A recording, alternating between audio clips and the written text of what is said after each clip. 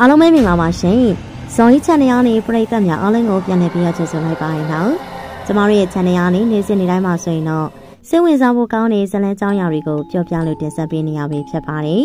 ဒီကနေ့မှာဆိုရင်တော့အမိုက်မဆိုတဲ့ဇလန်းကောင်းတစ်ပုဒ်ကိုဒုတိယပိုင်းအနေနဲ့ထုံးလင်းလို့တင်ဆက်ပေးကြပါရရှင်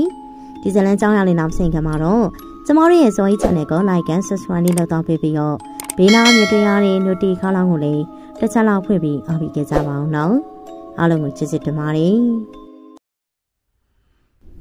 မြင်းနေရတဲ့မြေခွင်းကိုလိုင်းရင်တွေတုံးလုံးချောင်းချောင်းစွာနဲ့ကြည့်လိုက်တယ်သူမကြည့်နေစမှာပဲဝေဖြိုးနဲ့ညမငယ်ငွေနေဆက်တို့နှစ်ယောက်သားတယောက်နဲ့တယောက်ဖတ်လို့တိုက်ခန်းလှေကားအတိုင်းကိုတက်သွားတယ်ဒီမြေခွင်းကိုလိုင်းရင်တွေတတိကဲမဲသူလိုငေးကြောင်ပြီးတော့ကြည့်ခဲ့တယ်ဝေဖြိုးတယောက်အသေးတွေးလို့ဖောက်ပြားနေတာကိုလိုင်းရင်တွေခံမှန်းထားခဲ့မိတော်လေတစ်ဖက်လူဟာညမငယ်ငွေနေဆက်ဖြစ်လိုက်မယ်လို့ ရောင်လို့တော့မတွေးခဲ့ဘူးဘူးပြီးတော့ငွေနေဆက်တယောက်ထိုင်းမိသားစုကတယောက်နဲ့အရန်ကိုလက်ထက်ချင်းနေခဲ့တာကိုလေလိုက်ရင်တွေအကဲခတ်မိရင်ဒါနဲ့ပဲငွေနေဆက်ဘာလို့ဆက်ရှုံးနေရလဲဘာလို့သူမအပေါ်ဒီလောက်ထိရက်ဆက်နိုင်တာလဲတွေ့ရင်စိတ်ထဲပိုပြီးရှုပ်ထွေးတယ်လူကအသေးစိတ်ကင်းလို့သူလို့ဖြစ်ရတယ်မြင်လဲရတဲ့မြေခွဲအတွက်ငိုရမှာလားဒေါသထွက်ရမှာလားမဝေခွဲနိုင်ဖြစ်ရတယ်လာရင်တွေထိုင်ရာကနေထားလို့ လမ်းမပေါ်မှာတရင်တရိုင်နဲ့ရှောင်းလာတယ်ဒီမယုံကြည်နိုင်စရာမြင့်ကွင်းဟာအိမ်မက်လာတကယ်လောင်းဆိုတာတော့မကွဲပြားချင်တော့ဘူးမျက်လုံးထဲမှာငွေနှင်းစက်နဲ့ဝေဖြိုးတို့ရဲ့တယောက်ကိုတယောက်ဖတ်တွေကရှောက်သွားတဲ့မြင့်ကွင်းကိုပဲမြင်ရတယ်နေသိညီကကားမောင်းနေရင်လက်ကနိုင်ကြည့်လိုက်တယ်အချိန်ကည၈နာရီကျော်သူ့နဲ့ငွေနှင်းစက်ကော်ဖီဆိုင်ထိုင်ပြီးတနင်္လာနေ့နီးပါးလောက်စကားပြောပြီးမှလမ်းခွဲခဲ့ကြတယ်ဒါပေမဲ့ သူတို့စကားပြောခဲ့တဲ့တနားရီတွင်းမှာ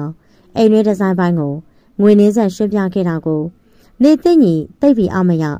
သူမမူချမ်းပေးလိုက်တဲ့ဒီဇိုင်းတွေဟာအသေးစိတ်လာတော်နေသူမပြောပြရှင်းပြတာဟာအားရစရာမရှိပရိဘောကားတွေအတွက်ဘလို့ကုံညောင်းကိုသုံးသင့်လဲလို့မေးခဲ့တော်နေရည်ရည်ရရဖြစ်မတော်ဘူးသူမကိုကြည့်ရတာဒီဇိုင်းတွေလှုပ်ဝက်တာလားဒါမှမဟုတ်ဘာအကြောင်းများရှိရလဲမသိနိုင်ဒီလိုမရေရမသေးကြတဲ့အလုပ်မျိုး နေသိညာစိတ်ဝင်စားဘူး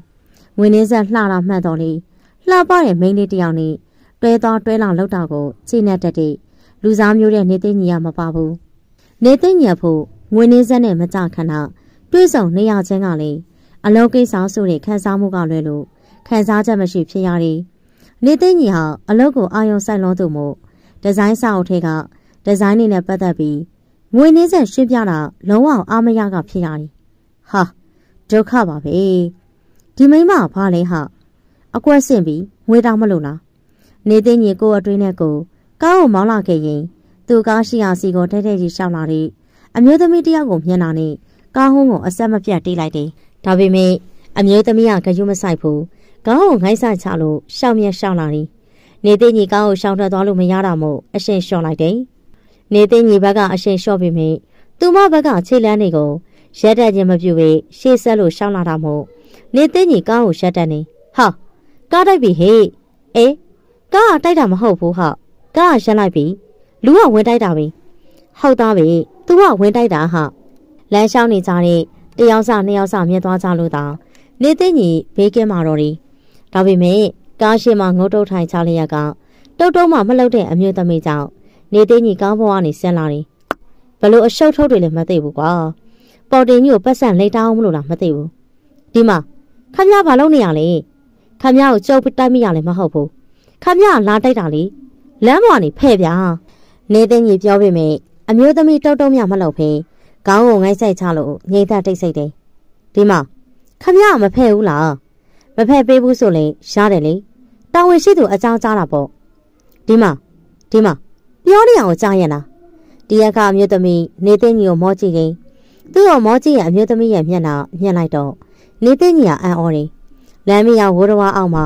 မြင်နေရတာဖြစ်တာမို့မသေးကြမှာဆိုလို့နေသိကြီးထပ်ပြီးကြည့်လိုက်တယ်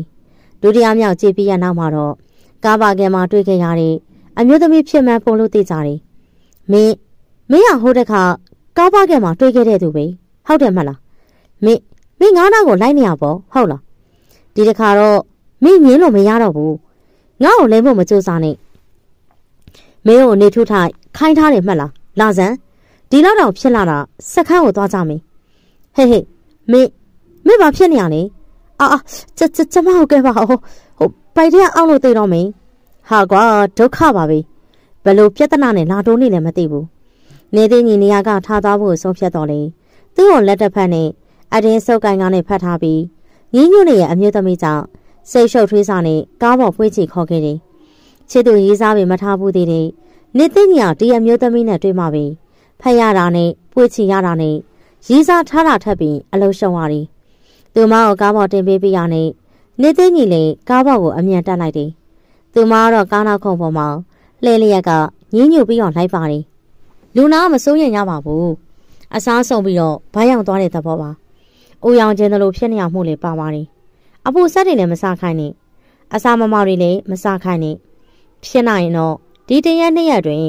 စံမျိုးလိုမျိုးအစားအဝယ်စားခိုင်းပါ။ဗျာဟုတ်ဟုတ်ကဲ့လူနာသတိရှိရမှတ်လားဆရာမ။သူ့ကိုပြောလိုက်ပါဗျာ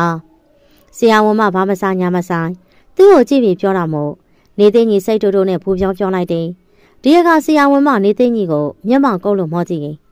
ဒီမှာရှင်လူနာကနေမကောင်းမှုလေဒီရဲ့ချိန်မှာတော့ရှင်းအောင်စိတ်မရှိနိုင်ဘူးလားရှင်တို့ယောက်ျားတွေဟာလေအိမ်ကမိန်းမဆိုရင်စိတ်မရှိဘူး အဖေကမိန်းမတွေကိုပဲစိတ်ရှိရမဟုတ်လားဗျာဆရာမဘယ်ကမိန်းမလဲသူနဲ့ကျွန်တော်ဘာမှမဆိုင်လူနာဘိုက်ကအောက်နေသေးလားဟုတ်ဟုတ်ကဲ့နည်းနည်းတက်တောင်သွားပါပြီဆရာမတော်သေးရပေါ့ဒါနဲ့ဘာလို့များစားခဲ့ရတော့လမ်းမလေးအန်းနေစို့ဟိုဟို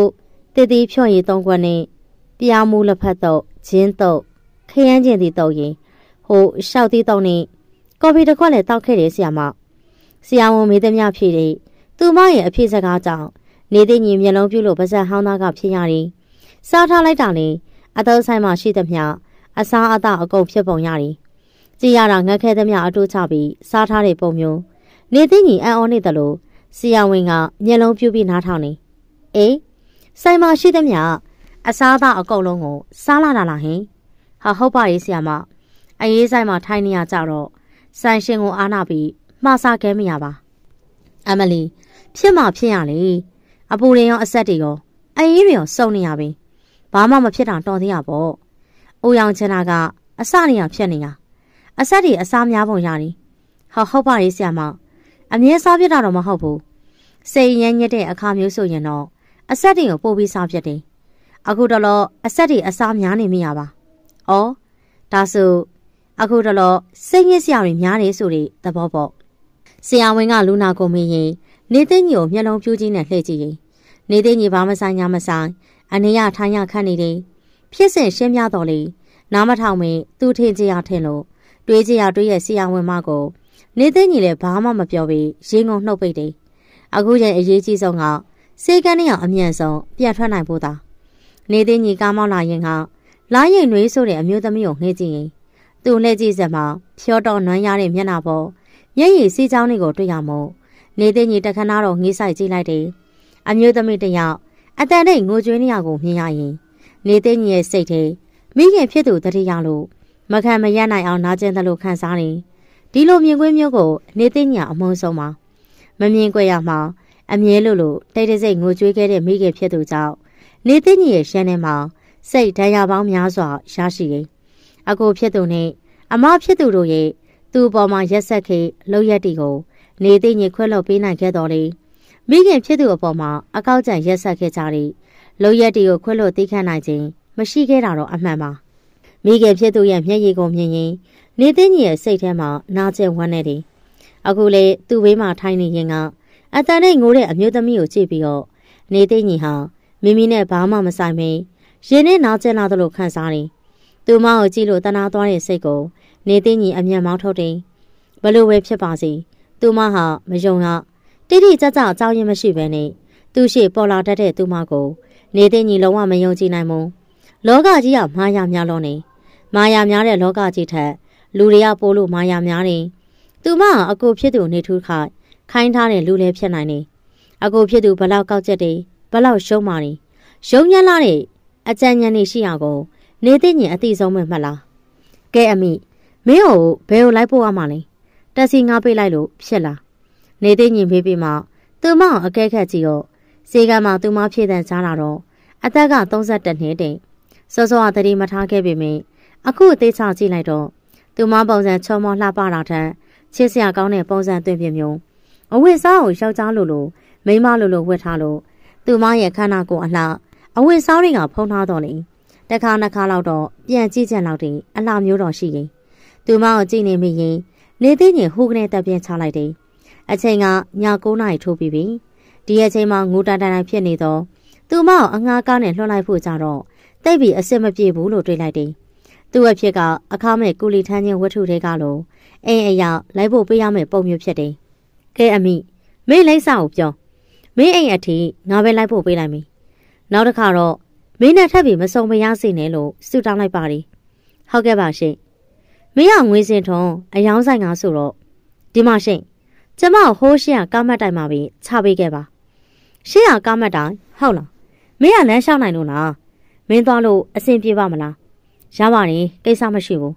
ရှေ့ကလမ်းထဲကိုချိုးဝင်ရင်ကျမတို့အိမ်ကိုရောက်နေပြီဟုတ်လားဒါဆိုလည်းပြီးရပဲလေကျေးဇူးတင်စကားတခွန်းတလေပြောမသွားတဲ့သူမကိုလှမ်းကြည့်ပြီးတော့နေသိညီစိတ်ပြတ်စွာနဲ့ကားကိုမောင်းထွက်တယ်လာရင်တွေအိမ်ထဲကိုလှမ်းဝင်လိုက်ဆက်မှာ သူမရဲ့ပါပြင်းကိုဖြန်းကနေရိုက်ချလိုက်တဲ့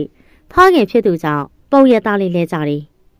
လာရင်တွေအထိတ်တလန့်နဲ့မောကြည့်တော့ဒေါသမျက်လုံးနဲ့သူမကိုစိုက်ကြည့်ရဲ့ဖခင်ဖြစ်သူကိုတွေးလိုက်တယ်အအဖေအခုချိန်မှာဘယ်ကပြန်လာတာလဲဒါကမိန်းကလေးတယောက်အိမ်ပြန်ရမယ့်ချိန်လားတမီးကိုအဖေဘယ်လောက်ထိယုံကြည်ပေးခဲ့တယ်လဲဆိုတာကိုတမီးသိရမဟုတ်လားတမီးကမလိမ္မာဘူးပဲရှင်အဖေတမီးကဘာလုံးမိလို့လဲ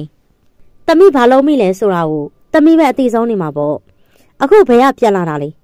တမီးကအဖေကိုစိတ်ဆင်းရအောင်လုပ်နေရပြီမမဟုတ်ဘူးအဖေတမီးဘာမှလည်းမလုပ်ဘူး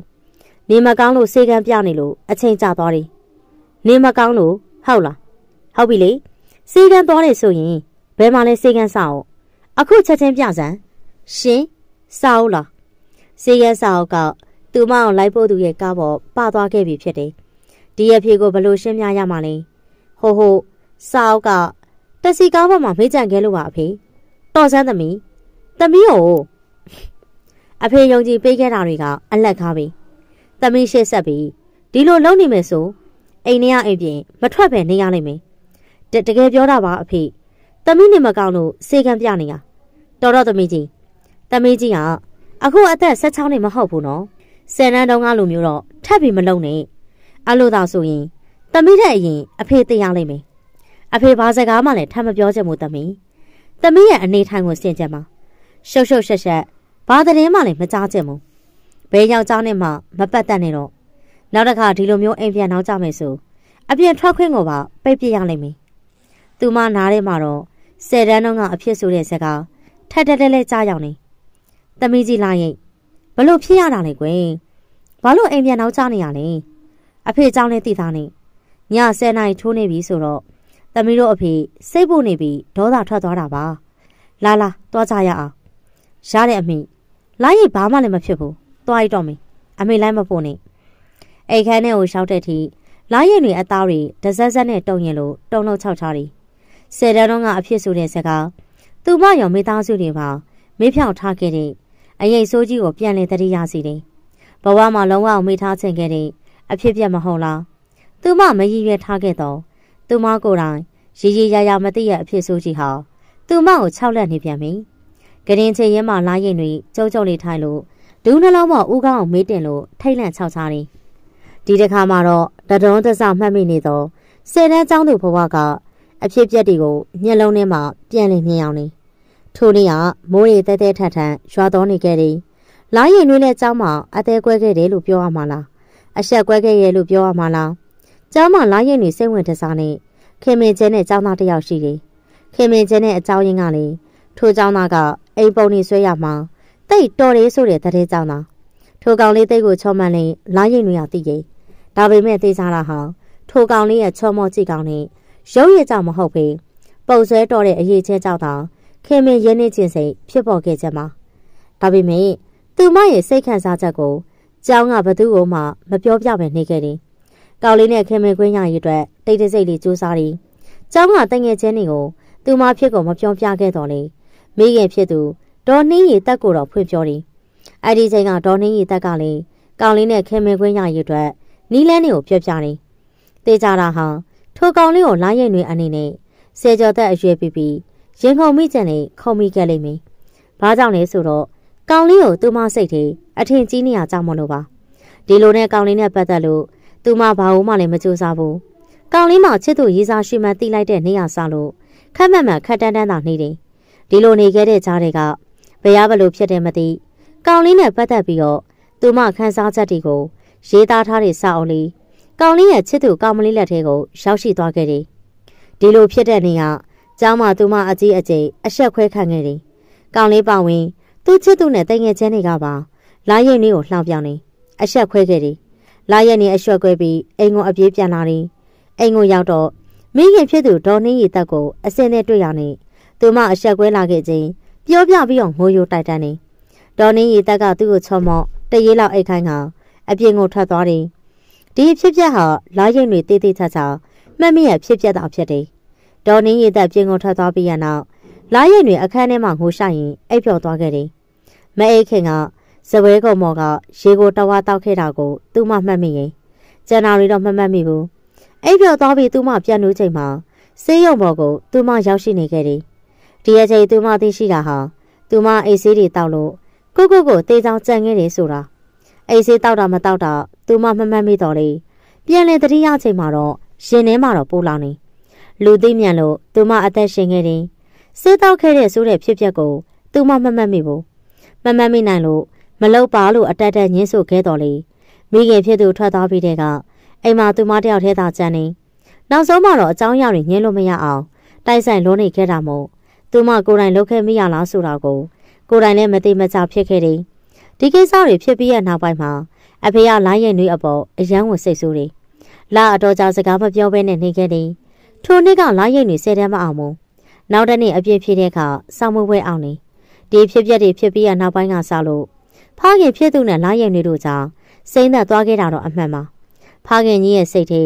လိုင်းရင်နှွေးအောင်ရှောက်ကြားတယောက်နဲ့ပတ်သက်လို့ကိုကိုကိုတေးချောင်းကြက်စီခဲ့သူဖြစ်တယ်။အပြစ်ကိုလည်းလုံးဝခွင့်မလွှတ်နိုင်ဖြစ်ခဲ့တယ်။ပြောရမယ်ဆိုအဲ့ဒီချိန်ကစလို့ဖခင်ကြီးဟာလာရဲ့နှွေးအပေါ်ယုံကြည်မှုကင်းမဲ့ခဲ့ကြမှာ။နောက်ဆုံးတက္ကသိုလ်ဘွဲရပြီးရဲ့အခါမှသာပြန်လဲလို့နှွေးထွေးမှုတွေပေးလာပြီးအယောင်းဆိုင်မှလည်းအလုံးလုံးခွင့်ပြုခဲ့တယ်။အဲ့ဒီချိန်ကစလို့ဖခင်ဖြစ်သူနဲ့ လာရဲ့နှွေးရဲ့ချာအနှင်းငယ်မြအစဉ်ပြေပြေရှိလာတယ်။ဖခင်ဖြစ်သူမကြိုက်တဲ့ကိစ္စမှန်သမျှကိုလည်းလာရဲ့နှွေတက်နိုင်သမျှရှောင်ခဲ့တယ်ချစ်သူရေးစားထားတဲ့ခါမှလည်းမိသားစုတွေအားလုံးဖွင့်ပြောနေဒီလိုနှစ်ပေါင်းများစွာပြန်လည်တိဆောက်ခဲ့တဲ့ယုံကြည်မှုအောင်ယခုရက်ပိုင်းတွင်ပြန်လည်ပြည့်စည်သွားသလိုလာရင်တွေခန်းစားနေဖခင်ဖြစ်သူဘာလို့စိတ်ဆိုးနေရဲဆိုတာကိုလာရင်တွေကမသိစိတ်ဆိုးစရာဆိုလို့သူမနဲ့ဝေဖြိုးရဲ့ မတင်မကြတဲ့မင်းလာကိစ္စကြောင့်တော့ဖြစ်မဲ့ထင်ပါတယ်မဖြစ်နိုင်တော့တဲ့မင်းလာပွဲကိစ္စလာရင်နေဘလို့ရှင်းပြရမှာလဲဝေဖြိုးနဲ့ညီမငယ်ငွေနေဆက်တို့တိတ်တိတ်ပုံတွဲနေကြတာကိုဖွင့်ပြောရမှာလားတက်တဲ့ဘာမှယူမလာခဲ့ပဲနဲ့ပြောရင်ဖခင်ဖြစ်သူရှုံးမလားတေးကြတာကတော့သူမပြောတဲ့စကားထက်ညီမငယ်ငွေနေဆက်ပြောတဲ့စကားကိုဖခင်ဖြစ်သူကပို့ပြီးယုံကြည်မဲဆိုတာလာရင်တွေသိပြီးသားပါလာရင်တွေကြုံတွေ့နေတဲ့ပြဿနာဟာ ပေါ့ပေါ့တက်တဲ့ပြဿနာမဟုတ်တာလာရိတ်နေတဖြည်းဖြည်းနဲ့နားလေသဘောပေါက်တယ်လို့ရှိလာတယ်။သမီးတို့ချင်းနေရဘလို့လဲ။နှစ်ယောက်အစဉ်ပြေးရက်လာသမီး။မောင်နေသိညီဘက်ကရောဘာပြောသေးလဲ။သမီးတို့နှစ်ယောက်တယောက်နဲ့တယောက်လေးလာကြည့်ကြဖို့နားလည်မှုတော့ယူထားတယ်အမိ။စိတ်ချပါမိဒီနေ့မကုန်ပါဘူး။သမီးတို့မင်္ဂလာပွဲဖြစ်မှာပါ။ तू ကသမီးအတွက်ပဲဖြစ်ရမယ်မိ။ तू အကြောင်းတွေကိုလည်းသမီးတေးသေးချာချာစုံစမ်းခိုင်းထားတယ်။ तू ကရေးစားတော့မထားခဲ့ဘူးဘူးတဲ့လေ။ ဟုတ်လား။ထူးထူးဆန်းဆန်းမှလားသမီးရင်။သမီးနဲ့မတွေ့သေးလို့ပါအမိ။ချစ်သူရီးစားထားဖို့အတွက်အချိန်မရပါဘူးဆိုတဲ့သူ့လိုလူတွေပဲသမီးစီကရုံမထမ်းနိုင်ဖြစ်သွားကြတာပါအမေသမီးအကြောင်းအမေသိပြီးသားပါဒါနဲ့မောင်ဝေဖြိုးတဲ့ကိစ္စကိုဘယ်လိုရှင်းမလဲသမီးဖေတည်သွားလို့မဖြစ်ဘူးနော်မပူပါနဲ့အမေရဲ့အားလုံးပြီးသွားရင်ကိုဝေဖြိုးကသူ့ဘာသာသူ့အလုပ်သူ့လုပ်မီသူ့လောက်တော့သမီးကြိုက်တွေ့နိုင်ပါတယ် သမီးမှစီစဉ်နေရှိပြီးသားသမီးကိုအမေယုံပါတယ်ဒါပေမဲ့မောင်ဝေဖြိုးတော့မယုံတာသမီးရဲ့သူကသုံးလင်းနဲ့တွဲခဲ့တဲ့ချစ်သူကိုတော့ခဏလေးနဲ့ဖြတ်နိုင်တာဆိုတော့သူမှညစ်ပတ်တဲ့စိတ်တော့ရှိမှအမှန်ပဲသူတို့လိုလူမျိုးတွေကဒုတိယလူရှောင်းလာရင် ပထမလူကိုတစ္ဆာဖောက်တယ်တတိယလူရှောက်လာရင်ဒုတိယလူကိုတစ္ဆာဖောက်ပြန်ရောလေယုံကြည်လို့ရတဲ့လူစားထဲမှာမပဘူးတော့ကြမောင်နေသိကျင်တဲ့ကိစ္စကိုလိုက်လျှော့နေမှဖြင့် တမီသိရဖို့အမေရဲ့တမီမှနိုင်ခွက်ရှိပါနဲ့သူလိုလူမျိုးကိုရှင်းပြလိုက်ဖို့နီးတွေအများကြီးပဲရှိရင်ကိုနေသိညီနဲ့မင်းလာပွဲကိုအထိမခတ်မှာဘူးအဲ့ဒါတမီမျောလင့်ထားတဲ့မင်းလာပွဲပါကိုနေသိညီကတမီဘဝမှာပထမဆုံးတော့ရှင်ခုံရတဲ့သူပါပြောရမယ်ဆိုရင်တမီချစ်တော်မိရဲ့ပထမဆုံးတော့ယောက်ျားတစ်ယောက်ပေါ့ကိုနေသိညီကိုတမီလက်လွတ်မခံမှုအမေမှန်တာပေါ့ မောင်နေသိညီလို့လူမျိုးအပဲတမီနဲ့အသင်းတော်ဆောင်နေတမီကတော်ပြီးသားဆိုတော့အမေသိပါတယ်မောင်နေသိညီနဲ့တမီကတိတ်ပြီးလိုက်ဖတ်တာမောင်နေသိညီနဲ့တာတမီလက်ထက်ခဲ့ရင်လုပ်ငန်းတွေအားလုံးကတမီလက်ထဲကိုရှောင်းလာမယ်ပရိဘောကဆိုင်နေအကုန်လုံးလေးအမေလက်ထဲကိုရှောင်းလာခဲ့ရင်ငွေစင်ထုံးကုမ္ပဏီရဲ့လုပ်ငန်းတွေအားလုံးကအမေတို့သားအမိအပိုက်ဖြစ်သွားပြီလေပရိဘောကဆိုင်ဆိုလို့ပြောရအောင်မေအမိမမကိုဒီတိုင်း ထားလို့စိတ်ချရပါမလားသူကထင်တယ်လို့မတုံးဘူးနော်အမိအမလီတမိရဲ့သူကထင်တယ်လို့မတုံးပြီမေအချော့ကြိုက်အပြော့ကြိုက်လေလေးတန်ပြော့ပြော့လေးနဲ့တနာကိုပြောလိုက်စမ်းပါပြောသမျှကိုအကုန်ရှုံးပေးလိုက်မေတမီးအဖေအတွက်လည်းစိတ်ချပါဇက်ကပြောတတ်ဖို့ပဲလိုတာပြီးတော့အိမ်မှာလုံးကျုံစိတ်ချရဖို့မကြခင်မှာဧည့်သည်ရောက်လာတယ်မင်းအိမ်ကအလုပ်သမားတွေအကုန်လုံးကလေအမေလူတွေကြည့်ပြီးဘာမှစိတ်ဖို့မနေနဲ့ မောင်နေသိညင်နဲ့အမြန်ဆုံးအဆင်ပြေဖို့ကိုပဲစူးစမ်းတော့သမီးဒါကတော့စိတ်ချပါအမေသူကသမီးလက်ထဲကပြင်းမလို့ဘူးကဲပါသမီးလေးရုံသွားရတော့မေမမတော့အဖေထွက်သွားပြီးရနဲ့ထွက်သွားတာတော့တွေ့လိုက်တယ်အစောကြီးဆိုတော့ဘယ်သွားတာလဲမသိဘူးအေးသမီးဖေကသမီးအဖွားအိမ်ကိုသွားတာမိလာရိတ်ကတော့ထုံးစံတိုင်းအယောင်းဆိုင်ကသူ့စတိုကန်းကိုသွားမှာပေါ့စိတ်ညစ်တိုင်းပရိဘောဂတွေလောက်တတ်တာသူ့အကျင့်မယ်လေ ဒီဇိုင်းတစ်တွေရဖို့သူ့ကိုစိတ်မြမြညံ့အောင်လုံရမဲ့ပုံဖြစ်နေပြီအခန်းထဲကစကားသံတွေနားထောင်လို့လာရင်တွေအသားတွေဒဇက်ဇက်နဲ့တုံလာတယ်ဒေါသအလျောက်အခန်းတကားကိုဝုန်းနိုင်ဖွင့်ကဝင်းချသွားလိုက်ချင်တော့တယ်သူတို့အမားကမိမိရဲ့အမားဖြစ်မှဆိုတာနဲ့ဒေါသစိတ်ကိုမနှဲပဲထိန်ထားတယ်လာရင်တွေသူမအခန်းစီကိုတိတ်ဆိတ်စွာရှောက်လာခဲ့လိုက်တယ်သူမဘက်ကယုံကြည်ချစ်ခင်ပေးခဲ့သလောက်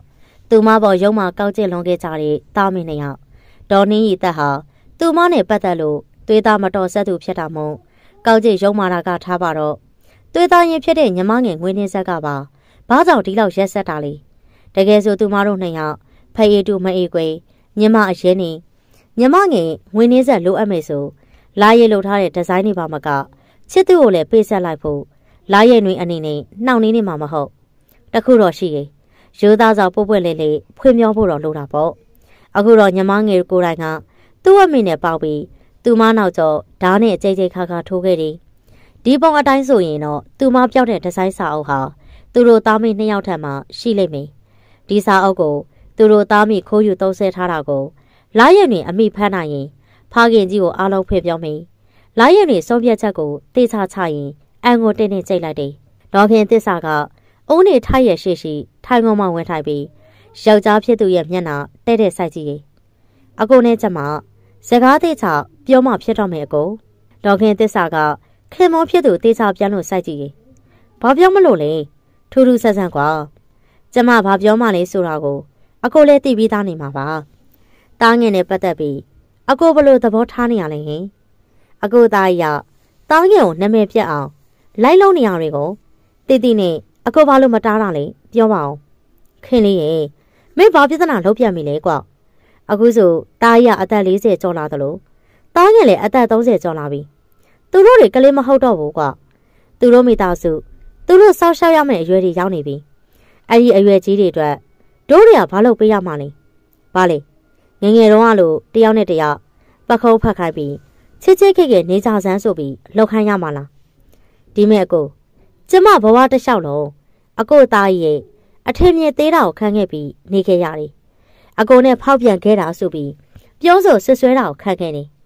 ဒါပေမဲ့အကိုဘာတစ်ခုမှလည်းဖြည့်ရှင်းမပေးဘူးကလေးတွေအထင်လွဲနေရဆိုရင်အကိုကိုယ်တိုင်ကတေချာရှင်းပြတဲ့တာမဟုတ်ဘူးလားအကိုပထမဇနီးနဲ့ဘာကြောင့်ကွာရှင်းခဲ့တယ်ဆိုတာလေအကိုသားသမီးတွေပြောပြတဲ့နဲ့မှတ်လားကျမတည့်ရထိအခုလိုမျိုးအထင်သေးခံ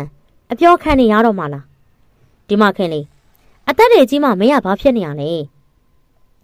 အသက်20ကျော်စတော့ကတော့ဒီလိုမျိုးစကားတွေကိုမင်းကယူမဆိုင်ခဲ့ဘူးမှတ်လားငါလည်းအသက်60ကျော်မှဒါမျိုးတွေကိုသားသမီးတွေစီမရှင်းပြနိုင်ဘူးကွာတားရဒီလိုမျိုးပြောတတ်တာကိုမင်းလည်းသိသားနေအချိန်တန်ရင်သူ့နားလည်လာလိမ့်မယ်ဘာပြောရဲ့ကိုအကျင့်ဟုတ်လားအချိန်တန်ရင်ဟုတ်လားအကိုပြောတဲ့အချိန်တန်ရင်ဆိုတာဘယ်တော့လဲ သူသေးတဲ့အချိန်ထိပြောနေရအောင်ပြောတာလားဘာခင်သစ္စာ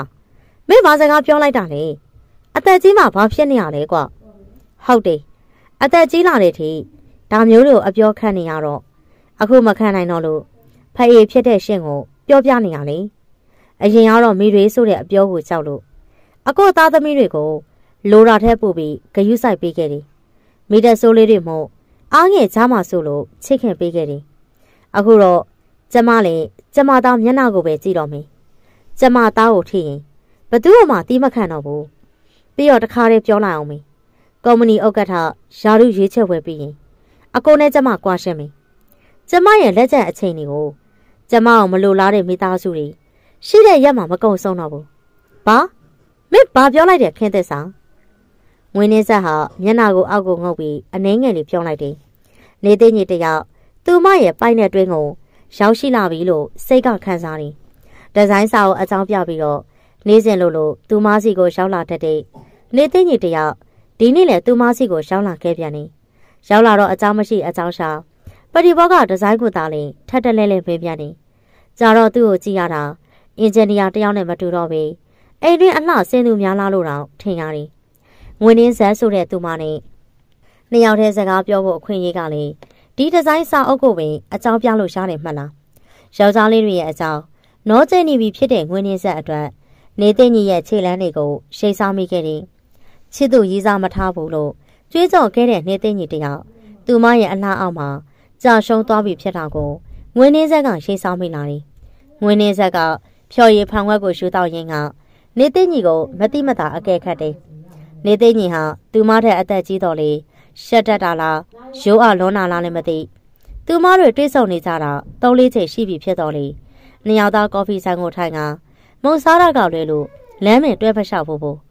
အနေတီတက်လုံးနေသူဖြစ်တာမို့သူ့ရဲ့တိတ်ခါကိုထိန်းနေရလားမသိ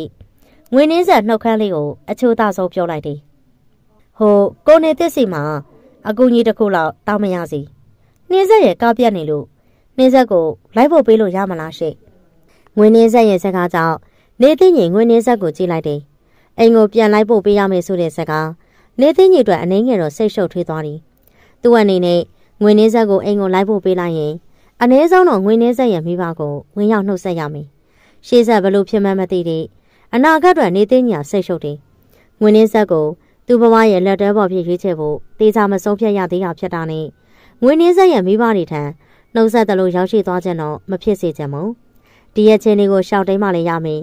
ဘလို့လုံးရမလဲဆိုတာကိုနေသိညီကအမြန်စစ်စားတယ်ဟာအားနာကြတော့ဖြစ်ကုန်ပြီနှင်းဆက်ရဲ့ကိုကဒီအောင်ပြန်ရင်အမေတို့စီသွားရအောင်မှမို့လို့အဖွားခေါ်ထားတာဆိုတော့မသွားလို့လည်းမဖြစ်ဘူးကိုတောင်းမမရင်နော်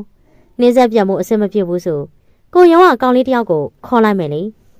လုံးဝမမျော်လင့်ထားတဲ့နေသိညီရဲ့စကားကြောင့်ငွေနှင်းဆက်ရဲ့စိတ်ထဲတင်းကနေဖြစ်သွားတယ်အာနာပါနဲ့နှင်းဆက်ရဲ့အခုချိန်မှာတော့ အဖွားရဲ့စကားကိုအတိအကျလိုင်းနာမှာဖြစ်မှာမို့လို့နားလည်ပေးပါနှင်းဆက်နောက်ဆုံးတော့တောင်းပန်စကားတခွန်းနဲ့တောင်ငွေနှင်းဆက်ကကျိနှံ့လိုက်ရတယ်ကားပါကဲနဲ့အချိန်အတော်ကြာအောင်လာရင်နွေးရရှက်ခဲ့တယ်ဆိုင်ကမ်းပေါင်းများစွာရှိတဲ့ရုံငန်းရှိရာနေရာမှာဝေဖြိုးကိုတွေ့ရဖို့အတွက်အသေးစားဆုံးနေရာမှာကားပါကဲဖြစ်တယ်ကိုပိုင်ကားနဲ့သွားလာနေတဲ့ဝေဖြိုးတယောက်ကားပါကဲကိုတော့မဖြစ်မနေလာရမယ်ဒါကြောင့်ဝေဖြိုးကိုအမိဖမ်းနိုင်မှုအယောင်ဆိုင်ကနေ လာရင်နွေးရစောစောထွက်ပြီးတော့လာဆောင်နေညနေ6နာရီထိုးပြီးချိန်မှာတော့တင်မဆောင်နေခဲ့တဲ့ဝေဖြိုးတယောက်ကားပါကင်စီရှောင်းလာတာကိုတွေ့ရတယ်ကိုဝေဖြိုးဟာမင်းမင်းလာရိတ်ဘာကိစ္စရှိလို့လဲမင်းကိုကိုအပြက်ပြောပြီးသွားပြီလေမင်းနဲ့ကိုချာမှာပြောစရာကိစ္စမရှိတော့ဘူးထင်နေဘလို့ဖြစ်တာလဲရှင်ကျမတို့နှစ်ယောက်ကလေးကားနဲ့တွဲခဲ့တဲ့ချစ်သူတွေလေလမ်းမှာမတော်တဆဆုံကြလို့နှုတ်ဆက်တာကို ဘာလို့ဒီလောက်တောင်လန့်နေရလဲဘာလဲဘာလို့မယုံမသားလှုပ်ထားတာတွေရှိလို့လဲပြောပါအောင်ကိုဝေဖြူမင်းမင်းမဟုတ်တာတွေမပြောနဲ့နော်မယိုးမသားလောက်တာကငါမဟုတ်ဘူးမင်းလေမင်းလောက်ခဲ့တာကွမင်းမယိုးသားခဲ့တာယောက်ျားလေးချောချောပြင်တိုင်းစိတ်ဝင်စားတတ်တယ်မင်းရဲ့အကျင့်ကမကောင်းခဲ့တာဘာဘာပြောလိုက်တယ်ကျမကိုပြန်ပြောစမ်းမအောင်ကျမကယောက်ျားလေးချောချောမြင်တိုင်းစိတ်ဝင်စားတတ်တယ်ဟုတ်လား ဘာအိဗယ်နဲ့ပြောတာလဲဘာကိုကြည့်ပြီးပြောတာလဲ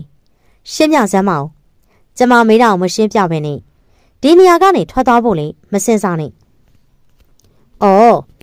မင်းရဲ့အကြောင်းတွေကိုမင်းမဲ့အတိဆုံးနေမှာပေါ့။ငါပြန်ရှင်းပြနေရအောင်မလား။အသက်ဆက်ချောင်းနဲ့အရွယ်မှာယောက်ျားလေးတယောက်ကြောင့်ကိုကိုကိုတေးချောင်းကြက်စီခဲ့တယ်ဆိုပြီးတော့ဆိုင်ကအယောင်းဝင်တဲ့ကောင်းလေးနဲ့လေရှုပ်တယ်။ဒါအောင်အားမရသေးလို့မင်းရဲ့မင်းရဲ့ အတွင်ရမှုအာကာကြောဆိုတဲ့ကောင်းနဲ့လေရှုပ်သေးရင်အခုလည်းမင်းဆိုင်မှာရုပ်ချောချောနဲ့ကောင်းကိုအလောက်ခံထားတယ်မှတ်လား။ဘာလဲ။ငါဒါတွေကိုတတ်တဲ့နဲ့တကွပြရအောင်မလား။ဘာပြောလေဒေါ်လာရိတ်မင်းဘာတွေရှင်းပြချင်နေလဲမင်းရောငါတပပလုံးအတွက်ရည်ရွယ်ခဲ့တာကွာဒါပေမဲ့မင်းရဲ့လုံရက်တွေကအပေါ်ဆောင်ဆက်လုံးနေမင်းလိုလူမျိုးနဲ့တော့ရှင်းမဆက်နိုင်တော့ဘူးအဲ့ဒါငါအပြက်လားဝေဖြိုးရဲ့စကားမဆုံးခင် ဝေဖြိုးရဲ့ပါပြင်လိုင်းရင်တွေဖြန်းကနေရိုက်ချပြက်လိုက်တယ်ဒီမှာကိုဝေဖြိုးရှင်ပြောနေတဲ့အကြောင်းအရာတွေကိုရှင်မလို့သိလာလဲဆိုတာကိုကျမမမေးတော့ဘူးရှင်ယုံညင်းသလိုရှုံလို့ရတယ်ရှင့်အောင်နောက်ကဒီလောက်ပဲတွေးတတ်တဲ့ဆိုရင်လေတွေးတတ်တဲ့လောက်ပဲတွေးပေါ့ဒါပေမဲ့ဈာစကားတွေနဲ့တော့ကျမကိုတိတ်ခါလာမှချနေအချိန်မတန်သေးလို့ရှင့်အကြောင်းတွေကိုအမြင့်ကနေမှတ်လန့်ခြင်းနေဘူးအခုရှင်ပန်းကိုချလိုက်တာကဘာမှမသိပဲနဲ့ ကျမတိတ်ခါကိုစော်ကားတဲ့အတွက်ချလိုက်တာကျန်တဲ့အပြစ်တွေတော့မပါသေးဘူးနော်ကဲပါလေဒါတွေထားလိုက်စမ်းပါရှင့်ကိုမေးကြရှိလို့လာခဲ့တာကျမရဲ့ဒီဇိုင်းတွေကိုရှင်းများယူသုံးခဲ့သေးလားအမှန်တိုင်းပြောနော်ဘာဘာပြောတယ်ကွာဘာဒီဇိုင်းနေငါအင်ဂျင်နီယာကွာမင်းဒီဇိုင်းနေခိုးရအောင်ပရိဘောကလုပ်တဲ့လက်သမားလည်းမဟုတ်ဘူးထင်အောင်ထင်မှရောင်ဝါးဝါးတွေလာပြောမနေနဲ့တရားရှိလျှောက်မင်းနိုင်ငံသားမှာဘာပတ်သက်စရာမှမလိုတော့ဘူး မင်းလိုမိမမျိုးနဲ့ပတ်သက်ခဲ့မိရတဲ့ငါတော်တော်နောင်နာရတယ်အရှုပ်ထုံမှဘာရှင်မပြောလိုက်တယ်ရှင်မသွားနိုင်အောင်ကိုဝေဖြိုးဝေဖြိုးပြောပြရနဲ့ကားပေါ်တက်သွားတယ်လာရင်တွေအသားတွေဒဇက်ဇက်နဲ့တုပ်အောင်ဒေါသဖြစ်ပြီးဝေဖြိုးကိုလှမ်းခေါ်တယ်။ဝေဖြိုးရဲ့ကားကမောင်းထွက်သွားခဲ့တယ်။လာရင်တွေရဲ့ဒေါသနဲ့ဝေဖြိုးရဲ့ကားနောက်ကနေပြေးလိုက်ရင်ဘုံနဲ့ပြက်လဲကျသွားတယ်။ခြေကျန်းဝက်စီကအတော်လေးနာကျင်တာမို့ လာရင်တွေငင်းညွတ်တမ်းပင်ထွက်သွားတယ်။ကားသွားရလမ်းလေကြီးဖြစ်တာမို့သူမအတင်းမဲ့ကုံယုံထားလိုက်တယ်။ဒါပေမဲ့ခြေထောက်ဟာအနှဲငယ်မြလှုံလိုက်ယုံနဲ့အသေးခိုက်အောင်နာကျင်နေ။နာကျင်လုံးနဲ့အရှိန်ကြောက်မဲ့လားရှက်လုံးနဲ့စိတ်ကြောင့်ပဲလားမသိပါပြင်းမော်ကိုညက်ရည်တွေတပေါက်ပြီးတပေါက်စီးကြတယ်ညက်ရည်တွေကြားကအန်ကိုတင်းတင်းကျိတ်ပြီးခြေကိုတရွဆွေးလမ်းမေကိုကျိုးစားလို့ရွှေ့နေတယ်ရုံးစိမ့်ချိန်ကျော်လွန်သွားလို့ကားပါကဲမှာကားတွေရှင်းနေရကြောင်းမလို့ အဆက်ကွဲတက်တာသွားခြင်းဖြစ်တယ်ဒါပေမဲ့သူမလေးကြားတဲ့နေရာမှာကားသွားရလမ်းလေဖြစ်တာမို့လမ်းဘေးကိုနေရာရွှေ့ဖို့အန်ကိုကျိတ်လို့ကျိုးစားတယ်ဝေဖြိုးကသူမလေးကြားတာကိုမမြင်နာလားမြင်ရသားနဲ့တမင်နဲ့မကြည့်ရလားမသိကားကိုဟိုးနဲ့မောင်းထွက်တယ်။လာရင်တွေဟာခြေတစ်ဖက်ကိုအပြုတ်ပြီးဖေငိုတရွတ်စိလမ်းမေကိုမနေပေစူးစမ်းရွှေ့ရတယ်။မမြင်ကြမဲမြင်ရတဲ့မြင်ခွေကြောင့်နေသိညင်ဟိုးနဲ့တက်ပြင်းချလိုက်တယ်။နေသိညင်ဖြစ်ကလေ ငွေနှင်းဆက်နဲ့တွေးတဲ့အခါတိုင်းလာရင်တွေဆိုတဲ့သူမနဲ့စုံရတဲ့ဖြစ်စုံလိုက်တာနဲ့ကောင်းကောင်းမွန်မွန်စုံရတယ်ဆိုတာမဟုတ်တခုမဟုတ်တခုဖြစ်နေခဲ့တယ်။အခုလဲကြည့်အောင်သူကားရှိတက်တဲ့မှလာဖြစ်နေကြတယ်။သူ့မကားစီးကိုသွားနေတဲ့ခြေလန်းနေရရက်တက်နေသူမရဲ့ချစ်သူလားဘာလားမသိတဲ့တယောက်ကရဲရဲဆက်ဆက်ကိုထားခဲ့နိုင်တာနေသိညာအံ့ဩတယ်အဲ့ဒါတွေထက်ပိုပြီးအံ့ဩတာဟာသူမနဲ့ပြဿနာဖြစ်နေသူဟာ ငွေနှင်းဆက်တို့ရုံကအင်ဂျင်နီယာဖြစ်တာမို့တိုက်ဆိုင်မှုကိုပိုလို့အံ့ဩတယ်ကြည့်ရတာသူမရဲ့ခြေထောက်တစ်ဖက်အတော်လေးထိသွားပုံလေးရှာတယ်တောက်ဖက်နဲ့ကြီးစီးထားတော့လေထိတော့ထိသွားမဲ့ပုံအယောင်ဝစ်စုံကိုပဲမလဲနိုင်မင်းရောက်လာခဲ့ပုံထောက်တော့သူမတို့နှစ်ယောက်ကြားအဆက်ဆက်ရေးတာမန်တော့မဖြစ်နိုင်လို့နေသိညာတွက်စားတယ်။ကဲအမိဘာဖြစ်ပြန်ပြီလဲ။ပြောပြရင်လေမတရားဆွဆွဲရကြအောင်မေ။ခြေတော့ကဘာဖြစ်သွားတာလဲ။ဟာ ခြေတော့ကအတော်ရောက်နေရပဲ။အရန်နာလား။လမ်းလျှောက်လို့မရတော့ဘူးထက်နေ။မင်းမကားပါလား။ရှင်ရှင်ရှင်ရောက်လာပြန်လာလား။ကျမကိုကူညီပါအောင်နော်။ကျမမှကားလည်းမရှိဘူး။ကျမကိုကောင်းကားလို့ရတဲ့နေရာထိပဲခေါ်တော့ပေးပါ။နော်တောင်းမမလေးရှိမင်းဒီပုံစံနဲ့ကားငါပြီးပြန်လို့ဖြစ်ပါမလားကဲပါကွာမထူးတော့ဘူးစေးကောင်လိုက်ပို့ပေးမယ်အဲ့ဒီရမှာကားငါပြီးပြန်ရင်ဖြတ်ပေါ့ရှင်စေးကန်ဟုတ်လား ဟုတ်တယ်လေမင်းချစ်တော့တွေထောက်လို့မရအောင်နားနေရမှတ်လားစေးကန်သွားပြလိုက်တာပို့ကောင်းတယ်လေဘာဖြစ်လို့လဲစေးကန်ပြဖို့ဝင်မပါဘူးလားထုံးစက်တာငါပဲစိုက်ပေးလိုက်မယ်ကွာဟာဟုတ်ကဲ့ကျေးဇူးတင်ပါတယ်ကိုကိုအဟွာငါနာမည်နေသိညီရဲ့ကွာကိုအဟွာမဟုတ်ဘူးဟာဟုတ်ကဲ့ပါကိုနေသိညီကျမမှပတ်စံပါပါတယ်ဟိုလေကျမပြောချင်တာကဟိုတနေ့ကကျမကိုစေကန်လိုက်ဖို့ခဲ့တယ်မဟုတ်လားအဲ့ဒါစေကန်စာကို ရှေကားပေါ်မှာကြံခဲ့တာလေရှေသေးလားလို့မေးမလို့ဩစေကန်စာကိုတတိယသေးရပေါ့ဟုတ်လားနေသိညီပြန်ပေးချိန်မှာပဲလိုင်းရင်တွေဟာသူမရှိရှိ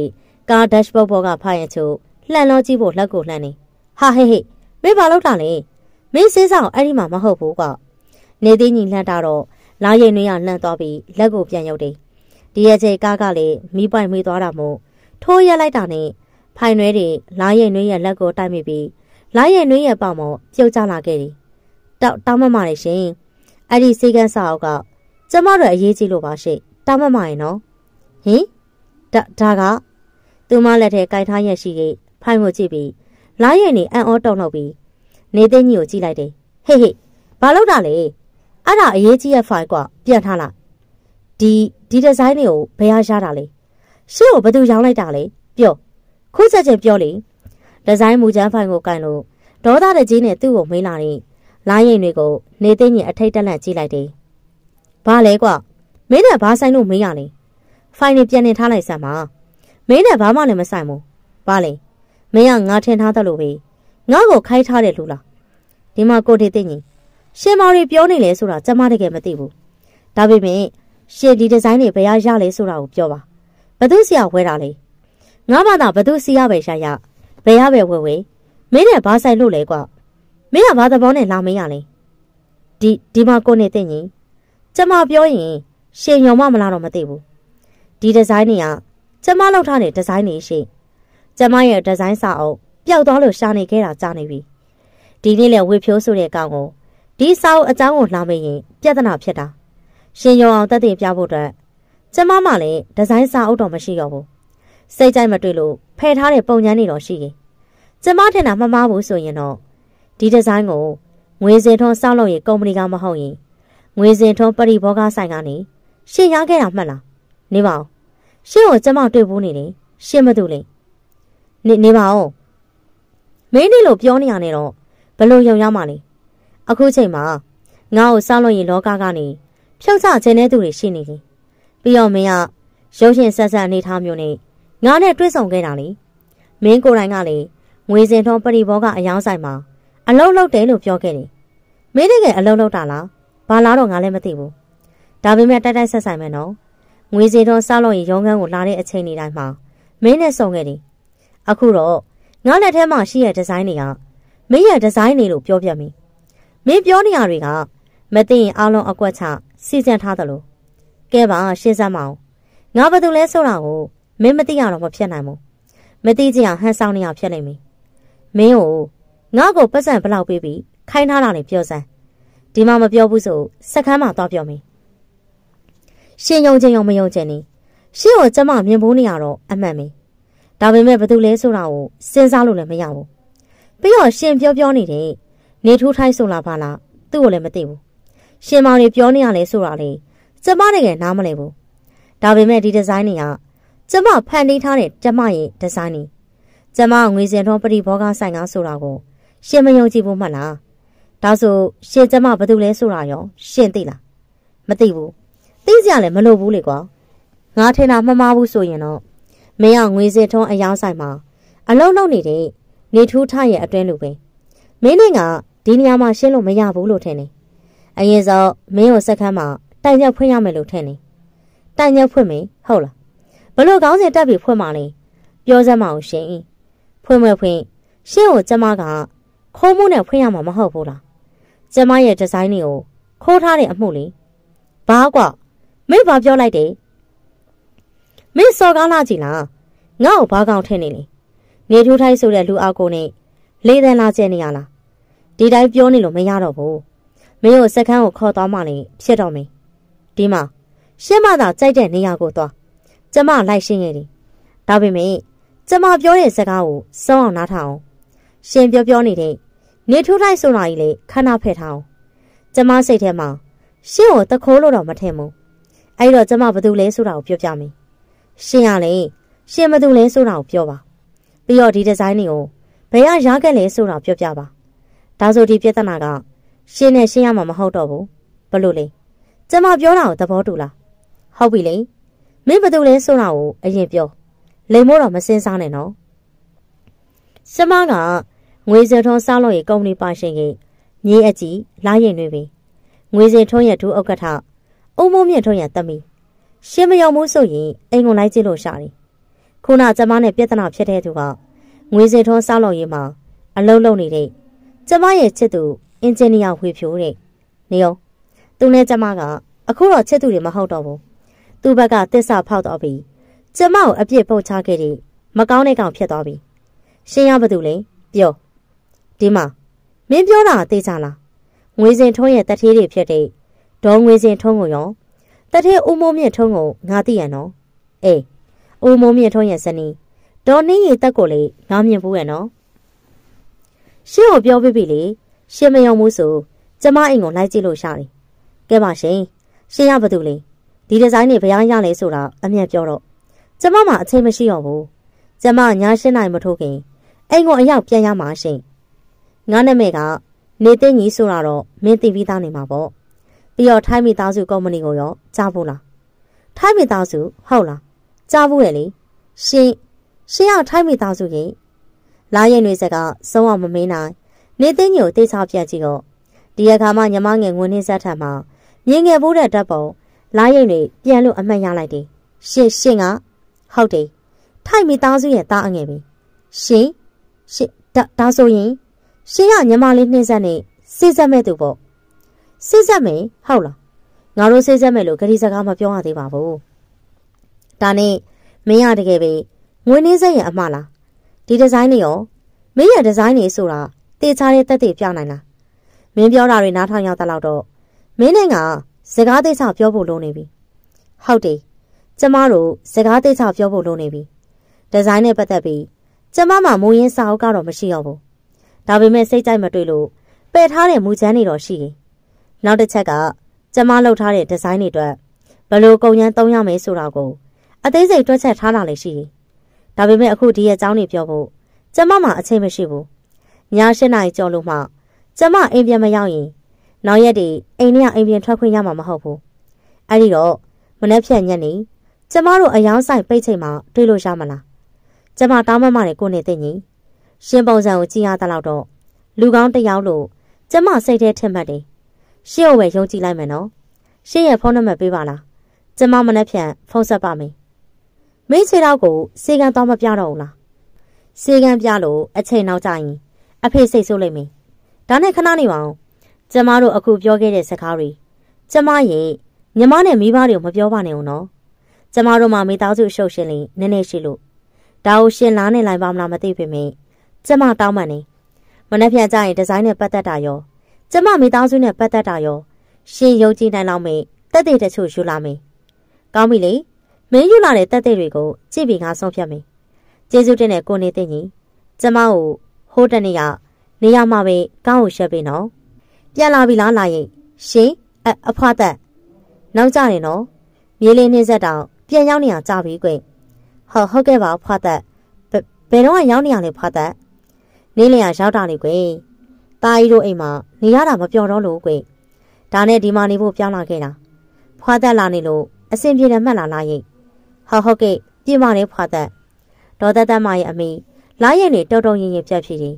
အဆင်မပြေလို့ပြောရင်လေ ပြန်มาမဟုတ်တဲ့သူ့အတွက်လာရင်နေအောင်ပြောပိုင်ခွင့်လည်းမရှိဒေါ်သက်သက်မသူလာခြင်းရင်လာတယ်ပြန်ခြင်းဘယ်သူမှတားလို့ရတဲ့သူလည်းမဟုတ်ဒေါ်သက်သက်မလာရင်အိမ်ရှိအလုသမားတွေနေရထိုင်ရကြတယ်လို့လာရင်နေရလေအလုသမားတွေနေတူမလုံရဲမကန်ရဲအောင်ရှိရင်ဒေါ်သက်သက်မသူ့စိတ်တိုင်းမကြရင်လာရင်နေကိုစူဖို့ပြောဆိုနေပိုဆိုးတော်စူဖို့လို့အာမရမိဘတွေပြန်လာရင်အစအဆုံးအကုန်ပြန်လို့တိုင်ပြောတတ်တဲ့သူမျိုးပါဒါကြောင့်ဒေါ်သက်သက်မတယောက် အိမ်မှာလာနေကလာရင်တွေအကြောက်ဆုံးနေဖြစ်တယ်သူမရဲ့ငယ်ရွယ်တဲ့အချိန်นี้မိရွေးဖြစ်သူဒေါ်နင်းရီတက်ကိုမကြောက်ဖေးမိရွေးရဲ့မိခင်ဖြစ်သူဒေါ်သက်သက်မောင်ကိုကြောက်ခဲ့တယ်ဒေါ်သက်သက်မောင်သူ့ရဲ့မြင်းရင်ဖြစ်တဲ့ငွေနှင်းဆက်ဆိုးသမျှတင်းကြီးခန့်တော်တယ်လာရွယ်နေကိုမျက်စိတောက်ထောက်ကြည့်အပြစ်ရှာနေခဲ့သူပါဒီလိုသူမျိုးဟာအခုလိုအချိန်ကြီးမှအိမ်ကိုရောက်တာမို့လာရွယ်နေအကြီးအကျယ်စိတ်ညစ်တယ်လောကကြီးကလည်းတိတ်တော်မတရားဘူးဒီလောကမှာ ဖွာသက်ကောဒေါ်သက်သက်မောင်ထိန်းနိုင်ပြောနိုင်သူဖွာသက်ရဲ့ခင်မဦးကောင်းမြတ်တယောက်သာရှိခင်အဖိုးဦးကောင်းမြတ်ကဖွာသက်နဲ့မတူလာရင်တွေကိုလည်းငင်းရင်ဖြစ်သူဝင်းနေဆက်ကိုပြောဆိုဆက်ဆံတယ်လို့ပြောဆိုဆက်ဆံနေဒါပေမဲ့အဖိုးဦးကောင်းမြတ်သူ့လောကကြီးမှာအကြာကြီးမနေဘူးလာရင်တွေအလဲတန်းတက်နေချိန်မှာပဲအဖိုးဦးကောင်းမြတ်ကဆုံးပါနေအဖိုးဦးကောင်းမြတ်ဆုံးမပြီးရနောက်ဖွာသက်တယောက်တားကြီးအိမ်မှာတလိမ့်သမီးအိမ်နေတလဲနေထိုင်နေ များသောအားဖြင့်တော့တားဖြစ်သူအိမ်မှာအနေများတယ်အယောင်းဆိုင်ကဘယ်ချိန်ပိတ်တာတော့6နိုင်ပိတ်တာမဟုတ်ဘူးလားမိန်းကလေးဆိုတာအိမ်ပြန်နောက်မကြရဘူးအလုံးရှိရင်တော့တမျိုးပေါ့မင်းကိုတမင်းနှင်းကြီးကထိမ့်သိမ်းဆောက်ရှောက်နေရလေတော်ကြမင်းကမကောင်းတာတစ်ခုခုဖြစ်သွားရင်တမင်းနှင်းကြီးရဲ့အပြစ်ဖြစ်မှာတမင်းနှင်းကြီးကမိထွေးပြီးပြီးလင်မသမီးကိုဂယုမဆိုင်လို့ဖြစ်တာဆိုပြီးပတ်ဝန်းကျင်ကအပြစ်ပြောလိုက်မယ်အနေရထိုင်စင်ကြမှာကွယ် မင်းလိမ္မာမလေးမင်းမေစိတ်ချမ်းသာမှာပေါ့ကဲကဲသွားတော့ဟဲ့ခြေတော်ကဘာဖြစ်တာတော့ဟိုဟိုချော်လဲခဲ့တာဖွာသက်ချော်လဲတာလားဂယုဆိုင်မှာပေါ့တောက်ဖက်ကြီးစီးပြီးရှက်ပြရှက်ပြနဲ့သွားနေရမှာဟုတ်လားပြောကြအောင်ဆိုပြောတဲ့ဖွာသက်ကိုကြောက်ခိုင်းပြီးသူမရဲ့အခန်းစီကိုလိုက်ရိပ်နေအမြန်လျှောက်သွားတယ်ဖွာသက်အိမ်မှာရှိရင်တော့ဖခင်ဖြစ်သူနဲ့နှစ်ယောက်တည်းစကားပြောဖို့အခွင့်အရေးရဖို့လွယ်လောက်တာလည်းမဟုတ်ဘယ်အတွက်ကြောင့်ရင်မသိ ဖွာသက်ဒီအိမ်ကိုရှောင်းလာရင်သူမဟုတ်တာတကောက်ကောက်နဲ့လိုက်ကြည့်နေရလို့လိုက်ရနှွေးအောင်ခန်းစားနေဖွာသက်ကိုကြည့်ရတာအိမ်မှာကြာအောင်မဲ့ပုံစံဖြစ်တာမို့လာရက်နေစိတ်ဓာတ်တွေကြပြီးစိတ်ရှုပ်သွားရတယ်သူခြံရှင်းမှာရက်ထားတဲ့ကားကိုကြည့်ပြီးနေသိညာစိတ်ရှုပ်တယ်သူ့အကိုနဲ့အမသူ့ကိုတယောက်တလေဒုက္ခပေးချမယ်လို့တိုင်ပင်ထားလာမသိမလာစဘူးသူ့အိမ်ကိုတယောက်ပြီးတယောက်လာနေရစိတ်ရှုပ်ဖို့တော့ကောင်းလာတယ်ကျွန်တော်စီလာတာလား အေးဟုတ်တယ်မင်းမအသေးစိတ်ရှိသေးရင်ထိုက်မိသားစုရဲ့လုပ်ငန်းအကြီးအကဲဖြစ်ဖို့မထိုက်တန်ဘူးဆိုတာမင်းအတိဆုံးမဲ့မဟုတ်လားနေသေးမင်းတို့အမေကြောင့်ဒုမိသားစုဖြိုခွဲတယ်ပြီးတော့မင်းလို့လို့ငါဘဝလည်းဒုက္ခိတဘဝရောက်ခဲ့တယ်ဒါအောင်မင်းကမကျေနပ်သေးပေငါကိုရဲ့နှင်းရကိုလူချင်သေးရလားမင်းအတွက်ထိုက်တဲ့တလောက်ပေးခဲ့ပြီးပြီမင်းမေအတွက်လည်းရွှေဆိုင်တစ်ဆိုင်ပေးထားတယ်ဒါအောင်မင်းကမကျေနပ်သေးဘူးဆိုတော့ မင်းကလူမဟုတ်ရလားနေသိငင်မမပါနေပြီနော်အကိုနေရကျွန်တော်ကလူယူနေရမဟုတ်ဘူးအဲ့ဒီနေရအတွက်အကိုရောကျွန်တော်ရောရှင်းပြရမှာနော်မမစိတ်ထဲမှာအကိုကိုအနိုင်ရစေချင်ရင်မမတက်နိုင်တဲ့ဘက်ကနေအကိုကိုကူညီပေးလိုက်ပါကျွန်တော်စိတ်မဆူဘူးကျွန်တော်ကတော့ဒီပြိုင်ပွဲရနေနှုတ်ထွက်မှလည်းမဟုတ်ဘူးအဖွားဖြစ်စေခြင်းနဲ့တိုင်မြမြတတဖြစ်အောင်ကျွန်တော်ဝင်ပြမယ်ပြီးတော့မမတို့တွေ ကျွန်တော်မေကိုမတရားပြောနေရတွေတော်ကြပါတော့ဗျအသက်တွေလည်းမငယ်ကြတော့ဘူးမမတို့ပေါ်မှာကျွန်တော်မေဘလောက်တောင်ကောင်းပေးခဲ့လဲဆိုတာမမတို့အသိဆုံးမေမမတို့စိတ်ထဲမှာကျွန်တော်အမေကြောင့်မမတို့အမေနဲ့အဖေကွာရှင်းခဲ့တယ်လို့ထင်နေကြတယ်မှတ်လားဘာကြောင့်သူတို့ကွာရှင်းခဲ့လဲဆိုတာကိုကျွန်တော်ရအောင်စုံစမ်းပေးမယ်အဖြစ်မှန်နဲ့သိလာတဲ့နေ့ကျွန်တော်အမေဘက်ကမှားနေခဲ့တာဆိုအားလုံးကိုစွန့်လွတ်ပြီးကျွန်တော်တို့သားအမေ ထိုက်မိသားစုကနေထွက်သွားပေးမယ်တကယ်လို့အဲ့ဒီကိစ္စတွေဟာကျွန်တော်မိနဲ့ဘာမှမဆိုင်ဘူးဆိုရင် အမေကိုမမတို့မောင်နှမတောင်းပန်ပေးရမယ်နောက်တော့ရှိသေးရဲ့မမရဲ့ခြေထောက်ကိစ္စအဲ့ဒီနေရာဘာတွေဖြစ်ခဲ့တယ်ဆိုတာကိုကျွန်တော်လုံးဝမမှတ်မိဘူးကျွန်တော်မမှတ်မိခဲ့တဲ့ကိစ္စကိုကျွန်တော်လုပ်ခဲ့မိရဲ့လို့ခံယူခဲ့မိလို့အိမ်မောကနေကျွန်တော်ဆင်းပြီးတယ်ဒါပေမဲ့တေချာစဉ်းစားကြည့်တော့မမတို့နှစ်ယောက်ကျွန်တော်ကတယောက်ထဲလေနှစ်ယောက်ကိုတယောက် ဒုက္ခပေးတယ်ဆိုတာမဖြစ်နိုင်တဲ့ကိစ္စလို့ထင်လာတယ်ဒါကြောင့်မို့အဲ့ဒီနှစ်ယောက်ဖြစ်ပျက်တွေကိုတိနေရဲ့နောက်ထပ်လူတစ်ယောက်ကိုကျွန်တော်ရှာနေတယ်သူကဘာတူလဲဆိုတာမမတို့ကပို့သိမှာပေါ့မမတို့အပြောကတော့အိမ်မှာကျွန်တော်တို့၃ယောက်တည်းရှိရလို့ပြောတယ်မဟုတ်လားမဟုတ်ဘူးဗျနောက်တစ်ယောက်ရှိသေးတာကျင်းသေးရင်ဘာလို့လဲဆိုတော့ကျွန်တော်တိတ်ပြီးမမိုးခင်မှာသူစကားပြောတဲ့အတန်ကိုကျွန်တော်ကြားလိုက်တယ်ဘာမင်းဘာတွေပြောနေရလဲ မင်းတော့ချလိုက်လို့ငါးချက်တော့ကျိုးသွားခဲ့တာလေအဲ့ဒါဘသူ့ကိုအပြစ်ပုံချချင်တာလဲမင်းစိတ်ထဲမှာမင်းရဲ့မေကိုငါတို့ကအပြစ်ပြောနေရဲဆိုပြီးမကျေနပ်လို့ငါတို့လောက်ခဲ့တာလေကဲပါလေမင်းကြိုက်တယ်လို့စုပ်ဖြတ်ငါပြောတာကိုနောက်မဆုတ်ဖေးရှေ့ဆက်တုံးမယ်ဆိုမင်းတို့သားမီးရမကောင်းချောင်းနေအားလုံးလူတွေသိအောင်ပြောပြမယ်မောင်နှမ၃ယောက်စောကစားကြရင်အပေါ်တက်ကပြုတ်ကျခဲ့တယ်ဆိုပြီးအဖွားနဲ့အဖေရဲ့လှုပ်ကြံဆက်ကိုအားလုံးသိအောင်ငါဖော်ထုတ်ပြမယ် အဲ့ဒီကိစ္စကိုအဖေကမကျေနပ်လို့ငါ့ကိုအမွေပြတ်ဆွန့်လွတ်ချင်ဆွန့်လွတ်ပါစီထိုင်မိသားစုရဲ့နေရာကမင်းတို့မဖြစ်ရင်ပြီးရောအဲ့ဒါငါတို့မောင်နှမရဲ့နေရာမင်းတို့မယံငယ်မသားနဲ့ဘာမှမဆိုင်ဘူးသိရလားတို့အိမ်နဲ့ခွေးတို့ဘောက်ကဝင်လာခဲ့ပြီးတော့အိမ်ဦးကဲမှာနေရာမလို့ချက်စမ်းနေတဘဝလုံးခေါင်းမဖောက်ပဲနေသွားရအောင်လှုပ်ပြလိုက်မှာနော်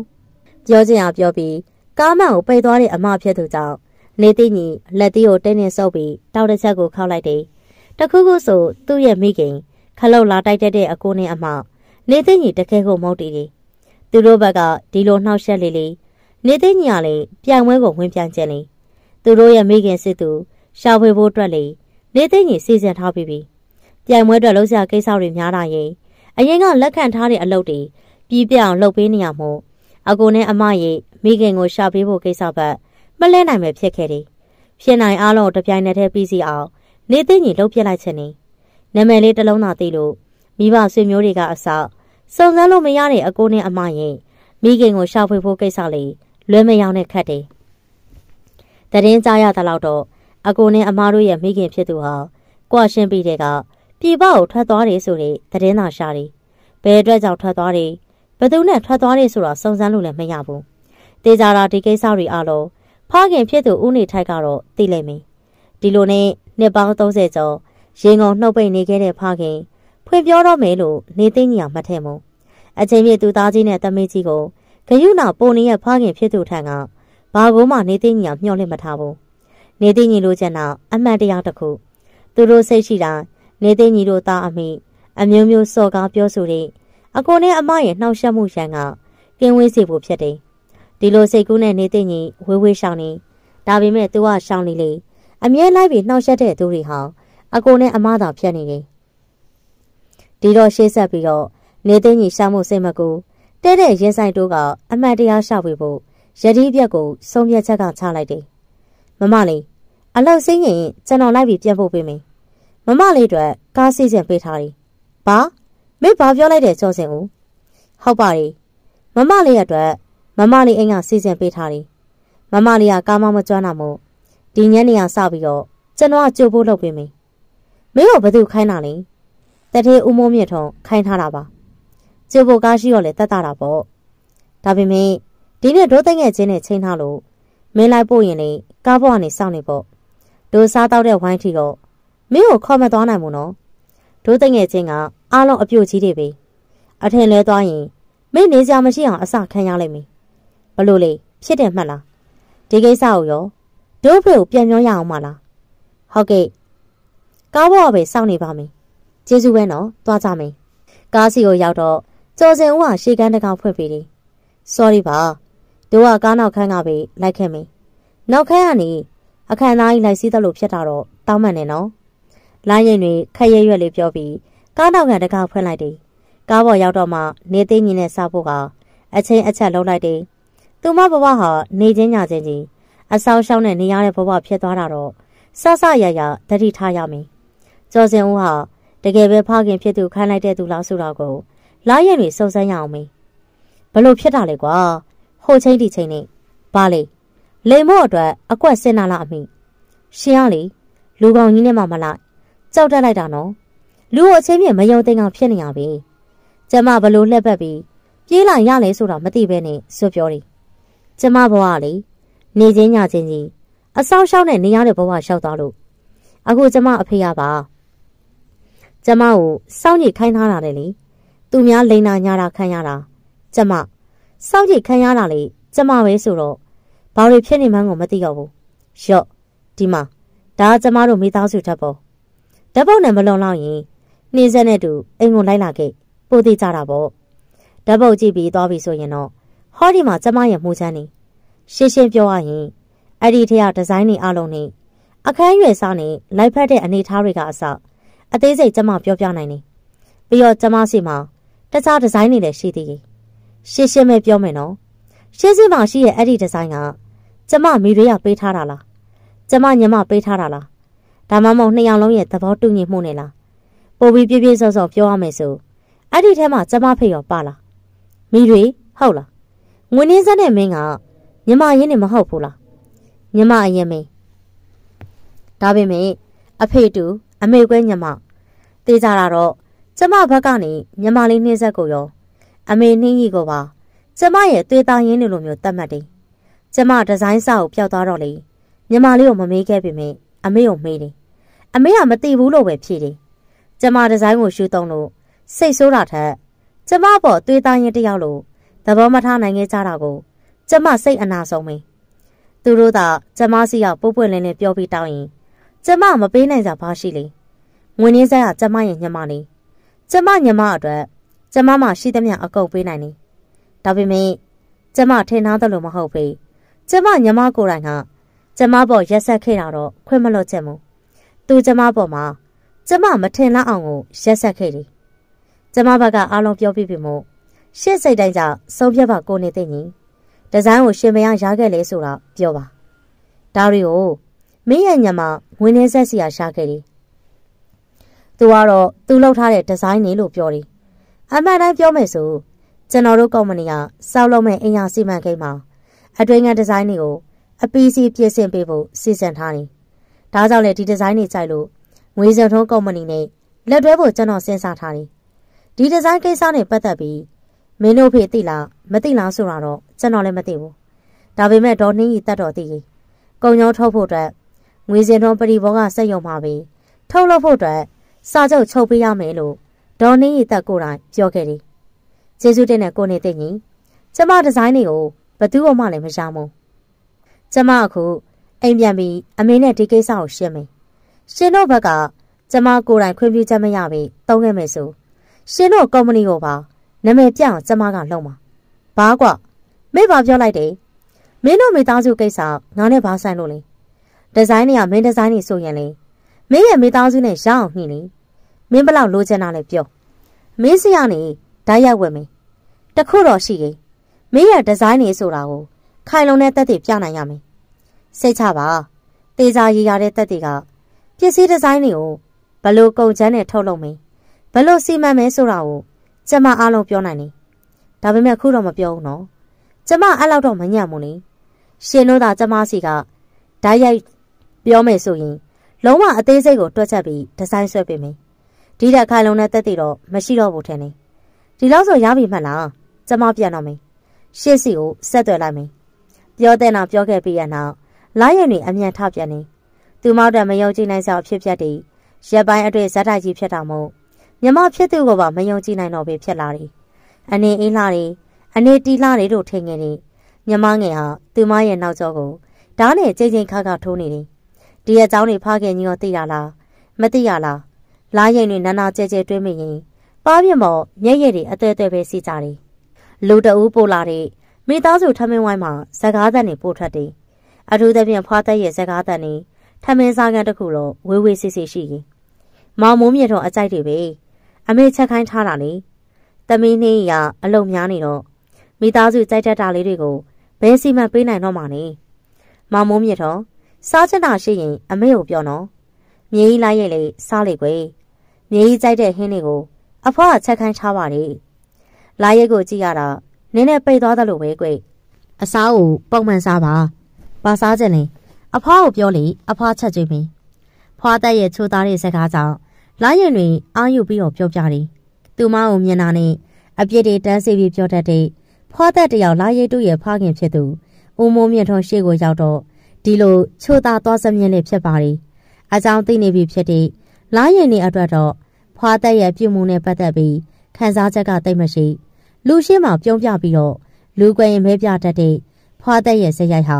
မိရွေးဖြစ်သူဒေါ်နှင်းရီတက်နဲ့လုံးလုံးမတူလို့လားရင်နှွေးရထင်ခဲ့တယ်။ အခုတော့သူမအထင်နေမှားနေခဲ့တာလားဆိုတာမကွဲပြားတော့ဘူး။ထမင်းစားပြီးရင်အားလုံးတမီပြောစရာရှိတယ်။အေးဆက်ဆက်ပုတ်ဖြစ်တဲ့အမားဖြစ်သူလားရင်နှွေးရအမှုရာကိုကြည့်ပြီးငွေနေဆက်ကမိခင်ဖြစ်သူကြည့်လိုက်တယ်။ပြီးတော့ဖခင်ဖြစ်သူမမြင်အောင်ဖပခုံးလေးမတိမတာတွန့်ပြနေဘာပြောချင်လို့လဲတမီးကြီးဟုတ်ကဲ့အဓိကပြောချင်တာကတော့ညီမလေးနှင်းဆက်နဲ့ပြောချင်တာပါနှင်းဆက်နဲ့ပြောမလို့ဟုတ်လားမမဘာပြောချင်လို့လဲဟင် ဒီလိုပါနှင်းဆက်ဟိုတလုံးကမမရဲ့ဒီဇိုင်းစအောင်လေးပျောက်သွားလို့အမေကိုမေးဘူးတယ်အဲ့ဒါအမေကမသိဘူးလို့ပြောတယ်ဒါပေမဲ့တိုက်တိုက်ဆိုင်ဆိုင်မင်းမမသတင်းတစ်ခုရှားလိုက်တယ်အဲ့ဒါညီမလေးကပရိဘောကဒီဇိုင်းတွေကိုကုမ္ပဏီတစ်ခုကိုရှားမလို့ဆိုညီမလေးရောက်မဲ့ဆိုတဲ့ဒီဇိုင်းတွေကမမရဲ့ဒီဇိုင်းတွေဖြစ်နေရနော်အဲ့ဒါဘလို့ဖြစ်တာလဲဟင်အဖေရောသိလားသမီးကြီးပြောတာကိုအဖေသိမ့်မရှင်းဘူး အဖေကိုနားလည်အောင်ရှင်းပြပါနေပါအောင်မမမမပြောနေပုံကနှင်းဆက်ကိုဆွဆွဲနေရလားဟင်အမေးဆိုင်မှလည်းဒီဇိုင်းတီထွင်တဲ့သူတွေတပုံကြီးပါဘယ်ဒီဇိုင်းကိုမဆိုနှင်းဆက်စိတ်ကြယူသုံးလို့ရှာတယ်အဲ့ဒါကိုနှင်းဆက်ကမမရဲ့ဒီဇိုင်းကိုဘာလို့ရှူမှလဲနေနေကြပါအောင်သမီးကြီးနဲ့သမီးငယ်ဘာဖြစ်တာလဲအမေတို့ကိုတေချာရှင်းပြအောင်လေဘာဖြစ်တယ်ဆိုတာကိုတေချာရှင်းပြပါအောင်သမီးကြီးရဲ့ဟုတ်ကဲ့ အားလုံးနားလည်အောင်လာရဲ့တေချာရှင်းပြမယ်လာရင်ပါလာရဲ့ကိုယ်တိုင်ဒီဇိုင်းဆွဲထားတဲ့ပရိဘောကဒီဇိုင်းတွေအများကြီးပဲရှိတယ်အဲ့ဒီဒီဇိုင်းတွေကအိမ်တလုံးစာအပြင်အစင်အတွက်အသေးစိတ်ရေးဆွဲထားတဲ့ဒီဇိုင်းစာကိုပြောင်းနေမှလွန်ခဲ့တဲ့တပတ်ကမှသိခဲ့တယ်စာအုပ်ကိုဆိုင်ကစတူခန်းထဲမှာမဟုတ်ရင်အိမ်မှာပဲထားတာပါတခြားဒီဇိုင်းတစ်ခုအတွက်နမူနာပုံစံလုပ်တဲ့အချိန်မှာ အဲ့ဒီစာအုပ်ကိုမကြည့်ဘဲနဲ့ထားခဲ့တယ်ဒါကြောင့်မို့စာအုပ်ကဘယ်တော့မှပျောက်တာလဲဆိုတာတော့သိချမသိဘူးအခုပြောမှကအဲ့ဒီလားရည်ပျောက်သွားတဲ့ဒီဇိုင်းတွေကိုစောက်လို့ရကုမ္ပဏီတစ်ခုကိုနှင်းဆက်ကရောင်းစားဖို့လုပ်နေရကိုလားရည်သိလာတယ်နှင်းဆက်ပါလို့ဒီလိုလောက်တာလေလို့သိကြလို့ပါတကယ်လို့သာနှင်းဆက်ကလိုအပ်တယ်လို့ပြောရင်လာရိတ်ကပေးမှာပါဒါပေမဲ့မသိအောင်ရှူသွားပြီးအခုလိုလောက်တာကိုတော့ လာရိတ်တိမခံနိုင်ဘူးလာရိတ်ရဲ့ဒီဇိုင်းတွေကိုဘသူ့အောင်မှလည်းမရောင်းနိုင်ဘူးတစ်ချိန်ကျရင်ကိုယ်တိုင်ထုတ်မှာပါတမီးကြီးပြောတာအမှန်ပဲလားတမီးငယ်အဖေကိုရှင်းပြအောင်မမဟုတ်ဘူးအဖေမမရဲ့ဒီဇိုင်းတွေကိုတမီးယူမသုံးဘူးတမီးရဲ့စိတ်ကိုအဖေသိပါတယ်မမရဲ့ဒီဇိုင်းစာအုပ်ကိုတမီးမြင်လဲမမြင်ဘူးတလို့မမဒီဇိုင်းတွေစွဲနေမှန်းတော့မသိဘူး။တမီးပြောတာမှန်သောစကားပါဖေ။ရှင်းရှင်းပြောရရင် တမီးကမမတို့ရဲ့အယောင်းဆိုင်ကိုသွားလိမ့်မရှိဘူး။အိမ်မှာဆိုရင်လေမမရဲ့အခန်းနဲ့တော်ရုံနဲ့ဝင်လိမ့်မရှိဘူး။မမဘာတွေပြောနေလဲဆိုတာကိုတမီးတကယ်နားမလဲဘူးအဖေ။တမီးကြီးလားရိပ်ပြောတာကိုတမီးငယ်နားမလဲပေမဲ့အမေနားလေတယ်။တမီးကြီးကသူ့လှုပ်ထားတဲ့ဒီဇိုင်းတွေကိုတမီးငယ်ကအလွဲသုံးစားလုပ်နေရလို့ပြောတာပါဒီပြဿနာမှာအမေကဘသူဘက်ကမှလည်းမပါချင်ဘူးဘာပဲဖြစ်ဖြစ် ဒီဇိုင်းတွေကိုရှောင်းလိုက်လို့ရတဲ့အကျိုးမြတ်နဲ့ငွေစီထုံးကုမ္ပဏီရဲ့ရိုင်းနေတဲ့အနေထားကိုထိန်းရမှာလေငွေစီထုံးကုမ္ပဏီကိုထိန်းသိမ်းမှုဆိုတာကမိသားစုတွေရဲ့တာဝန်မမှတ်လားအခုချိန်ကဒီဇိုင်းပြဿနာကြောင့်ငင်းကုန်နေရမယ့်အချိန်လည်းမဟုတ်ဘူးထိုင်မိသားစုရဲ့စောက်လုပ်ရေးလုပ်ငန်းတွေမှာငွေစီထုံးကပူပေါင်းပါဝင်နိုင်ဖို့ပဲအရေးကြီးကြီးအားဒါကြောင့်အမေပြောချင်တာကဒီဒီဇိုင်းဟာသမီးငယ်ရဲ့ဒီဇိုင်းပဲဖြစ်ဖြစ် သမီးကြီးရဲ့ဒီဇိုင်းပဲဖြစ်ဖြစ်တယောက်ယောက်ကအလျှော့ပေးလိုက်တော့သမီးတို့အမေရပဲတောင်းပန်နေမောင်နေတင်းညီနေသမီးငယ်ရဲ့မင်းလာပွဲတော်ဖြစ်မြောက်ရင်ငွေစင်ထွန်းရဲ့စီးပွားရေးကပြန်ပြီးဥမောလာမှာပဲဒါကြောင့်အေးအေးဆေးဆေးနဲ့ဖြည့်ရှင်းကြပါကွယ်သမီးတို့အမေရပဲတောင်းပန်နေဒီလိုတော့မပြောပါနဲ့အမေညီမလေးတို့လိုအပ်တယ်ဆိုလာရိတ်ကပေးနိုင်နေဒါပေမဲ့လိုင်းရဲ့ပြောချင်တာတော့ဒီဇိုင်းတွေအားလုံးကလိုင်းရဲ့ရဲ့နှလုံးသားနဲ့ ခံစားပြီးလှုပ်ထားတာတွေပါဒီလိုမျိုးလှုပ်ထားတဲ့သူကိုဘေးဖက်ပြီးတော့လုံးဝအပေကန်ကြီးလိုလှုပ်ပြက်တောင်မခံစားနိုင်လို့ပြောတာပါဒီတိုင်းတော့သူဟာလိုလိုငါဟာလိုလိုနဲ့ရောမချပြစ်ပါနဲ့အမေလိုက်ရဲ့သဘောမတူနိုင်တော့ဘူးပြဝဲတော့ကဒီဇိုင်းကိုလေညီမလေးနှင်းဆက်ရဲ့နာမည်တက်ပြီးတော့လှုပ်ပြီးသွားပြီလေနေနေပါအောင်တမီးချင်းလားရဲ့ပြောတယ်ပြဝဲတော့ကဒီဇိုင်းဆိုတာကပြပကတော့အော်ဒါမှာသွားတဲ့ဒီဇိုင်းကိုပြောတာလားဟုတ်လား ပြောစမ်းပါအောင်နှင်းရင်ဖခင်ဖြစ်သူရဲ့အမေကိုမဖြစ်ပေရင်ကုန်နှုတ်ပိတ်နေတဲ့မိတွေဖြစ်သူကိုလိုင်းရည်နေတက်ချက်ကြည့်လိုက်တယ်ဟုတ်ပါတယ်အဖေပြဝဲမှာနာမည်ကြီးသွားတဲ့ဒီဇိုင်းကလည်းတမီးရဲ့ဒီဇိုင်းပါတမီးကပြဝဲမှာပြဖို့အမေကိုပြောခဲ့တယ်ဒါပေမဲ့အစ်စ်မမိဘူးဆိုပြီးပဲ့ချခဲ့တယ်ပြဝဲရက်ကိုလည်းတမီးကိုမပြောခဲ့ဘူးလေဘာဘာပြောတယ်သမီးကြီးပြောတာအမှန်ပဲလားနှင်းနေနေကြပါအောင်ကွယ်မိသားစုဝင်နေချစ်ချင်မင်း စကားကိုအေးဆေးပြောပါမမုံမြထွန်ရင်အမေတောင်းမှန်နေထိုင်မောင်ထိုင်မင်းအေးအေးစစ်စစ်ပြောပါကွယ်ဒါဆိုလေဘလို့ဖြစ်တာလဲဆိုတာရှင်းပြဇမ်းမအောင်နှင်းအကိုသေးချင်ရင်နှင်းရင်ရှင်းပြနိုင်နေအကိုဆိုင်မှာဒီဇိုင်းတဲ့တစ်ခုခုထုတ်တာတမေးကြီးကသူဒီဇိုင်းဆိုပြီးအမြဲပြောနေကြပါရှင်ကိုတိုင်းကဒီဇိုင်းစာအုပ်တွေကိုမအေးစီလာအပ်လားဆိုတော့မအပ်ဘူးအကိုသူဘယ်အချိန်ကဒီဇိုင်းတွေလောက်တာလဲဘယ်အချိန်တုန်းက ဒီဇိုင်းတွေပျောက်တာလဲဆိုတာနှင်းလို့လည်းမသိဘူးဒါပေမဲ့ဆိုင်မှာဒီဇိုင်းတဲ့တခုထုတ်ပြီးဆိုရင်တော့သူဒီဇိုင်းတွေပျောက်ပါတယ်သူဒီဇိုင်းတွေကိုနှင်းတော့ထုတ်ပါတယ်ဆိုပြီးတမီးကြီးကအမြဲပြောနေကြဒီအကြောင်းတွေကိုအကိုမပြောခဲ့ဘူးဆိုတာကလေဒီပုံစံကတမီးကြီးရဲ့အကျင့်လိုဖြစ်နေလို့မပြောခဲ့တာမိသားစုကြားမှာတမီးကြဘလို့ပဲဆွဆွဲနေပါစီနှင်းစိတ်မဆိုးဘူးအကိုတမီးငယ်နှင်းဆက်ကဆဆရရတော်နေတော့ အကိုကတမီးငယ်ကိုချစ်ပြီးတမီးကြီးကိုမချစ်တော့မှဘူးတမီးကြီးလည်းစိုးရိမ်နေမှာပေါ့တမီးကြီးရဲ့ဒီလိုအကျင့်နေသေးလို့တမီးကြီးဘာပြောပြောနှင်းရနားလေပေးပြီးဖြည့်ရှင်းပေးရကိုဒါရီကိုကိုကတေချာမသိပေကလေးတွေကြားထဲမှာစိတ်ဆိုးမှန်ဆိုးတွေထပြောရင်သမီးတို့နှစ်ယောက်ကြားတွေအစစ်မပြည့်ဖြစ်သွားနိုင်မယ်အဲ့တော့သမီးနှစ်ယောက်လုံးကိုအမေတောင်းမှန်နေပြီးရောက်နေပြီးပါစီတော့ဘသူဒီဇိုင်းပဲဖြစ်ဖြစ်ငွေစုထုံးကုမ္ပဏီနဲ့နာမည်နဲ့ထုတ်မှလေ ငွေစုထုံးမှာအကျိုးမြတ်တွေရှားရင်လေသမီးတို့တွေပဲအကျိုးခံစားဝင်ရှားမှလေအဲ့ဒါကြောင့်ဒီပြဿနာတွေကိုအကျယ်မချဲကြပါနဲ့လို့တောင်းပန်နေနှင်းရီခေါင်းနဲ့မိုးလိုက်တာမေရဲ့နှင်းရုပ်တွဲပြီးအခန်းနဲ့လိုက်ဖို့ပေးအောင်မေအော်အေးအေးသမီးအမေလိုက်ဖို့ပေးမယ်ဖြစ်ဖြစ်ထနော်အမေလက်ကိုတွဲလိုက်သမီးမငုံနဲ့သမီးသားသမီးမွေးထားတဲ့မိဘဆိုတာဒီလိုပဲသားသမီးတွေပြဿနာဖြစ်လာရင်ဖြည့်ရှင်းပေးရတာကဒါပြဿနာကြီးမဟုတ်ဘူးကွ ဟင်သမီးနှင်းတတိထားလေကွသမီးနှင်းနှင်းနှင်းတတိထားလေအမေအမေတတိထားပါဦးအဲကန်နဲ့အော်တန်ခေါ်တန်နဲ့စူညံသွားတယ်လာရိုက်နဲ့ဒုမြင့်ခွင်းကြီးကြောင့်ကြောင်မင်းငေးကြည့်ရင်မိခင်ဖြစ်သူဒေါ်နှင်းရီတယောက်သူမကြောင့်လဲကျသွားတယ်ဆိုတဲ့အသိစိတ်လာရိတ်နှွေးရဲ့ရှင်နဲ့ဝုန်းနဲ့လာဆောက်တယ်မိလာရိတ်ဒါကဘလို့ဖြစ်တာလဲငါသမီးနဲ့ငါမြင်းလေးကညီးပေါ်မှာသွေးသားရင်လို့သဘောထားတာပါအေး ငါသမီးကလေသူ့မှာကိုဝင်ကြီးတကားကားနဲ့တော့ကလေညီးပေါ်သမီးရင်လို့စောက်ရှောက်ပေးခဲ့တယ်ငါသူပင်ပန်းနေရမကြည့်ရလို့တားမြစ်ခဲ့တာကိုတော့မအေးစကားကိုနားမထောင်မင်းညီးပေါ်ပဲဂယုဆိုင်ခဲ့တဲ့သူပါအေးသူကများကလေးတယောက်မွေးပြီးနှစ်ယောက်ထင်းခဲ့တယ်ပြီးတော့ဒီရွယ်ရောက်တဲ့အထိငါသမီးရောညီကိုတစ်ချက်ရိုက်ခဲ့ဖို့လားညီကိုနေရာမပေးပဲထားခဲ့လားငါသမီးလိုလူမျိုးကိုလေလိုက်ရှာကြည့်ပါအောင်အေးသမီးသားတစ်ခုခုဖြစ်ရင်တော့ညီကိုခွင့်မလုပ်ဘူးရှင် တက္ကနာတွင်ဖြစ်ပျက်တဲ့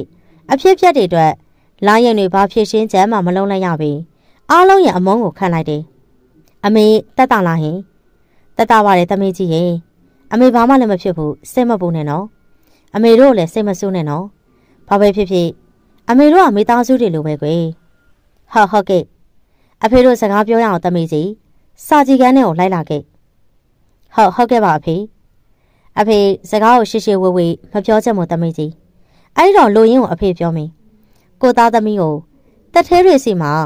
ရောင်းစားရတဲ့အဖြစ်မျိုးကိုအဖေလည်းလက်မခံချင်ဘူးဒါပေမဲ့အဖေတို့လုပ်ငန်းက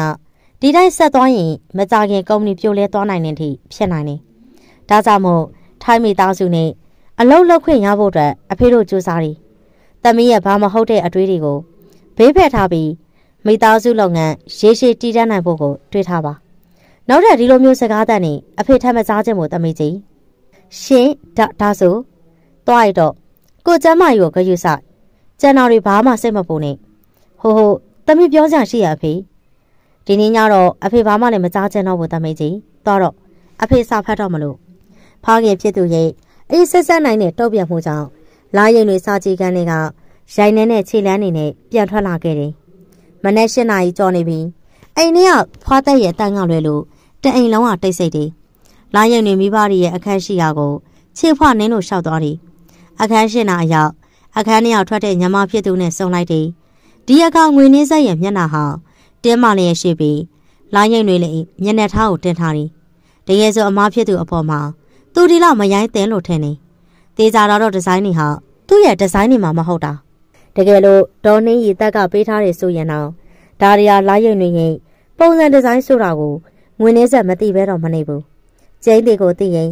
အမားဖြစ်သူဒီဇိုင်းတွေကိုဆွဲနေတာသူမသိဘူးလို့လိမ့်ညပြောခဲ့တယ်ညမဖြစ်သူလိုင်းရင်တွေအတော်လေးတော့အမြင်ကတ်သွားတယ်သူအခန်းထဲကိုဝင်ရင်ခွင့်ပြုချက်တောင်းပြီးဝယ်မကြိုက်တော့နေလာရင်တွေရဲ့အခန်းထဲတော့သူစိတ်ကြဝင်ထွက်ခဲ့တယ်မဟုတ်လားဒါအောင်ဖခင်ဖြစ်သူရှေ့မှာ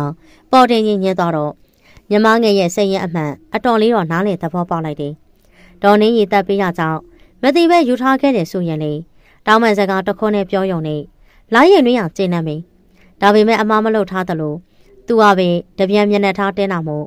လာရင်တွေမျက်နှာကိုခက်တဲတဲမဲ့ထားလိုက်တယ်သူကပေါ့ငွေနှင်းဆက်လှုပ်ထားတဲ့အပြစ်တွေဒီတစ်ခုတည်းမှမဟုတ်ပါဝေဖြိုးတဲ့ကိစ္စကိုလေမရှင်းချက်လို့ထားခဲ့တယ်တကယ်ဆိုဒီကိစ္စမလုပ်တဲ့ကိစ္စလာရင်တွေနဲ့ဝေဖြိုးတို့ချစ်သူတွေဖြစ်တာကိုသူဟာတိတိကြီးနေဝေဖြိုးနဲ့တက်တိတ်ပုံတွဲခုတ်ခဲ့တယ်သူတို့နှစ်ယောက်အကြောင်းဒေါ်နေရီတက်တိနေလားဆိုတာတော့ လာရင်တွေတော့သိကြနေဝင်ခဲ့လေအမေလားလာရိပ်ပါအမေတက်တာရဲ့လားအမေတက်တာပါတယ်တမီးကြီးဒါပေမဲ့ရင်ထဲတက်လက်လက်တုံပြီးခေါင်းနဲ့မူးနေလို့ဒီနေ့တော့ဆိုင်ုံမသွားတော့ဘူးလေဆိုင်ုံတမီးအဖေနဲ့တမီးညမကိုပဲသွားခိုင်းထားလိုက်တယ်တမီးတို့ကြောင့်ဖြစ်တာမဟုတ်ဘူးနော်အမေဘာသာအလုပ်ပင်ပန်းတာလေပါလို့ပါကွယ်စင်မကောင်းမဖြစ်နဲ့တော့တမီးကြီးတမီးဆိုင်သွားတော့မယ်မှတ်လားသွားတော့တော့တမီးကြီး အမေတို့စိတ်မဖို့နဲ့ဟုတ်ကဲ့အဖေရောသွားပြီလားသွားပြီလေအမေဆိုင်ကိုလည်းသွားရမှာဆိုတော့စောစောထွက်သွားတယ်။အော်ဟုတ်လား။လာရီသွားတော့မယ်နော်။ဒေါ်နင်းရီတက်ကိုနှုတ်ဆက်လာရီနေပြန်ထွက်တယ်။ဒေါ်နင်းရီတက်ရဲ့တန်ကသူမငငယ်တုန်းကရောအခုချိန်နေလုံးဝမပြောင်းလေ။ဒီလိုအတန်ချိုချိုလေးကြောင့်မင်းလာရီနေဘက်ကလည်းမိခင်ရင်တယောက်လိုရှုံးကြည့်ရင်ချစ်ခင်နေ။ဒါပေမဲ့အသက်ကြီးလာတာနဲ့အမျှ လာရီနေတဖြည်းဖြည်းနဲ့သဘောပေါက်နားလေတာဟာဒေါ်နင်းရီတက်အပြောတစ်မျိုးအလောက်တစ်မျိုးနဲ့မျက်နှာနှစ်ဖက်ရှိရဲ့ဇယိုက်မျိုးရှိရာကိုတတိထားလာတယ်။ဒေါ်နင်းရီတက်ရဲ့နှုတ်ကထွက်လာတဲ့ဇက်ကားတွေဘယ်ဟာကအစ်စ်အမှန်ဘယ်ဟာကအတူရောက်လဲဆိုတာကိုတော့လာရင်တွေတကယ်မခွဲခြားတတ်တော့ဘူး။ပြုံးကနေချန်တဲ့ကကြော်စင်ဦးကိုတွေ့တော့လာရင်တွေလက်ဖြန့်သွားမိရင်တက်တက်လုံးတက်စီနဲ့သွားလိုက်လိုင်းကတိုးစီသွားလိုက်နဲ့နေခဲ့တဲ့ဘဝအခုလိုချက်ချင်းကြီးပြောင်းလဲသွားတဲ့ဘဝမျိုး လာရင်တွေလုံးဝနေသားမကြဘူး။နောက်ခန်းရပဲစီးမိန်နောက်ခန်းကစီမံတည်တည်နဲ့ကားရှိကတကားကိုဖွင့်ပေးတဲ့ကျော်စင်ဦးဆိုတဲ့ထိုးအကောင်ဟာလာရုံနေအမြင်ကတ်တယ်လို့ဖြတ်လာတယ်။မမလေးဘယ်ကိုသွားကြရှိသေးလဲ။ဆိုင်ကိုပဲတန်းသွားမှလားခမ။ဟဲ့ငါဆိုင်ကိုမသွားလို့ဘယ်ကိုသွားမှလဲ။ဟုတ်ဟုတ်ကဲ့ပါမမလေး။လမ်းမမုန်းနေပါလိမ့်မြ။ဝင်စားအောင်မလားလို့မေးရပါ။စကားမသွားရင်ကျွန်တော်တောင်းမှမှနေမမလေး။မင်းဘာမှမစားခင်းရသေးဘူးလား။ဘိုက်စားလို့လား။ဟုတ်ကဲ့ ကျွန်တော်ကော်ဖီတော့တောက်ခဲ့ပါနဲ့မမလေး။ကျွန်တော်ဘိုင်းမစားပါဘူး။မမလေးကိုကြည့်ရတာဘာမှစားခဲ့ပုံမပေါ်လို့တခုခုများစားမလားလို့မေးရပါမမလေးမောင်ရကြိုက်တတ်တယ်ဆိုကျွန်တော်တို့သွားတဲ့လမ်းမှာစားလို့ကောင်းတဲ့ဆိုင်ရှိရင်မမလေးစားမယ်ဆိုလိုက်ဖို့ပေးပါမယ်အေးသွားလေဘိုက်တော့စားနေရင်သွားစားကြတာပေါ့လာလေမင်းလည်းလာစားလေရပါတယ်မမလေးကျွန်တော်လိုက်မစားတော့ဘူးကားရပဲစောင့်နေမယ်ကဲပါဟဲ့လာ လိုက်ခဲ့စမ်းပါစကားတွေများမနေနဲ့နှင်းဆက်မင်းမင်းဘာလုပ်တာလဲဘာလို့ရိုက်တာလဲဆိုတာကိုကိုကိုအတိဆုံးနေမှာပေါ့ဟိုရပိုင်းကကိုကိုနဲ့မမတွေးကြတယ်မှတ်လားမမကဘာတွေပြောလိုက်လဲဘာအောင်မင်းရလဲဘာမှလည်းမပြောလိုက်ဘူးကိုတို့လမ်းခွဲပြီးပြီမို့ထပ်ပြီးမပတ်သက်ကြဖို့ပဲပြောလိုက်တယ်အဲ့ဒီစကားပဲပြောတာသိကြလို့လားဒါဆိုရင်မမကဒီဇိုင်းစာဝအကြောင်းဘလို့သိသွားတာလဲ ကုမ္ပဏီတစ်ခုရောင်းစားဖို့လုပ်နေရကိုသူသိရဲ့လို့ပြောတာနော်ကုမ္ပဏီရဲ့နာမည်ထုတ်မပြောသွားတာပဲရှိရင်ဒီကိစ္စကိုသိရအမေရင်ကိုကိုနဲ့နှင်းဆက်ပဲရှိရလေဒီ၃ယောက်ထက်ရမပြောလို့ဘသူကပြောမှလဲကိုကိုမသိဘူးနှင်းဆက်ကိုကိုတို့လမ်းခွဲပြီးတဲ့ကဖုံးတော်ပြောပြတာလည်းမဟုတ်ဘူးကိုကိုကလေကိုသေးရင်ကိုတူးတဲ့အလုံးမျိုးလောက်ပါမလားနှင်းဆက်ရင်သူကတကယ်သိရလားရန်တန်ပြောနေရလားဆိုတာကိုနှင်းဆက်တို့တေချာလေးစုံစမ်းအောင် အဲ့ဒီနေရာတွေးကြတော့ကိုကိုသူ့ရဲ့ဒီဇိုင်းကြီးခိုးလားလို့တော့မေးတယ်ကိုကိုကလေမင်းရဲ့ဒီဇိုင်းကြီးခိုးရအောင်လက်သမားမဟုတ်ဘူးလို့ပြောလိုက်တယ်ပြီးတော့စကားများပြီးတော့ကိုကိုကိုပါရိုက်သွားတယ်လေကိုလည်းစိတ်တို့ပြီးအဲ့ဒီနေရာကထွက်ခဲ့တာသူလည်းကြသွားတာကိုနောက်ကြည့်မှန်ကနေမြင်လာတာပြန်မလဲဘူးလေဒါကကိုကိုတို့ဖြစ်ခဲ့သမျှအကုန်မင်းဒါဆိုရင်ဒီကိစ္စကို तू ကဘလို့သိရလဲကိုကို तू ကညတော့ကအိမ်မမှုရလေကန့်ကောင်းလို့ အမေเจ้าသာမဟုတ်ရင်နှင်းဆက်တော့ဖေဖေအဖြစ်ပေးရခံနေရတော့ပြီ နောက်ဆိုရင်နှင်းဆက်တို့ပို့ပြီးတတိထားရတော့မယ်ကိုကိုသူ့ကိုကုမ္ပဏီကိုလည်းလာခိုင်းလို့လည်းမဖြစ်ဘူးတော်ကြနှင်းဆက်နဲ့ကိုကိုအကြောင်းအားလုံးသိသွားမှဖြင့်နှင်းဆက်တို့အဖေအကြောင်းကိုသိရမှတ်လားအခုချိန်ကစပြီးနှင်းဆက်နဲ့ကိုကိုပို့ပြီးတတိထားမှရတော့မယ်ပြောကြရှိရဲ့ဆိုဖောင်းကနေပဲစဖို့ပါနှင်းဆက်တို့ကိစ္စကိုဖေဖေနဲ့ကိုနေသိမသိဖို့ကအရေးကြီးကျန်တဲ့သူတွေတော့ နှင်းဆက်လုံးဝဂယုစိုက်တာမဟုတ်ဘူးတကယ်လို့များအဲ့ဒီလူနှစ်ယောက်တည်သွားတယ်ဆိုရင်တော့ကိုကိုရဲ့အပြစ်ကြောင့်မယ်နော်အဲ့ဒီချိန်ကျရင်ကိုကိုကိုလုံးဝခွင့်လွှတ်မှာမဟုတ်ဘူးဆိုတာသိထားပါကိုကိုနားလဲပါတယ်နှင်းဆက်ရေအဲ့ဒီလိုမျိုးမဖြစ်စေရဘူးနှင်းဆက်တို့ရဲ့အလုပ်ကိစ္စပြီးပြီဆိုရင်ကိုကိုကိုနေရာပြောင်းပေးမယ်ဆိုရင်လေကိုကိုကျင့်တတ်တယ်အားလုံးကနှင်းဆက်ရဲ့သဘောပဲဒီလိုမျိုးပြောပြလို့ကျေးဇူးတင်ပါတယ်ကိုကိုဝင်းနှင်းဆက်သူမှပြောချင်အောင်ပြောပြီးတော့ အခန်းပြင်ကိုထွက်သွားတယ်ဝေဖြိုအခန်းထဲမှာခေါင်းငိမ့်ဆိုင်ကြပြီးကြံခဲ့တယ်ရုပ်လေးလှသလောက်စိတ်ဓာတ်မှကြော်ပြီးကြောက်စရာကောင်းတဲ့ငွေနှင်းဆက်ကိုဝေဖြိုးမလွန်ဆန်နိုင်ဘူးငွေနှင်းဆက်နဲ့သူ့ရဲ့ကြားထဲမှာလူသိမခံဝင်တဲ့ကိစ္စတွေလည်းရှိရင်ပြီးတော့တထေးမကြီးဒေါငွေဆက်ထုံးမသိအောင်ဝေဖြိုးအလွဲသုံးစားလုပ်ခဲ့တဲ့ငွေကြေးကိစ္စလည်းရှိရင်ရှင်းရှင်းပြောရမယ်ဆိုထောင်ကြမကိုကြောက်တဲ့ဝေဖြိုးရဲ့ကြောက်စိတ်ကို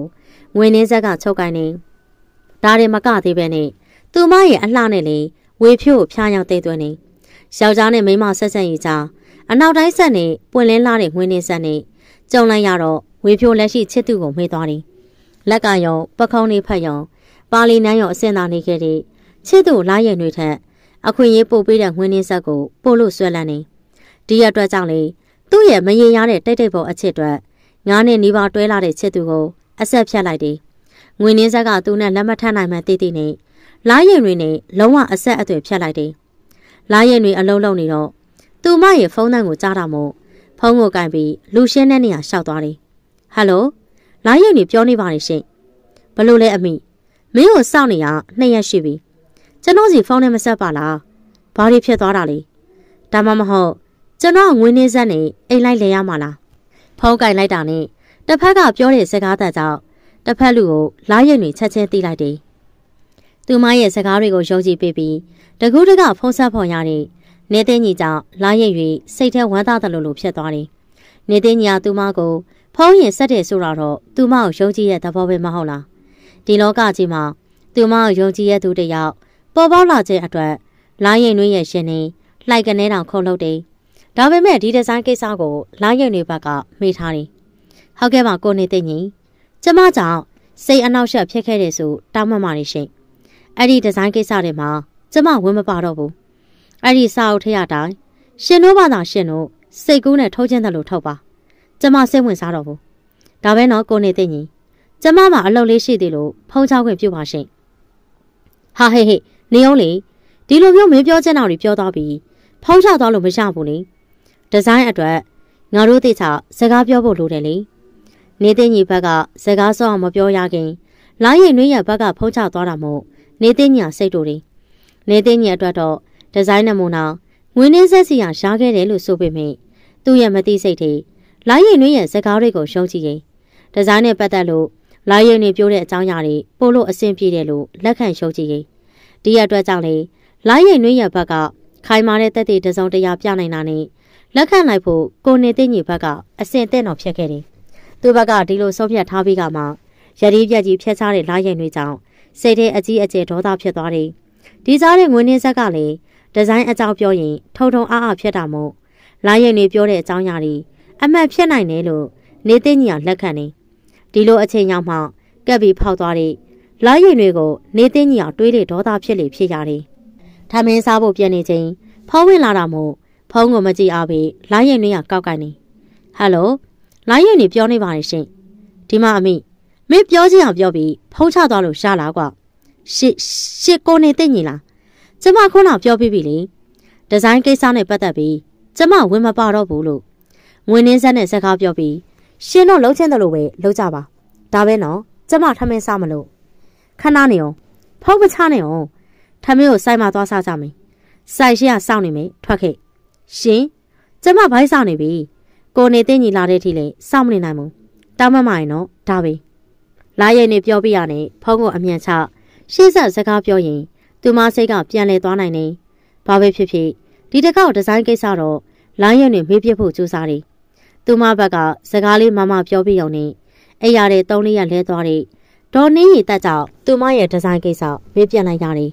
မိသားစုရဲ့ပြဿနာဖြစ်ရင်နောက်ဆုံးတော့ဖခင်ကြီးစိတ်ဆင်းရဲမှဆိုလို့လာရွေနေဘက်ကအလျှော့ပေးဖို့ဆုံးဖြတ်တယ်မမရှင်းမဧည့်သည်ရောက်နေတယ် မမနဲ့တွေ့ကြလို့တဲ့ဧည့်သည်ဟုတ်လားဝဲသူလားမမဧည့်သည်လားမမစီကိုလာနေဧည့်သည်ထင်နေဝဲသူဟုတ်ပုံတော့မရဘူးဟင်ကိုကိုနေသိညီရှင်းရှင်းမလို့ရောက်လာတာလေခုနမင်းကိုဖုံးဆက်တဲ့ကဆိုင်ရှင်းမှရောင်းနေရလေအဲ့ဒါကြောင့်ဆိုင်မှာထမင်းသွားစားကြမယ်လို့ပြောတာပေါ့မင်းကအတိတ်စုကြီးဖုံးချသွားတော့ဆိုင်ထဲတွေဝင်လာတာပေါ့ဘလို့လဲအပြုံလိုက်ခဲ့မှလားဒီမှာပဲပြောကြမှာလားရှင်အဲ နေသိညီရဲ့အမေကြောင့်လာရင်တွေအနေဝင်းကျင်ကိုလှည့်ပတ်ကြည့်ရောဒီအခါသူ့မကိုမတိမတာလှည့်ကြည့်ရင်ကျော်စင်ဦးကိုတွေးလိုက်တယ်ကျော်စင်ဦးရဲ့တာဝန်ဟာ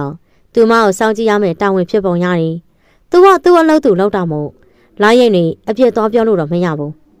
စိုင်မယားနေစောင့်နေတော့ကျမထွက်ခဲ့ပြီโอเคပါစကားအေးအေးဆေးဆေးပြောလို့ရတယ်ဆိုင်ကိုသွားကြမယ်ကားဝပဲစောင့်နေမယ်ဟုတ်ကဲ့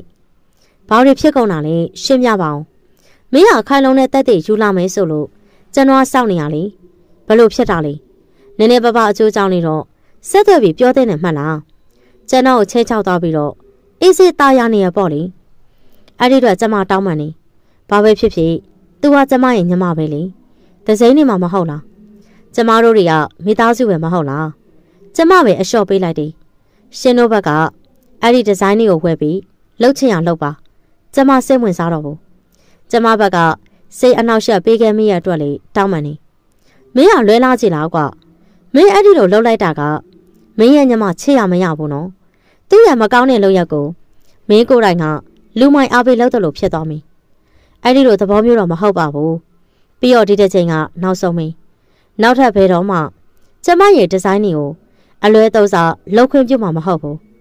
အခုတစ်ချိန်ကတော့ကျမကိုယ်တိုင်ကပေါ်ဆခဲ့မိရင်အပြည့်လို့ပဲခံယူတယ် ဟုတ်ပြီလေဒါဆိုဒီဇိုင်းတွေရရောမင်းရဲ့ဒီဇိုင်းတွေပြီဒါပေမဲ့မင်းဒီဇိုင်းတွေကိုခိုးယူတဲ့သူကမင်းညမဖြစ်နေလို့မင်းကလုံးဝအလျှော့ပေးလိုက်တယ်ဆိုတဲ့သဘောအဲ့ဒီလိုလားဟုတ်ပါပြီသူကလေကျမစီကခိုးတာဟုတ်ချင်မှဟုတ်မှာပါအမေပေးလိုက်တာပဲဖြစ်ဖြစ်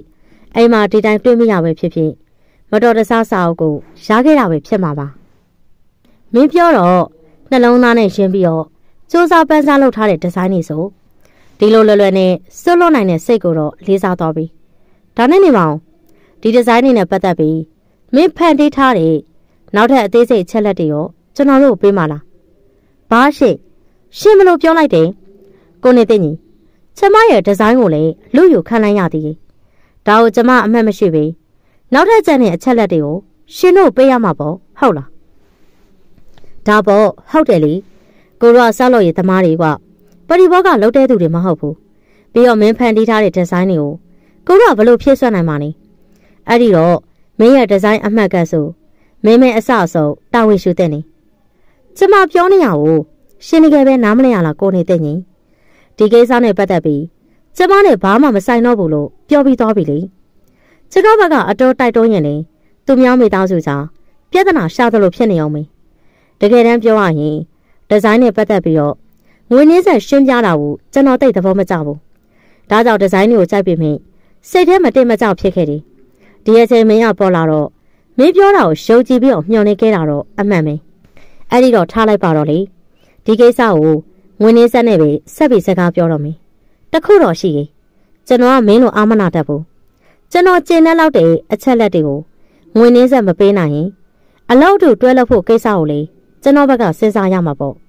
ရှင် နေတဲ့ညီရဲ့ပြတ်သားတဲ့စကားကြောင့်လိုက်ရုံလေးပါဆိတ်ရှုပ်တယ်ထိုင်းမိသားစုနဲ့လုပ်ငန်းပူးပေါင်းနိုင်ဖို့အတွက်အဖွားဖြစ်သူရောဖခင်ကြီးမှမျှော်လင့်နေတာကိုလာရင်တွေကအသိပဲလာရင်တွေဘက်ကအဆအဆုံးအားလုံးပေးဆက်လိုက်ဖို့ကြတော့တွေ့ဝေတယ်မြမဖြစ်သူငွေနှင်းဆက်ကသူမရဲ့နောက်ကျော်ဓားနဲ့ထိုးနေမှတည်တည်နေတရားကြည့်ပြစွာပေးလိုက်ဖို့ကြတော့သူမသူတော်စင်ကြီးမှမဟုတ်တာအဲ့ဒီလောက်လေစိတ်ထားမမြင့်မြတ်နိုင်တာတော့အမှန်ပါ လာရင်လေးနဲ့နေတဲ့ညီတို့ထမင်းဆောင်ဝိုင်းလေးတိတ်ဆိတ်အေးဆေးစွာနဲ့ပြည်စုံနေရှင်ဘာအိဗယ်နဲ့ပြောရလဲကိုနေတဲ့ညီတကယ်ဆိုရင်ဒီဒီဇိုင်းတွေကနှင်းဆက်ကိုယ်တိုင်ဖန်တီးထားတာဆိုဒါဆိုရင်စိုက်အရွယ်စားတွေနဲ့ကုံညမ်းနေရအစနေဆက်မှာတွက်ချက်ပြီးသားရှိရမယ်အဲ့ဒီလိုမဟုတ်ဖေးကိုတို့ဘက်ကပြန်ပြီးတွက်ချက်နေရမယ်ဆိုအစ်စ်မပြေဘူးလေဟိုကိုနေသိညီပြောတာကိုနှိမ့်ဆက်သဘောပေါက်တယ် အဲ့ဒီကိစ္စရင်းနဲ့ပတ်သက်ပြီးကိုနေသိညီတို့ဘက်ကစိတ်ပူစရာမလိုဘူးနေဆက်တို့ရဲ့စက်ရုံမှာကျွမ်းကျင်တဲ့ဆရာတွေအများကြီးပဲရှိပါတယ်ဗျာဒါဆိုရင်ကျွန်တော်ကဒီမူချမ်းကိုပဲကြည့်ပြီးအဲ့ဒီဆရာတွေရဲ့လက်ထဲကိုအပ်လိုက်ရမှာပေါ့အဲ့ဒီလိုသဘောလားဒါဆိုရင်တော့ sorry ပါနေဆက်ဘက်ကဒီဇိုင်းနဲ့ပတ်သက်ပြီးတော့စစ်စစ်ဆက်ဆက်မဖြစ်ပေးနိုင်သလိုပြည်စုံတဲ့အခြေအနေကိုလည်းမပြနိုင်တော့ကျွန်တော်တို့ဘက်ကပြန်ပြီးစဉ်းစားရမယ်ထင်တယ် အားရနာတဲ့နှင်းဆက်ရင်အလုပ်ကိစ္စကိုကျွန်တော်တို့တေချာပြန်စဉ်းစားရတာပေါ့ရှေးနေသိညီရဲ့စကားကြောင့်ငွေနေဆက်ဘာမှဆက်မပြောနိုင်တော့အံ့ဩတုံ့လှုပ်ပြီးတော့ကြက်တဲ့တည်သွားတယ်ဒါဒါဘလို့ဖြစ်တာလဲအမေ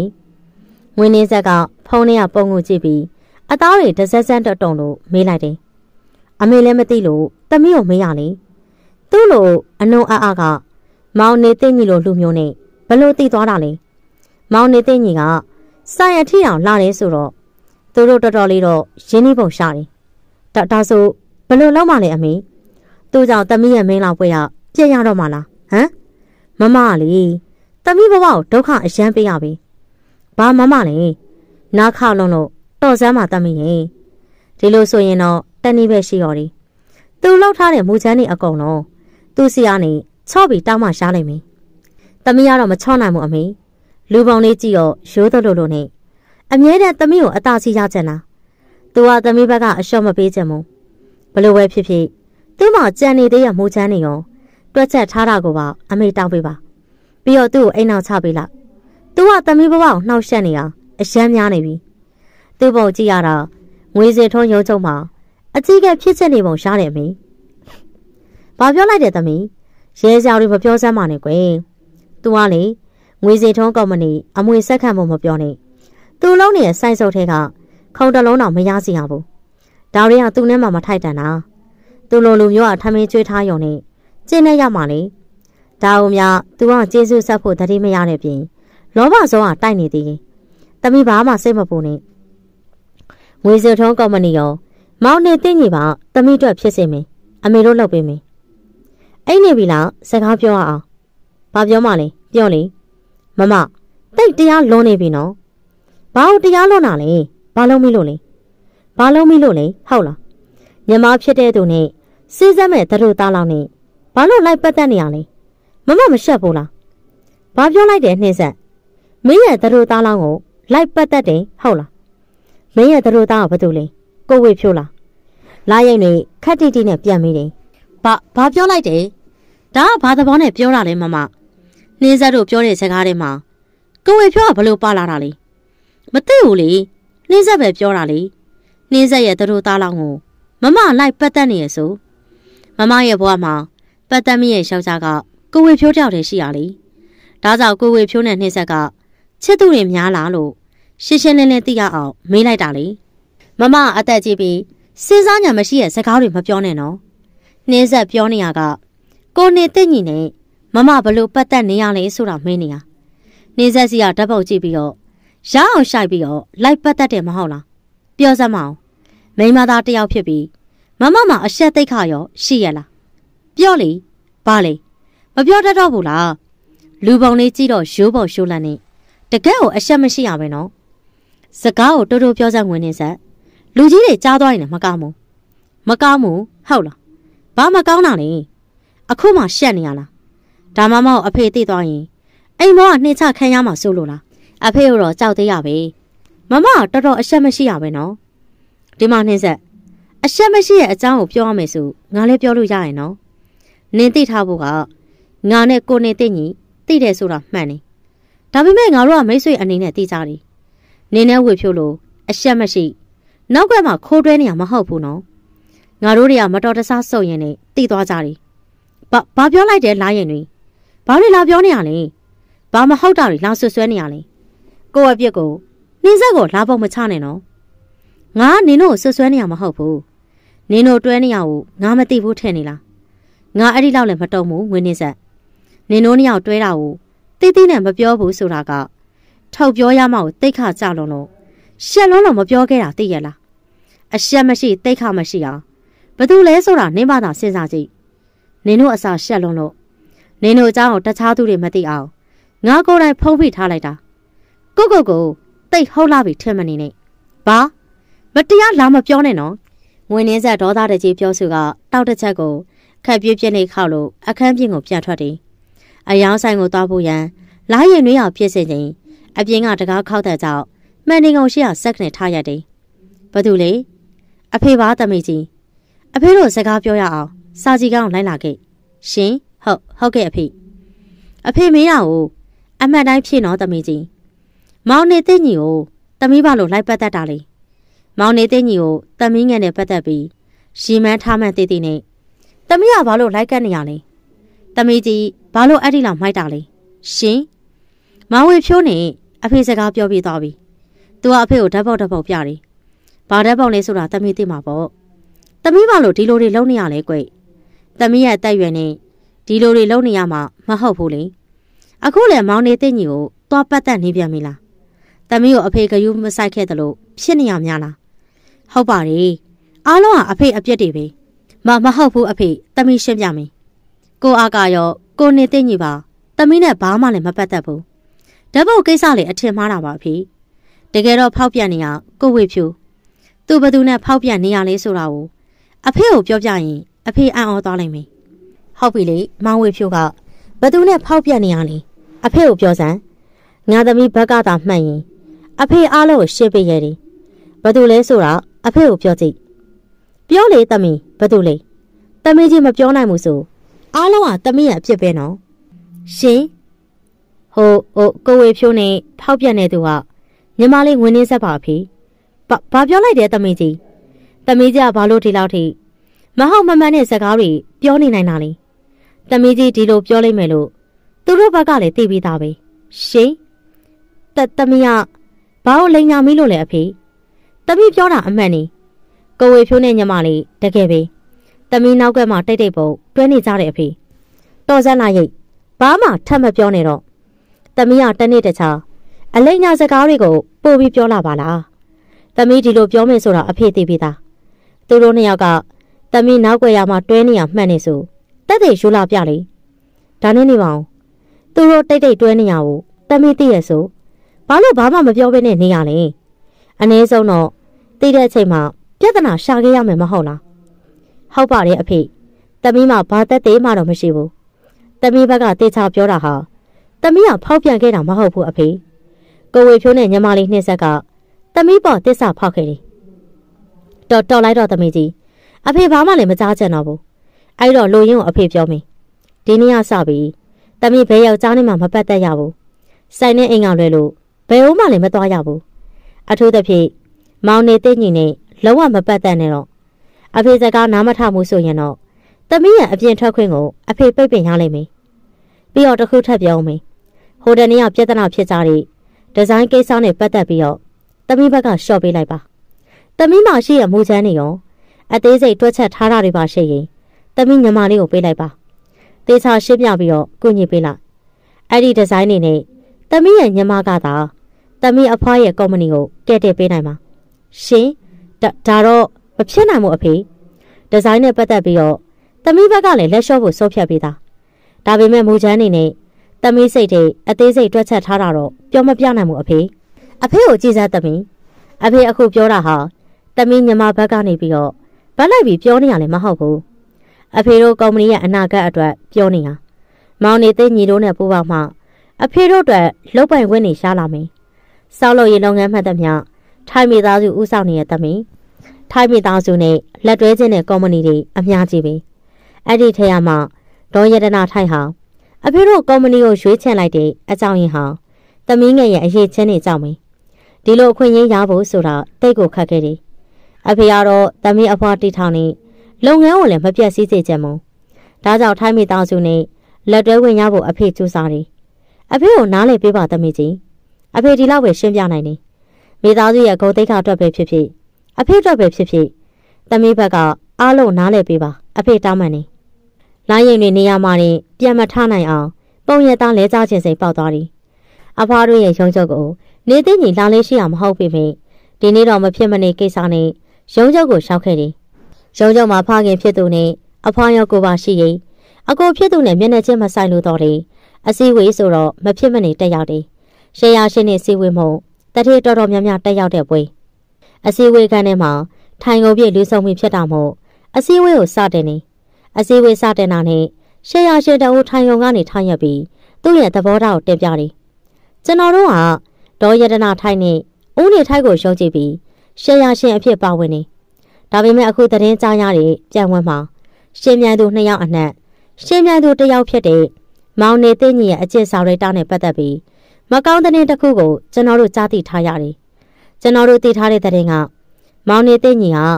အကိုဖြစ်သူနဲ့အမားဖြစ်သူလောက်ကြံဖို့ကြံစီခဲ့တယ်ဆိုတဲ့သတင်းမှာကြားသိထားတဲ့ကိစ္စကမိသားစုအတွင်းရေးကိစ္စဖြစ်ပေမယ့်ရက်ဆက်ကြတမ်းပြီးအကျဉ်းသားတရားမဲတဲ့လူမျိုးနဲ့တော့ကျွန်တော်တို့အလုပ်တွေတွဲမလုပ်နိုင်ဘူး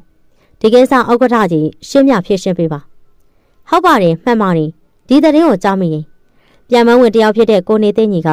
သွေးသားရင်ဖြစ်တဲ့အကိုနဲ့အမအောင်လှုပ်ကြမှုစီစဉ်ခဲ့တယ်ဆိုတဲ့သတင်းမှန်မှန်မှန်တေးချလေးရှင်းပြပါအတန်နေအစည်းအဝေးခန်းမှာပွက်လောရိုက်လို့ဆူညံနေဒေါ်ရတနာထိုက်ကြားလင်းရတဲ့စကားသက်ကြောင့်သူမရဲ့ရမတ်ကိုလမ်းနဲ့ဖိပြီးအသက်ကိုပြင်းစွာနဲ့ရှူဆိုင်တယ်အမေအမေအဆင်ပြေရလားနေထိုးထိုက်ကတော့ နှုတ်ခမ်းကိုတုံခွေကမေပြောင်ပြောလို့နေသိညီကိုလှောင်ပြုံးပြုံးပြီးလှမ်းကြည့်ရင်အစည်းအဝေးကန်းထဲရှိရှေ့ရရှင်းနေအောင်လုံးနေသိညီထံကိုလှမ်းကြည့်ရင်နေသိညီအန်ကိုတက်တဲ့ချိန်လက်သေးကိုမတိမတ်တာဆုပ်လိုက်တယ်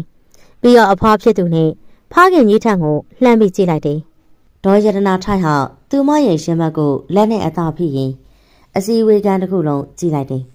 သူမရဲ့အကြည့်တွေရေကြီးဖြစ်သူနေထူးထိုက်ထံကိုအရောက် စူရဲတောက်ပါတဲ့မျက်ဝန်းတွေအဖြစ်အသွင်ပြောင်းသွားတယ်ကျမကပဲအားလုံးတောင်းမှတ်ပါတယ်ပြောရမယ်ဆိုမြေတွေကိုစီစီလုံးလုံးဖြစ်အောင်မဆုံးမနိုင်ခဲ့တဲ့ဟောဒီဖွားရည်ကြီးရဲ့အပြစ်ပဲပေါ့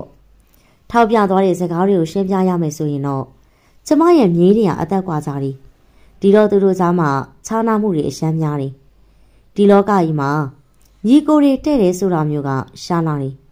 ညီအကိုတွေဆိုတာစကားပြောနေရင်ဖြစ်စေ သူတို့ချစ်ချစ်ခင်ခင်ရှိနေချိန်မှာတော့မထင်မှတ်ဖေရံဖြစ်တတ်တဲ့သူတွေပါ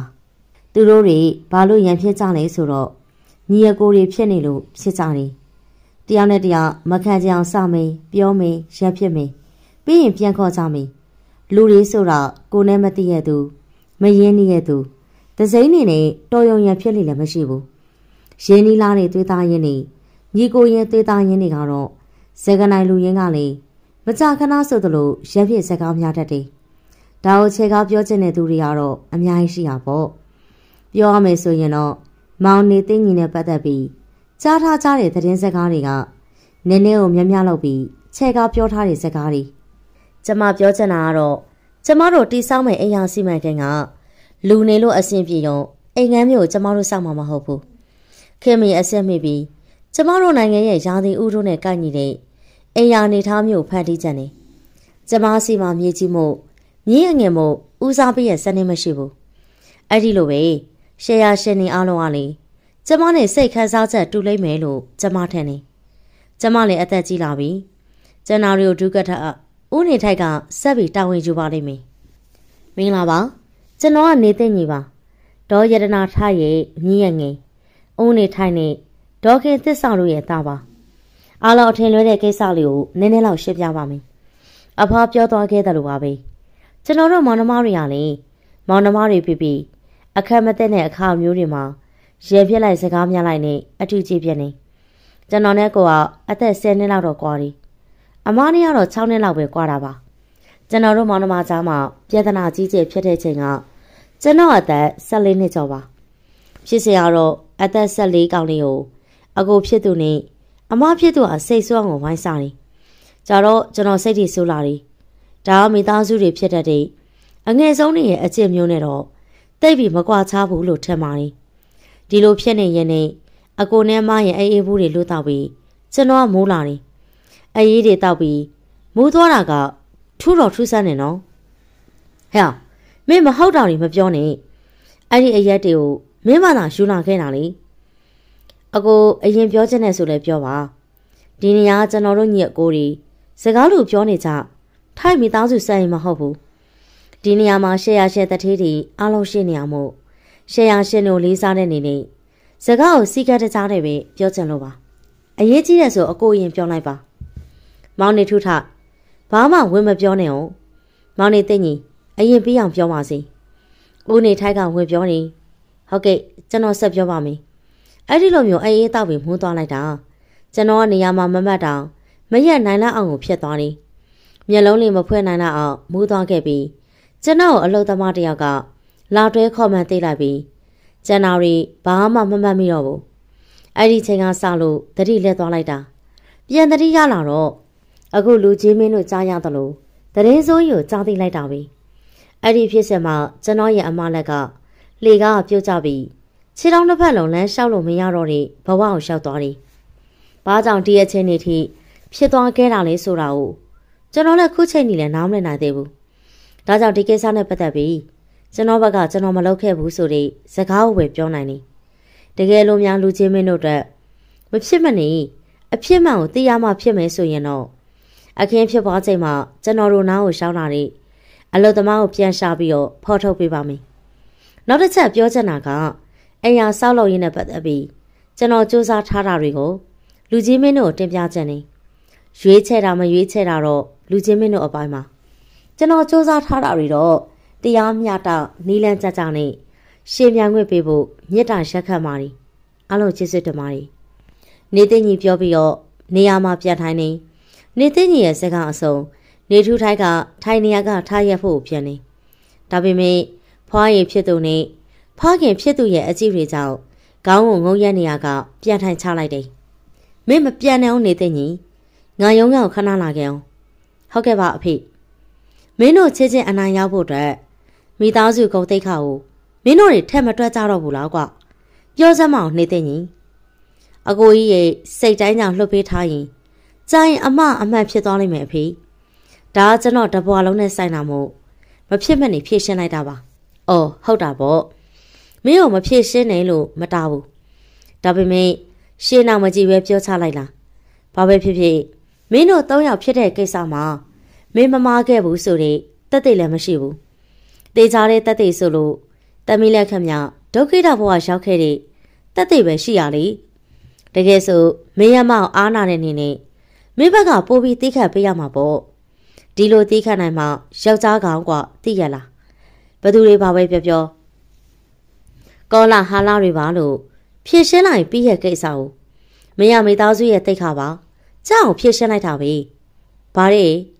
အဲ့ဒီအချိန်တုန်းကအလုသမားကိုပါရှာပြီးအဖြစ်မှန်ကိုဖော်ထုတ်အောင်မယ်ပေါ့ဟုတ်လား။မင်းတို့ကြောင့်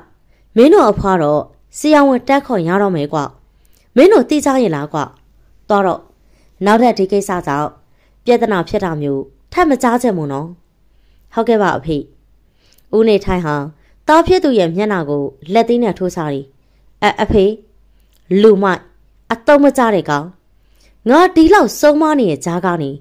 တရင်ကိုရအောင်လွှင့်နေပေါ့ဟုတ်လားမင်းဘာလုပ်ခဲ့လဲဆိုတာကိုမင်းသိရလားမင်းကမိသားစုကိုအဆက်ခွဲခဲ့ရဖအေးကိုအတော့မကြတဲ့လူဖြစ်အောင်လုပ်ခဲ့တယ်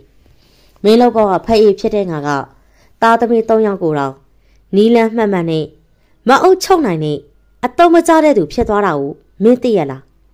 မင်းယောက်ျားမဟုတ်ဘူးလားယောက်ျားဆိုရင်ယောက်ျားပြပြတတ်တာရှင်းပြနေကွာဘာလေမင်းမျိုးကြောက်နေရလားမင်းသိထားဖို့ကမင်းတို့နှစ်ယောက်လုံးကငါသားတွေဖအေးတယောက်အနေနဲ့ဘယ်သားဘက်ကမှလိုက်မှာမဟုတ်ဘူးမင်းစဉ်းစားကြည့်စမ်းမင်းကိုသားကြီးအော်ရတာတယောက်အနေနဲ့အမြဲဦးစားပေးခဲ့တယ်နေရာပေးခဲ့တယ်အရွယ်ရရောက်မသေးတဲ့ငါသားငယ်ကိုအပြစ်မှပို့ထားပြီးမင်းတို့ပိုကယူဆိုင်ခဲ့တယ် အဲ့ဒီလိုမျိုးပို့ပြီးတော့ဘာလို့ဂရုစိုက်ပေးခဲ့လဲသိလားမင်းဒီလိုမျိုးလူကောက်ကြည့်လူအတ္တဖြစ်လာမှစိုးရိမ်လို့กว่าသိရလားဒါပေမဲ့နောက်ဆုံးတော့လေမင်းကဒီပုံစံမင်းဖြစ်လာတာပါလားနေထူထိုင်အေးပြန်မမဝင်ဝင်ပြိုင်ကျင်သေးတယ်ဆိုရင်တော့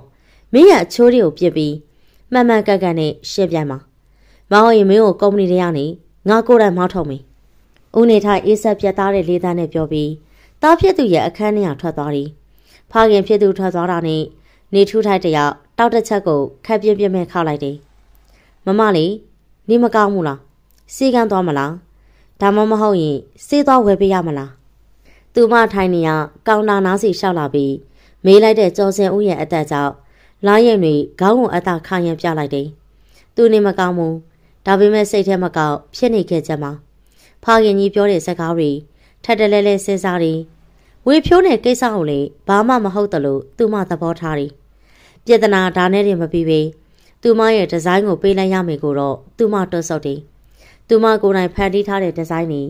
စွန့်လွတ်လိုက်ရမှာကိုရင်ထဲမှာနာကျင်နေမိတယ်လို့မာနာတပြားသားမှမလျှော့ပေသူမပေါ်ရန်ရန်ဆက်ဆက်ဆက်ဆက်နဲ့ညမဖြစ်သူရဲ့လက်ထိပေးပြစ်လိုက်ဖို့စိတ်ထဲကလက်မခံနိုင်ဖြစ်ရတယ်။သူမရဲ့ပင်ကိုစိတ်အရငွေနှင်းဆက်ဘာမှသာနည်းနည်းလောက်တောင်းမှရင် သူမဘက်ကရှော့ပေးမှတော့တေးကြတယ်။အမနည်းနည်းစိတ်ရှုံနေလို့ပါ။ကော်ဖီခါခါလေးတစ်ခွက်လောက်တောက်လိုက်ရရင်တော့ကောင်းပြီ။ကော်ဖီတောက်ချင်တာလားမမလေး။ကော်ဖီကဆိုင်မှာတောက်ရင်ပိုကောင်းနေ။တချင်းအင်းငိမ့်ငိမ့်လေးတွေဖွင့်ထားတတ်တဲ့ဆိုင်လိုမျိုးမှာသွားထိုင်မလားမမလေးစိတ်ရှိစိတ်ရှင်းမှာပေါ့မမလေးသွားချင်တယ်ဆိုရင်တော့ကျွန်တော်လိုက်ပို့ပေးမယ်ကျော်စင်ဦးရဲ့အကြံပေးဆက်ကားကြောင့်လိုင်းရင်တွေစိတ်ပြေလက်ပြောက်အပြည့်ထွက်ဖို့ဆုံးဖြတ်တယ် စိတ်ညစ်စိတ်ရှုံနေရထက်သူမရင်မန်းနဲ့ရင်ပြီးဖန်တီးထားတဲ့ဒီဇိုင်းကိုမပေးခြင်းနဲ့စိတ်ကြောင့်လူအားစိတ်ထဲပို့ပို့လောင်လောင်ကြီးအောင်ဖြစ်တယ်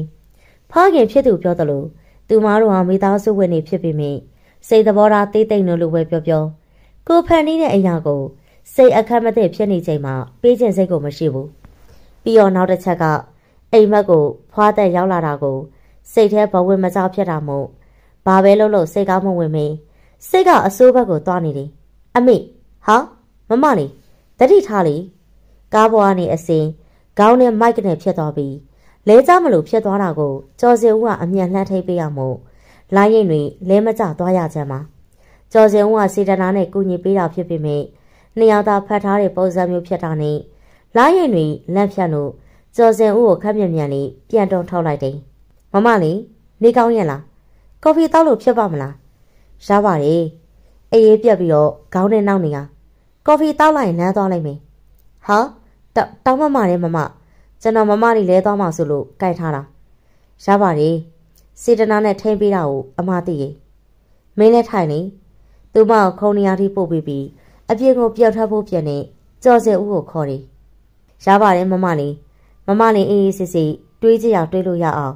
တယောက်တည်းထိုင်ပါကျွန်တော်ဟိုဘက်ကခုံမှာပဲထိုင်နေလိုက်မယ်။ ကျေးဇူးပါနော်။ကြော်စဲဦးရဲ့အလိုက်သိမှုကိုလိုင်းရင်တွေကျေးဇူးတင်စကားပြောလိုက်တယ်။ဘာပဲဖြစ်ဖြစ်အခုရပိုင်းနေလိုင်းရင်တွေစိတ်ညစ်ရင်ကြော်စဲဦးဟာစိတ်အပန်းပြေစရာနေရာတွေနဲ့အစားအသောက်ကောင်းတဲ့နေရာတွေရှောက်ပြီးပြီးလိုက်ဖို့ပေးတတ်တာမို့ကျော်စင်ဦးကိုစိတ်ထဲကနေကျေးဇူးတင်လိုက်တယ်။ဖုန်းဝင်လာတာနဲ့လာရိတ်တွေလက်ထဲကဖုန်းဘက်ကိုချလို့ဖုန်းကိုကန်လိုက်တယ်။ဟယ်လိုအဖေဘလို့လဲတမီးကြီးအဖေပြောတာမစုံဖြတ်ရသေးဘူးလားကွ။ မောင်နေသိညီတို့ဘက်ကနည်းနည်းလေးလောနေလို့ဒီရက်ပိုင်းထဲမှာချိန်ထားတယ်လို့ပြောတယ်။တမီးဘက်ကအမြဲဆုံးအစင်းနဲ့ပြင်ပေးလိုက်လေ။တော်ကြတခြားကုမ္ပဏီနဲ့လက်တွဲသွားရင်အဖေတို့စူးစမ်းထားတာတွေအလက်ကားဖြစ်သွားလိမ့်မယ်ဟုတ်ဟုတ်ကဲ့ပါအဖေသမီးပြပြင်ဆင်ထားလိုက်ပါမယ်လာရိတ်တွေအတက်ကြောင်စဉ်းစားနေပြီးမှစုံမြက်ချက်ကိုယတိပြက်ပဲချလိုက်တယ်စုံမြက်ချက်ချပြီးရနေလက်ကျန်ကော်ဖီကိုအမြန်တောက်လို့ ထိုင်နေရကထားရက်တယ်နေသိကြီးရဲ့တောက်ခေါက်တန်အခန့်ကျင်းလေးတွေကဟင်းထက်တယ်မငုံနဲ့အမိလိုင်းမမှာဖြစ်တဲ့ကိစ္စမှန်သမျှ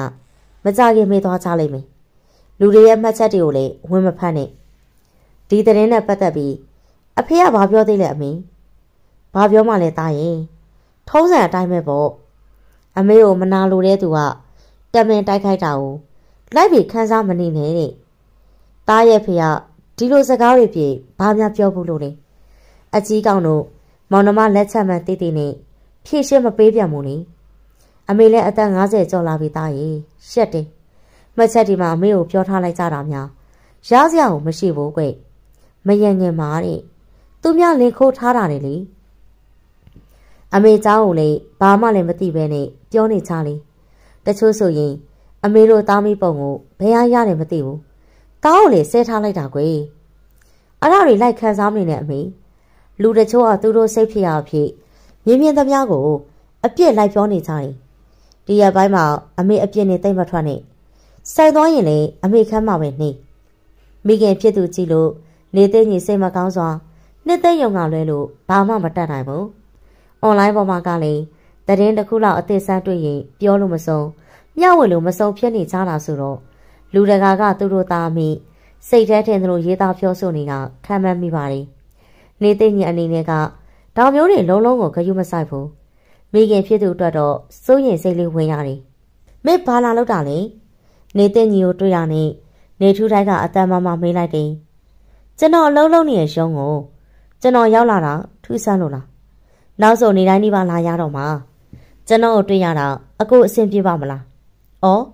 မပြေကြပါကြောင်းရှိလို့လေ။ငါမင်းရှက်နေမှာစိုးလို့ပါကွ။လူတွေကမင်းကိုအငယ်နှောင်းရဲ့သားဆိုပြီး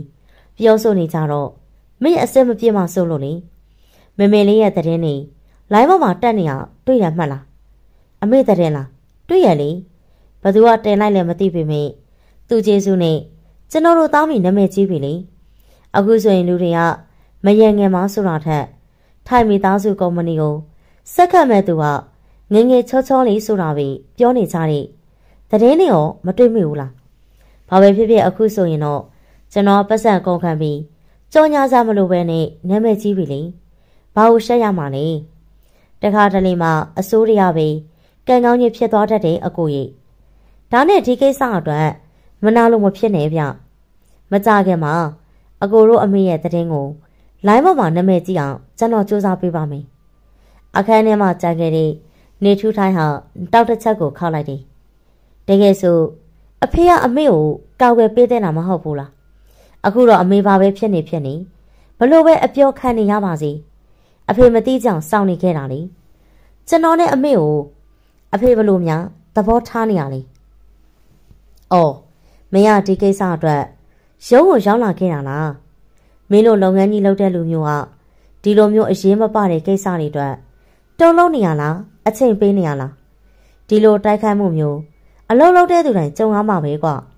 တကယ်လို့မင်းကအလုံးလုံးနေပြီမေမင်းကိုရှင်းပြမဲ့သူတိုက်ခိုက်မဲ့သူမရှိသေးဘူးဆိုရင်မင်းဘာကောင်းမှလည်းမဟုတ်သေးဘူးဆိုတဲ့သဘောအေးတကယ်လို့မင်းအနေနဲ့ရှင်းပြိုင်တိုက်ခိုက်ခံရပြီဆိုရင်တော့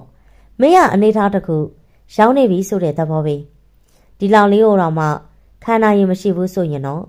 ဒါရှုံးနေတဲ့အလားလာပဲကွ မင်းကိုမင်းခယူးဆိုင်မှာလားတခြားသူတွေခယူးဆိုင်ပြီးအချိန်နဲ့အလက်ကအဖြစ်ခံမလားဆိုတာကိုမင်းစိတ်ကြရွေးချက်လိုက်ဘာပဲဖြစ်ဖြစ်အမေကိုတော့အဖေနှစ်သိမ့်ပေးတာပဲဖြစ်ဖြစ်ကိုကြီးပေးတာဖြစ်ဖြစ်လှုပ်ပေးတဲ့နဲ့မဟုတ်လားမင်းမေတဲ့စိတ်မပူပါနဲ့ပြီးတော့မင်းကိုမေးရအောင်မင်းမင်းအကိုနဲ့အမရဲ့မိခင်အကြောင်းကိုမင်းလိုက်စုံစမ်းနေရဆိုမင်းကအချိန်နဲ့အားနေရလားနေသိကြီးမင်းကကိုက မင်းမအဲ့ဒီလိုမခံချင်စိတ်ရှိမှသိလို့မင်းကိုတမင်ရန်စားနေအောင်သိရလားမင်းကမခံချင်စိတ်နဲ့သူတို့မေကိုလိုက်ရှာမင်းသူတို့အမေကြောင့်ကိုဖော်ထုတ်မယ်ပေါ့ဟုတ်လားပါလေမင်းချိန်နေတရားနေရလားကွကျွန်တော်မှအားလဲချိန်တော့မရှိဘူးအဖေပြိုင်ပွဲအတွက်အကောင်းဆုံးဖြစ်အောင်ကြိုးစားနေလို့အဲ့ချိန်တော့တိတ်မရှိဘူးဒါပေမဲ့ဘလောက်ပဲအလုံးများများကျွန်တော်တို့တော့အလောကအရေးကြီးတယ်လို့ မိသားစုကလည်းအရေးကြီးရဲ့အဖေမိသားစုဝင်တယောက်ဝမ်းနေအားငယ်နေချိန်မှာတောင်အကူကြီးမပေးနိုင်တဲ့လူမျိုးကဘလို့လုပ်ငန်းကြီးကိုအောင်မြင်လုပ်နိုင်ပါလေလေကျွန်တော်မိသားစုကိုရောအလောက်ကိုပါတန်မိုးထားကြယူဆိုင်မှာပါကျွန်တော်ပြောင်းဝင်းပြအောင်အဖေဦးနေထိုင်သားဖြစ်သူကိုလှမ်းကြည့်ပြီးတပ်ပြင်းမောင်းကိုချလိုက်တယ်လာရင်တွင်ကျွန်တော်တို့စကားခဏလောက်ပြောလို့ရမလားရှင်ကိုကိုနေတဲ့ညီဟုတ် ဘာကိစ္စရှိလို့လဲကိုနေတဲ့ညီစကားခဏလောက်ပြောအောင်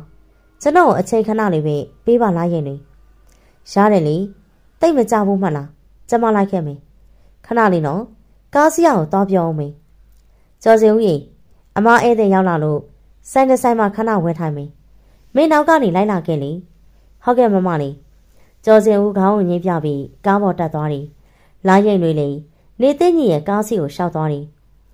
လာရင်တွေကပရီဘောကဒီဇိုင်းတွေလောက်တာကိုဝါသနာပါတယ်မဟုတ်လား။ကျွန်တော်အိမ်ဒီဇိုင်းတွေလုံးဝတော့ဝါသနာပါတယ်။ခင်မီလှပပြီးမိသားစုတိုင်းနေပြောတဲ့အိမ်တွေကိုဖန်တီးခြင်းနေ။အိမ်နှလုံးစောက်ပြီးသွားပြီဆိုနေထိုင်ကြမဲ့လူတွေရောက်လာမယ်။အဲ့ဒီချိန်မှာအိမ်နဲ့လိုက်ဖက်မဲ့ပရီဘောကတွေလိုအပ်လာမယ်။ဗီယိုတွေထမင်းစပွဲတွေစက်တီကုံတွေဒီထက်မကများပြားတဲ့ပရိဘောဂတွေလိုအပ်လာမယ် အိမ်တလုံးကဘလောက်ပဲကောင်းနေပါစေသူနဲ့လိုက်ဖက်တဲ့ပရိဘောဂမရှိရင်ကိုးတော်လွတ်ကြီးလို့ဖြစ်နေပြီး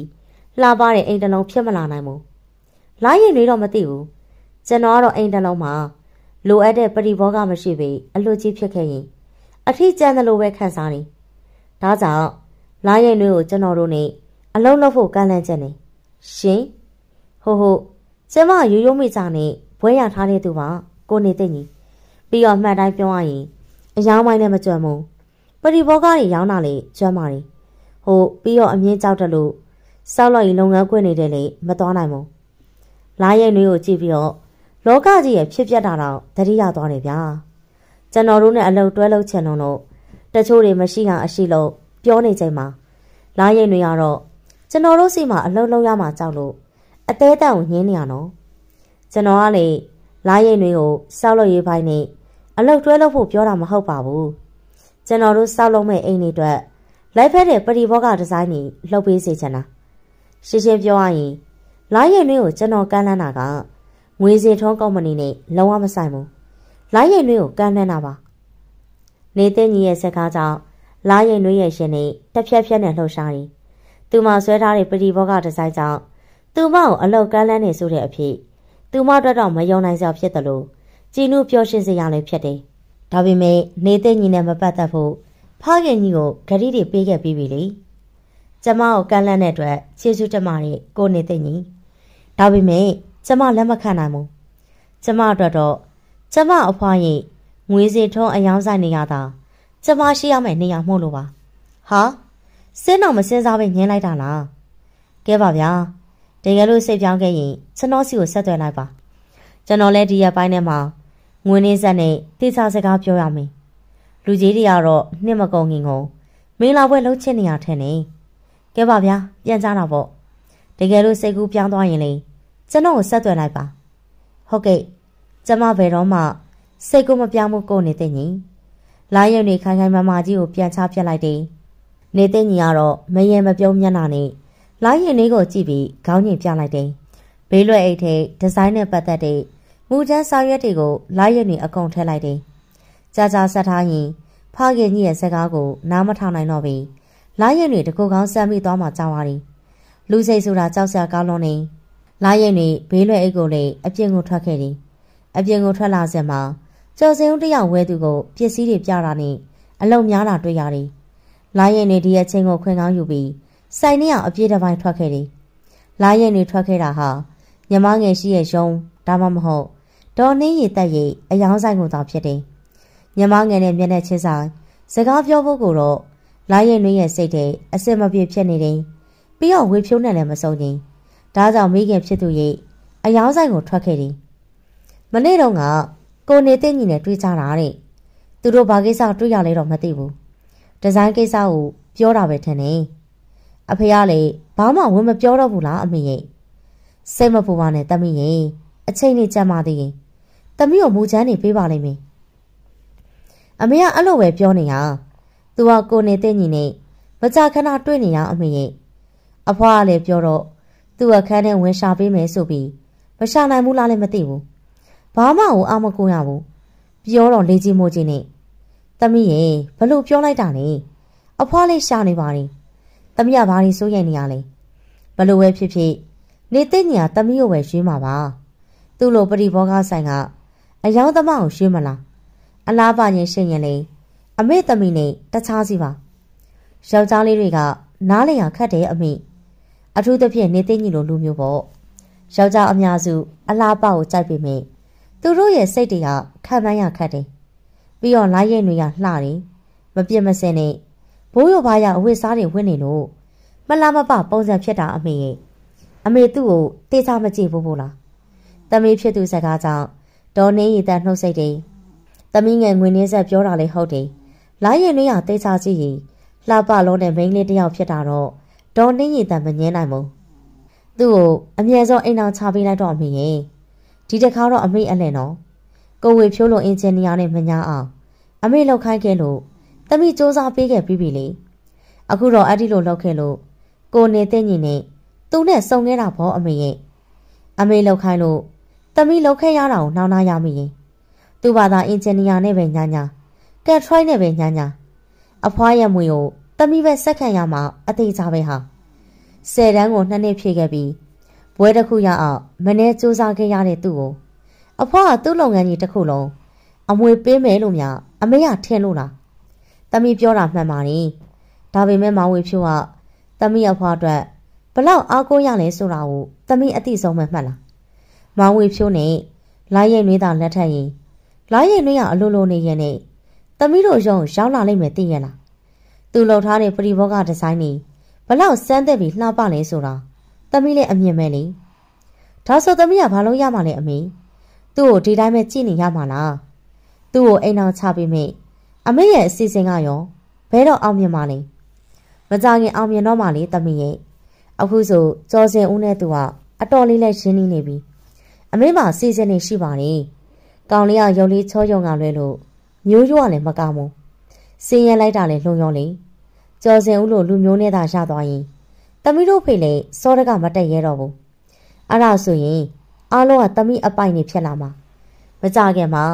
သူနဲ့ကြော်စင်ဦးရဲ့မင်းလာပွဲကျင်းပနိုင်အောင်အမေတို့စီစဉ်ထားတယ်ဆိုင်ကဝန်ထမ်းတွေတတိမထားမိခင်လာရင်တွေဆိုင်ထဲကနေအမြန်ထွက်ခဲ့တယ် မိတွေဖြစ်သူရဲ့အခန်းစီကမယုံကြည်နိုင်စရာကောင်းတဲ့ဖြစ်ပျက်တွေကြားခဲ့ရတာမို့လူအောင်တကူလုံးအသားတွေတဆက်ဆက်နဲ့တုံရင်နေလာရဲ့တွေကတော့မိသားစုဆိုတဲ့စိတ်ကြောင့်မိရေးလို့တခါမှလည်းမတွေးခဲ့ဘူးဘူးတော်နင်းရည်သက်ပြောသမျှစကားတွေနားထောင်လို့ယုံကြည်ချစ်ခင်နေအခုတော့လုံရက်လိုက်တာများသူမရဲ့အိမ်အောင်ရဲ့အထီပါသူတို့ကစီမံထားတယ်သူမရဲ့အိမ်အောင်ဘက်ဟာအင်ဂျင်နီယာတယောက်မဖြစ်စေချင်လို့ သူမရဲ့အခြေရင်းကိုဖျက်ဆီးအောင်ဖျက်ဆီးနေဒီအကြောင်းအရာကိုကိုယ်တိုင်သာနားနဲ့ဆက်ဆက်မကြားရရင်လာရည်တွေယုံကြည်နိုင်မှာမဟုတ်ဘူးဒေါ်နှင်းရည်တန်းနဲ့မြမဖြစ်သူတို့သူမပေါ်စိမ့်သက်လာတာကိုခံစားမိတော်လေဒီလောက်ထိတော့မတွေးထားခဲ့မိဘူးတာမန်ဖြစ်ရိုးဖြစ်စီအနိုင်လောကျမှုမျိုးလောက်လို့သာထင်ခဲ့တယ်အခုတော့သူတို့သားမရဲ့ကြံစီသူမကိုအမွေတပြားမှမပေးလို့တဲ့အကြံအစီပါမိရေးဖြစ်သူမိရေးချစ်ကြံ့နာထားပါတော့ မြမငယ်ဖြစ်သူဟာလာရင်တွေအပေါ်ဒီလောက်ထိဘာကြောင့်ရက်ဆက်တာလဲသူ့ကိုငငယ်လေးတွေကလာရင်တွေဘလောက်ချစ်ခဲ့တာကိုမသိတော့တာလားအဖော်မဲသလိုဖြစ်တဲ့လာရင်တွေအတွက်မြမငယ်ငွေနေဆက်ကိုပို့ပြီးချစ်ခဲ့ထွက်တာတွေအကြီးပြပြအရာရာကိုအလျှော်ပေးတယ်အခုလက်ရှိဖြစ်နေခဲ့တဲ့ဒီဇိုင်းပြဿနာလေးမြမဖြစ်သူငွေနေဆက်ရဲ့အချိုးမပြေတဲ့ပုံစံတွေကြောင့်သာလာရင်တွေဘက်ကအလျှော်ပေးဖို့တွန်းဆောင်နေခဲ့တယ် လာရင်တွေဘေးလွယ်အိတ်ကိုလွဲလို့လမ်းမပေါ်မှာအယူတယောက်လိုတတိလလောနဲ့ရှောက်သွားတယ်ရှေ့ဆက်လို့သူမဘဲကိုဆက်လို့ရမယ်မသိဘူးအเจ้าရတွေအားလုံးကိုဖားခင်ဖြစ်သူပြောပြလိုက်ရင်ရောဖားခင်ကြီးကသူမရဲ့စကားယုံကြည်ပေးမှလားယုံကြည်တဲ့ထားပါတော့အခုချိန်အရေးကြီးဆုံးဟာနေသိညင်နဲ့မင်းလာပွဲကိစ္စဖြစ်မြောက်ပြီးလုပ်ငန်းပူပေါင်းလုပ်နိုင်ဖို့ပို့ပြီးအရေးကြီးရဲ့လို့ထင်နေဒီလိုမဟုတ်ရင်အเจ้าရတစ်ခု တက်တဲ့ခိုင်ခိုင်လုံလုံပြနိုင်မှယုံကြည်တတ်တဲ့ဖားခင်ဟာသူမပြောသမျှယုံကြည်မှာနဲ့လားလာရင်တွေအတွေ့ပေါင်းများစွာနဲ့လမ်းမပေါ်မှာရှောက်ပြီးရင်ရှောက်နေတယ်သူမဝေဖြိုးနဲ့လမ်းခွဲရအောင်ကြံစီုံနဲ့အားမရပဲနဲ့ကျော်စင်ဦးနဲ့အိမ်အောင်ချပေးဖို့ထိကြံစီထားကြတယ်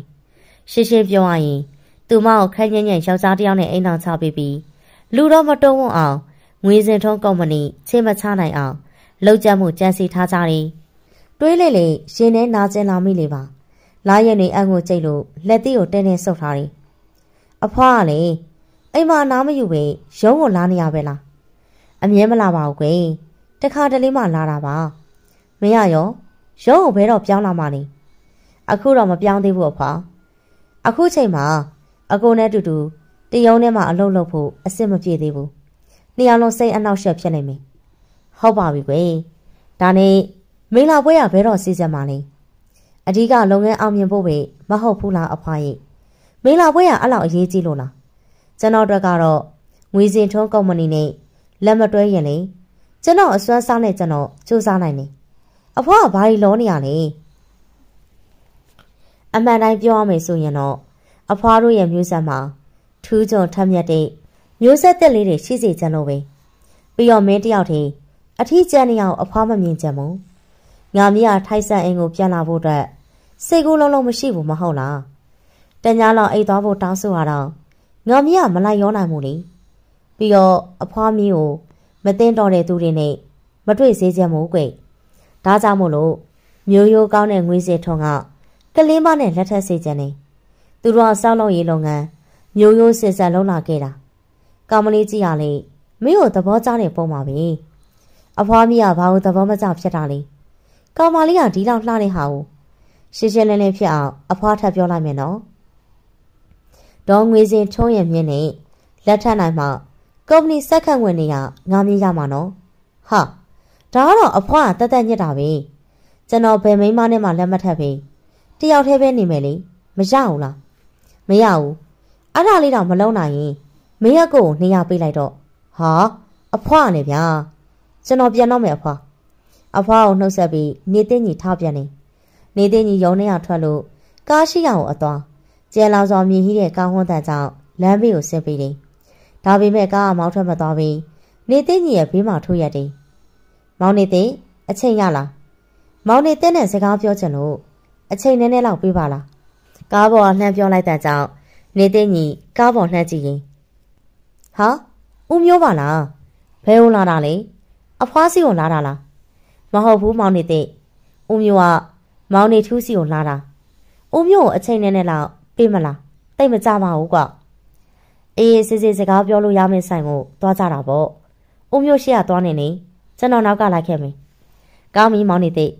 ဒါဆိုဦးမျိုးရှိရသွားနေမယ်ဦးမျိုးကပြောပြောဆွဆွနဲ့သူ့ရဲ့ကားကိုမောင်းထွက်တယ်နေသိညီလေသူ့ရဲ့ကားရှိအောင်ရှောက်သွားပြီးကားပေါ်တက်လို့မောင်းထွက်တယ်မောင်နေသိကလူငယ်ဆိုတော့ ဦးမျိုးပြောတာကိုနားလည်ပေးနိုင်မယ်လို့ထင်တယ်တော်တော်အသက်ကြီးနေပြီဆိုတော့သူ့မြည်ကြီးကိစ္စကိုဦးမျိုးပြောလိုက်ရင်စင်မကောင်းဖြစ်သွားမှစိုးရိမ်မိရဲ့ကွာမောင်နေထူးလောက်တာတွေကဦးမျိုးရဲ့အလုပ်သမားတွေအတွက်အတော်လေးကိုအစစ်မပြည့်ဖြစ်နေပြီဟုတ်ကဲ့ဒီကိစ္စကိုဦးမျိုးအဖေကိုမပြောဘူးလားပြောတာပေါ့မောင်နေသိရမင်းရဲ့အဖေကိုကြည့်ရတာနေသိမကောင်းတယ်လို့ပဲကွာဟိုရင်ကလို့တက်တက်ကြွကြွမရှိဘူးဦးမျိုးပြောရင်လေ တေချာရှင်းပေးပါမယ်လို့သာပြောတယ်ဘာတကောမှလည်းအကောင့်ထဲပေါ်မလာဘူးဟိုတလောကဖြစ်သွားတဲ့လုပ်ငန်းခွင်မှာထိခိုက်ဒဏ်ရာရှာသွားတဲ့အလုပ်သမားတွေကိစ္စဆိုအလုပ်သမားကောင်လေးတွေဘက်ကမှားတာမဟုတ်ဘူးလုပ်ငန်းခွင်ကမတုံးတဲ့နဲ့ဈေးပေါ်တဲ့ပစ္စည်းတွေကိုတုံးထားလို့လူပြုတ်ကြတဲ့ထိဖြစ်ခဲ့ရလေဟုတ်လားအလုပ်သမားတွေထိခိုက်သွားတဲ့တဲ့ရင်ကိုကျွန်တော်ကြားတယ်အဲ့ဒီကိစ္စဖြည့်ရှင်းပြီးသွားပြီလို့ထင်နေရမဖြည့်ရှင်းသေးပါဘူးမောင်းနေတဲ့ရ လောလောဆယ်တော့ထိခိုက်သွားတဲ့အလုပ်သမားတွေကိုဦးမျိုးအပဲထောက်ပံ့ပေးထားတယ်ဒါပေမဲ့မောင်နေသိရင်ဒီခေတ်ဒီခါနဲ့သူတို့အတွက်ထိုက်တဲ့ငွေကြီးတော့ရတဲ့နဲ့မှတ်လားခတ်တာအလုသမားတွေရဲ့ခေါင်းဆောင်ကလေဦးမျိုးကိုရှောင်းနေတယ်အလုသမားတွေကဦးမျိုးကိုရှုံးကြည့်ပြီးမောင်နေထူးနဲ့အလုလုပ်ခဲ့ကြတာလေဈာတွေကဦးမျိုးပဲမကောင်းဖြစ်သွားတာပေါ့ဒုက္ခပါပဲဦးမျိုးရကျွန်တော်အခုချိန်မှာတော့ ရုံးမှာဘာလို့ကိုမှဝင်ဆွတ်ဖက်ခွင့်မရှိသေးဘူးအဖေနဲ့စကားပြောကြည့်အောင်မယ်ဦးမျိုးနေသိညီစိတ်ချုပ်သေးစွာပြောလိုက်တယ်။ဦးမျိုးဆိုသည်ဟာနေသိညီအလဲတန်းလောက်အရွယ်တွေကအဖွားတို့နဲ့လက်တွဲအလုံးလုံးလာတယ်။ဦးမျိုးရဲ့လုပ်ငန်းကပရိဘောကလုပ်ငန်းဒါပေမဲ့ဦးမျိုးကလူချစ်လူခင်ပေါ်လို့အပေါင်းအသင်းလည်းများတယ်။ဦးမျိုးဟာအရေးချင်းပြေဝါနေစောင်းလို့ရအလုပ်သမားတွေရှိရင်ဦးမျိုးနဲ့ရင်းနှီးကြောင်းဝင်တဲ့တထေးတွေလည်းရှိရင် တနည်းပြောရမယ်ဆိုဦးမျိုးကဈာပွဲသားပုံစံမျိုးအလုတ်သမားလိုချင်သူကိုအလုတ်သမားကောင်းကိုရှာပြီးရင်အလောက်နေကျနေသူကိုအလုတ်သမားခေါ်ချက်နေတဲ့တထေးနဲ့ဆက်သွယ်တယ်။နောက်တစ်ချက်ကဦးမျိုးရဲ့ပရိဘောကရဲ့အယောင်းဆိုင်လုပ်ငန်းဟာလေငွေစင်ထွန်းအယောင်းဆိုင်နေလောက်နာမည်မကြီးတော့လေအတော်လေးကိုတွေးကြပြီးတော့အယောင်းသွက်တဲ့အယောင်းဆိုင်ပရိဘောကဒီဇိုင်းတွေကိုပိုင်ရှင်ဖြစ်သူဦးမျိုးကိုယ်တိုင်ထုတ်လုပ်ဖန်တီးရောင်းချနေသူပါ နောက်တော့ရှိသေးရဲ့မောင်နေသိလွန်ခဲ့တဲ့6လလောက်ကဦးမျိုးတို့စီကပရိဘောကတော်တော်များများကို မောင်နေထူးအောင်ရှူထားခဲ့တယ်။ငွေကိုစိတ်ရမဲ့ပေးပြီးကြံငွေကိုအခုချိန်ထိလုံးဝမရှင်းပေးသေးဘူး။ဟာဦးမျိုးတို့ကစာချုပ်မလုပ်ထားဘူးလား။စာချုပ်နဲ့တောင်းနေဒီလူနဲ့ဒီလူတွေကြားမှာစာချုပ်ကလိုသေးလို့လားမောင်နေသိရဒုက္ခပါပဲဦးမျိုးရဘလောက်ပဲခင်းတဲ့လူပဲဖြစ်ဖြစ်အလုံးနဲ့လူမှုရေးမရောထွေးနေဦးမျိုးရေး နေပါဦးမျိုးရလုပ်ငန်းခွင်မှာလည်းပစ္စည်းတွေကိုရှော့သုံးနေဦးမျိုးစီမှလည်းပစ္စည်းတို့အကျွေးယူထားတယ်ပြီးတော့ဘသူတွေစီမှယူထားသေးလည်းမသိဘူးဒါဆိုရင်အဲ့ဒီငွေတွေကိုအကိုကဘာတွေသုံးနေလဲမသိဘူးဟုတ်တယ်မောင်နေသိဒီတိုင်းဆက်သွားရင်ထိုင်းမိသားစုလုပ်ငန်းကနာမည်ကျသွားလိမ့်မယ်အုံမျိုးရံငွေကအဲ့ဒီလောက်အရေးမကြီးဘူးထိခိုက်ခဲ့ရတဲ့အလုပ်သမားလေးတွေကိုရော်ကြေးပေးရင်ပဲအဆင်ပြေပါလေ မောင်နေတဲ့တို့အနေနဲ့လေမောင်နေထူးကိုဒီတိုင်းလွတ်မထားသင့်ဘူးသူကလုပ်ငန်းကိုအောင်မြင်လုပ်နေရထက်လုပ်ငန်းရှက်တက်သွားအောင်လုပ်နေတယ်လို့ဖြစ်နေပြီနည်းနည်းပါးပါးစုံစမ်းပြီးဒေါ်တော်နဲ့တိုင်မင်အောင်ဟုတ်ကဲ့ပါဦးမျိုးကျွန်တော်စူးစမ်းကြည့်မယ်အချိန်နဲ့ထိုးရင်ဦးမျိုးစီကိုဖုန်းဆက်မယ်အေးကွာအဆင်ပြေပါစေမောင်နေတဲ့ဦးမျိုးနဲ့လက်ခွဲပြန်ခဲ့ပြီးရနောက်နေသိညီစိတ်ရှုပ်ရှုပ်နဲ့သူ့ရဲ့ရုံးခန်းစီကိုပြန်လာတယ် အဖွားဖြစ်သူတန်မိုးထားတဲ့ထိုင်းမိသားစုစောက်လို့ရေလုပ်ငန်းတွေအကိုဖြစ်သူဖြည့်ဆင်းနေရအမှန်ပဲဒီရဲ့အကြောင်းတွေအဖွားသိသွားလို့များကုမ္ပဏီကိုကယ်တင်မှုစူးစမ်းတာလားဒါဆိုငွေစင်တို့ကုမ္ပဏီနဲ့မဖြစ်မနေလက်တွဲရမယ့်အခြေအနေဖြစ်တာလားမိကုံမောင်များစွာကို ကိုဘာသာမေးရင် နေသိညီစိတ်တွေရှုပ်ထွေးတတ်ထရှုပ်ထွေးတွေနေသိညီအတွင်းများနေစမှာပဲဖုံးပြတဲ့ကိုကြားတာနဲ့ဖုံးကိုကောက်ကိုင်းနေဟယ်လိုနေသိညီပြောနေပါတယ်ဗျ ဟယ်လိုနေသိညီပြောနေပါတယ်ပြောစရာရှိတာပြောပါဟိုဟိုဟိုဟိုလေလာရင်တွေပါဒီညနေကိုနေသိညီနဲ့ခဏလောက်တွေ့လို့ရမလားရှင်ဗျာဘသူလာရင်တွေလားဟုတ်ကဲ့ဟုတ်ပါတယ်လာရင်တွေကသူ့စီကိုဖုံးဆက်တယ်ဆိုတော့နေသိညီရဲ့စိတ်တွေထိတ်နေခုန်လို့တယ်လာရွေနေတယောက်စိတ်များပြောင်းသွားပြီလားဆိုတဲ့မျော်လင့်ချက်ကစိတ်ထဲဝင်ရောက်တယ်โอเคလေကျွန်တော်အချိန်ရတယ် တွေ့ကြမယ်လေကျွန်တော်တို့စုံနေစားကော်ဖီဆိုင်မှာစုံမလားဟုတ်အဲ့ဒီမှာတော့မစုံချင်ဘူးအရေးတကြီးပြောကြရှိလို့လူရှင်းတဲ့နေရာမှာစကားသွားပြောကြမယ်လေနေရာတော့ကျမမရွေးတတ်ဘူးကိုနေသိညီပဲရွေးထားလိုက်ပါဒါဆိုကျွန်တော်ရုံးခန်းကိုလာခဲ့လိုက်ပါညနေဆိုမန်နေဂျာတယောက်နဲ့ကျွန်တော်ပဲရှိတာကျွန်တော်တို့အေးဆေးစကားပြောလို့ရှာတယ်ဟိုမန်နေဂျာလည်းသိလို့မဖြစ်ဘူးရှင်ဗျာလာရဲ့နှွေးရဲ့ထူးထူးဆန်းဆန်းစကားကြောင့် နေသိညီခက်ချက်ကြောင့်ဖြစ်လို့ဘာပြန်ပြောရမှမသိဖြစ်သွားတယ်ခဏကြာမှလာရဲ့နှွေးရဲ့စကားအဖြစ်ပြပြီးတယ်အဆင်ပြေပါတယ်ကျွန်တော်ရုံးခန်းထဲမှာပဲစကားပြောကြတာပေါ့တကားပိတ်ထားလိုက်ရင်အထက်ကစကားတန်နေအပြင်းရမကြဘူးဟုတ်ကဲ့ကျေးဇူးတင်ပါတယ်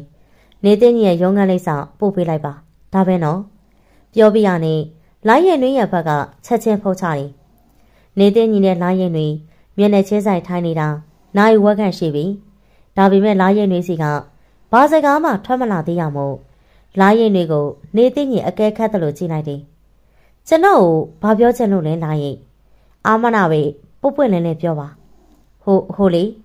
ဟုတ်ကဲ့ပြောလေလိုင်းရင်ဘာကိစ္စပဲဖြစ်ဖြစ်ကျွန်တော်ဘက်ကနားလည်ပေးမှာပါဟိုကိုနေသိညီကိုမေးချင်တာရှိပါတယ်ကိုနေသိညီအနေနဲ့ညီမလေးငိုနှင်းဆက်နဲ့ အခြေချင်းမျက်တောင်မျှနေကြပြီလားဘလို့မေးလိုက်တာလဲလားရင်ကျမမေးတာအမှတ်တိုင်းဖြစ်ပေးပါကိုနေသိညီအနေနဲ့ညီမလေးငွေနှင်းဆက်နဲ့မင်္ဂလာကိစ္စကိုသဘောတူလိုက်ပြီလားသဘောတူလိုက်ပြီဆိုရင်ညီမလေးနှင်းဆက်ပေါ်မှာမြတ်တာရှိလို့သဘောတူတာလားဒါမှမဟုတ်လုပ်ငန်းသဘောအရာမို့လူကြီးတွေကျင့်တတ်အောင်လက်ခံလိုက်တာလားဆိုတာကိုအမှတ်အတိုင်းဖြေပေးပါဗျာလာရဲ့မင်းရကို ဘလို့ဖြေရမှန်းတော့မသိဘူးမှန်တိုင်းပြောရမယ်ဆိုကျွန်တော်အိမ်တော်ပြုတ်အောင်စိတ်ဝင်စားဘူးမင်းလာကိစ္စကိုလေလက်ခံတယ်လို့တော့မပြောရသေးဘူးဒါပေမဲ့မကြခင်မှာလက်ခံရတော့မယ်ထင်တာပဲကျွန်တော်တို့မိသားစုသားမလေးမိသားစုပြဿနာလေးတွေကနည်းနည်းရှိတော့မင်းလာကိစ္စကိုမဖြစ်မနေလက်ခံရမယ်ထင်တယ်ဒါနဲ့လာရဲကဘာလို့မေးရလဲကျွန်တော်ကိစ္စကလာရဲရဲ့ဒီဇိုင်းကိစ္စတွေနဲ့များပတ်သက်နေလို့လား ဒါဆိုရင်လုပ်ငန်းသဘောအရမင်္ဂလာကိစ္စကိုလက်ခံမယ်ဆိုတဲ့သဘောပေါ့နော်အင်းအဲ့လိုပဲဖြစ်နိုင်မယ်လို့ထင်နေနေသိညီရဲ့အဖြေစကားကြောင့်လာရဲတွေနှုတ်ခမ်းနေမတိမတာကတ်လိုက်တယ်ဒီဒီလိုဆိုရင်ကိုနေသိညီရဲ့သဘောကအိမ်တော်ပြုဖို့ရည်ရွယ်ချက်မရှိပေမဲ့လုပ်ငန်းသဘောအရဆိုလက်ထပ်မယ်ဆိုတဲ့သဘောပေါ့နော်ဟိုဟိုလေလက်ထပ်ပွဲကကိုနေသိညီအတွက်ဘာခံစားချက်မှမရှိဘူးဆိုရင် နှင်းဆက်နဲ့မဟုတ်ဖေးကျမနဲ့လက်ထပ်နိုင်မလားဗျာလာရင်တွေထံကမမျော်လင့်ထားတဲ့စကားကြားလိုက်တာမို့နေသိညီအံ့အောင်လုံးလို့ကြက်သေးသေးသွားတယ်သူမပြောပြရတဲ့အထိတုတ်တုံးမြမလှုပ်ဖေးသူမကိုခက်ဆူးဆူးကြီးရဲ့နှေးသိမ့်ကြီးကိုလာရင်တွေရပြန်မောကြည့်လို့တက်တိမွေးပြီးထပ်ပြောတယ်ကျမပြောတာမရှင်းလို့လားဟင်ဒီလိုပါကျမပြောတာကရှေ့အနေနဲ့လုပ်ငန်းကြောင့်လက်ထပ်ပွဲကိုမလုပ်ချင်မီလုပ်ရမယ်မဟုတ်လား အဲ့ဒီတော့သူတို့သမီးကဘယ်သူပဲဖြစ်ဖြစ်ရှင်းွယ်အရေးမပအောင်မဟုတ်လားတကယ်လို့ကျကျမနဲ့လက်ထပ်မယ်ဆိုကျမအမိကန်တက်တက်ပဲနေမှာပါရှင်းမဝဝင်မဆွတ်ဖက်ဘူးရှင်းမပဲလုပ်လို့ဘာမှမပြောဘူးကောက်ကောက်ပြောမင်းရှင်းနေနဲ့ချစ်သူပဲထားတာမတားမြစ်ဘူးပြီးတော့ရှင်တို့ရဲ့အိမ်အောင်ဆောက်လို့ရေးအောင်မြင်သွားပြီဆိုရင်ရှင်နဲ့ကျမပြန်ပြီးကွာရှင်းမယ်လေဟုတ်ဟုတ်ပြီလေကျွန်တော်အတွက်ကလေ လုပ်ငန်းသဘောရလက်ထပ်မှဖြစ်လို့သူတို့သမီးရဘသူပဲဖြစ်ဖြစ်စိတ်ဝင်စားတာတော့အမှန်ပဲတခုတော့ရှိရနော်ကျွန်တော်ပြောရင်စိတ်မဆိုးနဲ့လောလောဆယ်ငွေစီထိုးဆောက်လို့ရမှာအလုံးလောက်တာငွေနှင်းဆက်လေလုပ်ငန်းသဘောရရွေးရမယ်ဆိုရင်တော့ငွေနှင်းဆက်ကိုရွေးမိမှာပဲဒါပေမဲ့လာရက်ကကျွန်တော်ကိုတောင်းဆိုလာတယ်ဆိုတော့ကျွန်တော်စဉ်းစားကြည့်မယ်တကယ်လို့လာရက်ပြောတာလက်ခံနေဆိုကျွန်တော်တို့အကျိုးမြတ်ကဘာရမှာလဲ ငွေစီထုံးနဲ့အလုံးလုံးနိုင်ဖို့အတွက်စာချုပ်ချုပ်နိုင်မှာရောသိချလားမသေးစားဘဲနဲ့လုပ်ရင်ကျွန်တော်တို့အကျိုးမရှိရင်မင်းလာပွဲကြီးဖြစ်သွားမှာနေကိုနေသိညီပြောတာမှန်ပါနေစိတ်ချပါကျမတို့လက်ထပ်တာကိုအဖေနဲ့အဖွားကခွင့်ပြုပြီးလုပ်ငန်းအတွက်ပူပေါင်းစာချုပ်ချုပ်မယ်ဆိုမှကျမတို့လက်ထပ်ကြမယ်လေဘာပဲဖြစ်ဖြစ်ကျမတမိကြီးလေကျမလက်ထပ်လိုက်ရုံနဲ့ကျမကို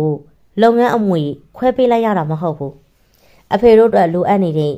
လုပ်ငန်းရှင်ကိုဘသူကပဲလက်တွဲခေါ်ခေါ်သူတို့လက်မခံနိုင်စားအကြောင်းမရှိဘူးမဟုတ်လားကျမပြောတာမဖြစ်နိုင်ဘူးလားမင်းပြောတာဖြစ်နိုင်ပါလေကျွန်တော်တို့ဘက်ကလေငွေစီထုံးကုမ္ပဏီကိုလက်လွဲယူဖို့မင်းလာပွဲကိုကျဲမတာလည်းမဟုတ်ဘူးလုပ်ငန်းပူးပေါင်းပြီးတော့အလုပ်တွေတိုးချဲ့ဖို့တတ်တတ်ပြီဒါပေမဲ့လာရဲကစောက်လို့ရေးဘက်စိတ်ဝင်စားဘူးလို့ကျွန်တော်ပြောဘူးရဲ့နော်လုပ်ငန်းနဲ့ပတ်သက်ပြီး လာရဲကိုအားကိုးလို့မရမှတော့သိကြတယ်လာရဲကစောက်လို့ရေးပိုင်းနဲ့ပတ်သက်ပြီးအာမကိုရဘူးဆိုတော့ကျွန်တော်ဘယ်နေရာကကူညီပေးမှလဲကျွန်တော်အတွက်ကတော့ကျွန်တော်အချိုးရှိမဲ့အကူအညီတစ်ခုခုရမယ်ဆိုရင်လာရိတ်ပြောတာစဉ်းစားပေးမယ်လာရိတ်ဘက်ကကျွန်တော်အတွက်ဘာတွေလုပ်ပေးနိုင်မှလဲဆိုတာပြောကြည့်ပါပြီးတော့ဘာကြောင့်ဒီလိုလုပ်ရတာလဲဆိုတာကိုလာရိတ်ဘက်ကပုပ်ပွင့်လင်းလင်းပြောပြနိုင်မယ်ဆိုကျွန်တော်ဘက်ကလက်ခံမိမလားပြီအဲ့ဒီတော့ လာရိတ်ပါလို့ဒီလိုဆုံးဖြတ်ရတာလဲဆိုတာကိုအမှန်အတိုင်းသိချင်နေပြောပြပေးပါဟုတ်ကဲ့ကျမပိုးပွင့်လင်းလင်းပြောတာကိုပဲသဘောကျတယ်ကျမဆောက်လို့ရပိုင်းကိုမသိတယ်လို့စိတ်ဝင်စားတာလည်းအမှန်ပဲအဲ့ဒီအတွက်ကြောင့်ကိုနေသိညီအတွက်ကျမဘာလို့ပေးနိုင်လဲဆိုတော့ကျမတို့လက်ထပ်ထားတဲ့အချိန်အတွင်းမှာကိုနေသိညီတို့လိုအပ်တဲ့ပရိဘောကဒီဇိုင်းစမ်းတွေကိုကျမဒီဇိုင်းဆွဲပေးမယ် ဒီဇိုင်းတွေအကျိုးမြတ်ကိုအပြည့်အဝပေးကြမလို့ဘူးကျမတို့လက်ခသဘောမျိုးပဲပြီးပြီးတော့အခုလက်ရှိ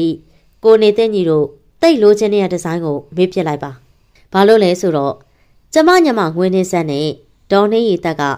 ဒီဇိုင်းကိုပြန်ပေးမှမဟုတ်တော့တာသိချာနေ။ဒါပေမဲ့ကိုနေသိညီစိတ်မပူနဲ့။အဲ့ဒီဒီဇိုင်းကကျမကိုယ်တိုင်လုပ်ထားတဲ့ဒီဇိုင်းဆိုတော့အားလုံးဒီပါလောက်ကျမမှတ်မိရင်ဒါကြောင့်မို့အဲ့ဒီဒီဇိုင်းကိုမှီညမ်းပြီးတော့ပို့ပြီးကောင်း ပို့ပြီးစမ်းတဲ့ဒီဇိုင်းကိုကျမဖတ်ပြီးပေးမယ်။ဟောဒီမှာမူချမ်းကိုကြည့်ကြည့်။ညတညာလုံးမအိပ်ဖဲနဲ့ဆွဲထားခဲ့တာဒါတွေကိုယူသွားပြီးတော့ကိုနေသိညီဘက်ကတေချာစဉ်းစားကြည့်လို့ရှာတယ်ဟုတ်ပြီလေဒီမူချမ်းကိုကျွန်တော်ယူသွားမယ်နောက်တစ်ချက်ပြောဖို့ကြံနေရနော်ကျွန်တော်နဲ့ဘာကြောင့်လက်ထက်ချင်းရတာလဲဆိုရင်အချက်ကိုပြောပါအောင်ဟိုအမှန်တိုင်းပြောရရင်ငွေနေဆက်နဲ့ဒေါ်နေရီတက်ကိုအနိုင်လို့ကျွန်လို့ သူတို့ပေါ်မှာကျမဘက်ကချစ်ခင်တွေ့တာခဲ့သလောက်ကျမပေါ်ရက်ဆက်လွန်းလို့သူတို့လက်စားချစ်ချင်နေသူတို့လိုချင်တဲ့အရာမှတ်သမျှကျမလူယူပြစ်ချင်နေအခုချိန်မှာငွေနေဆက်နဲ့ဒေါ်နေရည်သက်အလိုချင်ဆုံးအရာက ရှင်မဲကိုကိုနေတဲ့ညီရှင်နဲ့လက်ထပ်နိုင်ဖို့သူတို့တိတ်ကိုမျှော်လင့်နေကြတယ်ပြီးတော့သူတို့ရဲ့ကြံစီကငွေစင်ထုံးရပိုင်ဆိုင်မှုတွေအလုံးသူတို့တောင်းမိပဲတိတ်ယူပြီးတော့ကျမကိုမောင်းထုတ်ပြဖို့အစီအစဉ်တွေဆွဲထားတယ် သူတို့ကျမပေါ်ဘလောက်ထိရုံးမှလဲဆိုတာကိုပြောပြမယ်ကျမရဲ့ချစ်သူကနှင်းဆက်တို့ရုံးမအလုံးလုံးနေတဲ့ကိုဝေဖြူကျမတို့တွေ့နေကြတဲ့9နှစ်လောက်လည်းရှိပြီလွန်ခဲ့တဲ့လပိုင်းလောက်ကမှကိုဝေဖြူကကျမကိုဆွဆွဲပြောဆိုပြီးတော့လမ်းခွဲသွားခဲ့တယ်ကျမကဘာမှမလုံးလိုက်ရပဲနဲ့ဆွဆွဲခံရတော့ရှင်းပြဖို့အကြိမ်ကြိမ်ပဲစူးစမ်းတယ်နောက်တော့ကျမကိုယ်တိုင်သိတာဟာကိုဝေဖြိုးဟာကျမညမငွေနှင်းဆက်နဲ့တိတ်တိတ်ပုံတွဲတာလေသူတို့ဘာလို့တွဲတာလဲ ကိုနေသိညင်သိလားညမလေးငွေနှင်းဆက်ကကိုဝေဖြိုးကိုတကယ်ချစ်လို့အမားဖြစ်သူမျက်နှာကိုမထောက်ဖဲတွဲတာလို့ထင်လားမဟုတ်ဘူးနော်ကျမအင်ဂျင်နီယာနဲ့အိမ်အောင်ကြမှာကိုကြောက်လို့ကျမတို့အခြေရဲကိုဖျက်ဆီးပြတ်တာလေလေဒါပဲမဟုတ်သေးဘူးနော်ကျမကိုလူကောင်းသူကောင်းနဲ့အိမ်အောင်မကြစေချင်လို့အရက်သမားဖဲသမားသားအပျော်ပါမှတ်ပြီးပေါ့ပေါ့နေပေါ့ပေါ့စာကောင်းလေးနဲ့ညားအောင်ကိုကြံစီထားကြတယ် ကျမရဲ့ကားဆရာကိုသိရမှလားကျော်စင်ဦးဆိုတဲ့ကောင်းလေးလေသူ့ကိုကျမရှိနေတဲ့ဆိုင်ကိုအကြက်နဲ့လှုပ်လိုက်တယ်ဒီရဲ့အကြောင်းတွေကိုတခြားလူတယောက်ကလာပြောရင်ကျမရှုံးမှာမဟုတ်ဘူးဒါပေမဲ့ကျမကိုယ်တိုင်နားနဲ့ဆက်ဆက်ကြားရတယ်လာရင်တွေပြောရင်ကရင်နဲ့နာကျင်လှတာမို့မျက်ရည်ပေါက်ပေါက်ကျလာတယ်မျက်နှာကိုတစ်ဖက်ကိုလှဲလို့အန်ကိုကျိတ်လို့ရှိုင်းကိုတယ်လာရင်နှွေးရဖြစ်ကိုကြည့်ရင်ဘာမဆိုင်ညာမဆိုင်နေတဲ့ညရဲ့ရှင်ထဲမှာ နာကျင်လာသလိုခံစားတယ်တစ်ဖက်ကိုလှည့်ပြီးငိုနေတဲ့လာရင်နှွေးကိုကြည့်ပြီးတစ်ရှူးဘူးကိုလာရင်နှွေးထံကိုကမ်းပေးတယ်နေတဲ့ညီကမ်းပေးရတစ်ရှူးဘူးကိုလှမ်းယူလို့ပါးပြမော်ကမျက်ရည်တွေကိုလာရင်တွေခက်ချက်ချက်လေးပို့လိုက်တယ်ကျမပြောတာကိုသဘောတူမတူအမြဲဆုံးအကြောင်းပြပြပါကိုနေတဲ့ညီကျမကိုပြန်ဝင်ပြူအောင်လာရင်ရှင်ကျွန်တော်ပြန်ဖို့ပေးပါမယ်ကျွန်တော်လည်းပြန်တော့မှာဆိုတော့လမ်းကြုံနေ ရှင်းဟုတ်ရရတယ်ရပါတယ်ကျမကောင်းကားပြီးတော့ပြန်มาပါခဏနေအောင်လာရင်ဟုတ်ရုတ်တရက်နောက်ကနေသူမလက်ကိုလှမ်းဆွဲပြီးတော့တားမြစ်တဲ့နေတဲ့ညီရဲ့အပြုတ်မှုကြောင့်လာရင်တွေမျက်လုံးလေးရပြည့်သွားတယ်ကျွန်တော်နဲ့ညှိနှိုင်းချက်နဲ့ဆိုရင်ကျွန်တော်ပြောတဲ့စကားကိုနားထောင်မှဖြစ်မယ်ကျွန်တော်ပြောသမျှစက်ကျင်ရဲ့သူမျိုးနဲ့တော့အလုတ်တွဲမလုပ်ချက်မို့ဒီရဲ့ချက်ကိုလက်ခံနိုင်မှကျွန်တော်တို့ရှေ့ဆက်လို့ဖြစ်မယ်လားယိတ် ကားလေးလမ်းမပေါ်မှာတရေရိမ့်နဲ့ပြင်းနေတယ်ကားပေါ်မှာနှိမ့်သိမ့်နေတဲ့လိုင်းရင်တွေတို့တိတ်ဆိတ်စွာနဲ့လိုက်ပါတယ်လိုင်းရင်ပြောခဲ့တာတွေကျွန်တော်အလေးနဲ့စဉ်းစားပေးပါမယ်လိုင်းရင်ဘက်ကအပြောင်းလဲရှိရဆိုကျွန်တော်ချက်ချင်းအကြောင်းပြပြီးကျွန်တော်ဘက်ကလည်းမိဘတွေနဲ့စကားပြောရအောင်မေဟုတ်ကဲ့အမှန်တိုင်းပြောမယ်ဆိုရင်ကျွန်တော်ကလည်းအိမ်ယာဆောက်လုပ်ခွင့်ကိုရှာဖို့အသေးအံစူးစမ်းမှာရှင်မြန်မှုတွေကအတော်လေးတော့မလွယ်ဘူးဟို ကျမတခုလောက်တော့ပြောချင်နေပြောနေကျွန်တော်တို့ကြားမှာပုပ်ပွင့်လင်းလင်းပြောထားကြတာအကောင်ဆုံးပဲဟုတ်ကဲ့ဒီလိုပါတကယ်လို့ပြကျမပြောတဲ့ကိစ္စကအောင်မြင်သွားလို့ကျမတို့လက်တွဲပြစ်ပြီးထားပါတော့အဲ့ဒီချိန်မှာအမေနှင်းကြီးကကျမရဲ့ဒီဇိုင်းတွေကိုသူ့စက်ရုံမှာမလုပ်ပေးရင်ရောအဖေနဲ့ဖွားကပရိဘောဂဘက်ကိုကင်တာမဟုတ်ဘူးပရိဘောဂဘက်ကအမေနှင်းကြီးရဲ့အမိတ်အောက်မှာရှိတာ အဲ့ဒီလို့ဆိုဘလို့လောက်မှလဲမင်းကအတော်လေးတွေးဖို့တတ်တာပဲတခြားလုံးယုံနေအများကြီးရှိပါတယ်ကွာအလုံးယုံနေများတာတော့မှန်ပါတယ်ဒါပေမဲ့လက်ရကောင်းမှဖြစ်မှာနေအဲ့ဒီအတွက်တော့မပူနဲ့စိတ်ချရတယ်အလုံးယုံရှိရင်လက်ရလည်းကောင်းတယ်လို့ဒီဇိုင်းဆန်းနေလေကိုယ်တိုင်ထုတ်လို့ရောင်းချနေတဲ့စက်ယုံကြီးနေတဲ့ညီစီကစကားကြားလိုက်တော့လာရင်တွေစိတ်ထဲစိုးရင်ပူပန်နေတဲ့စိတ်လေးအနှင်းငယ်တော့ပြည့်ရောတယ်ကျေးဇူးတင်ပါတယ်ကိုနေတဲ့ညီ ရပါတယ်ဗျာဒီညတော့တေးချအိတ်လိုက်အောင်လာရင်ကိုကြည့်ရတာလေးတိုက်ရင်တော့လဲတော့မဲ့ပုံစံမျိုးအဖြစ်နေပြီရှင်ဟုတ်ကဲ့နေတဲ့ညီရဲ့ကားလေးမြင်ကွင်းနဲ့အောင်ပျောက်ကွယ်သွားတဲ့ထိလာရင်တွေငေးကြည့်နေပြီးမှအိမ်မက်စီကိုလှည့်ပြန်နေ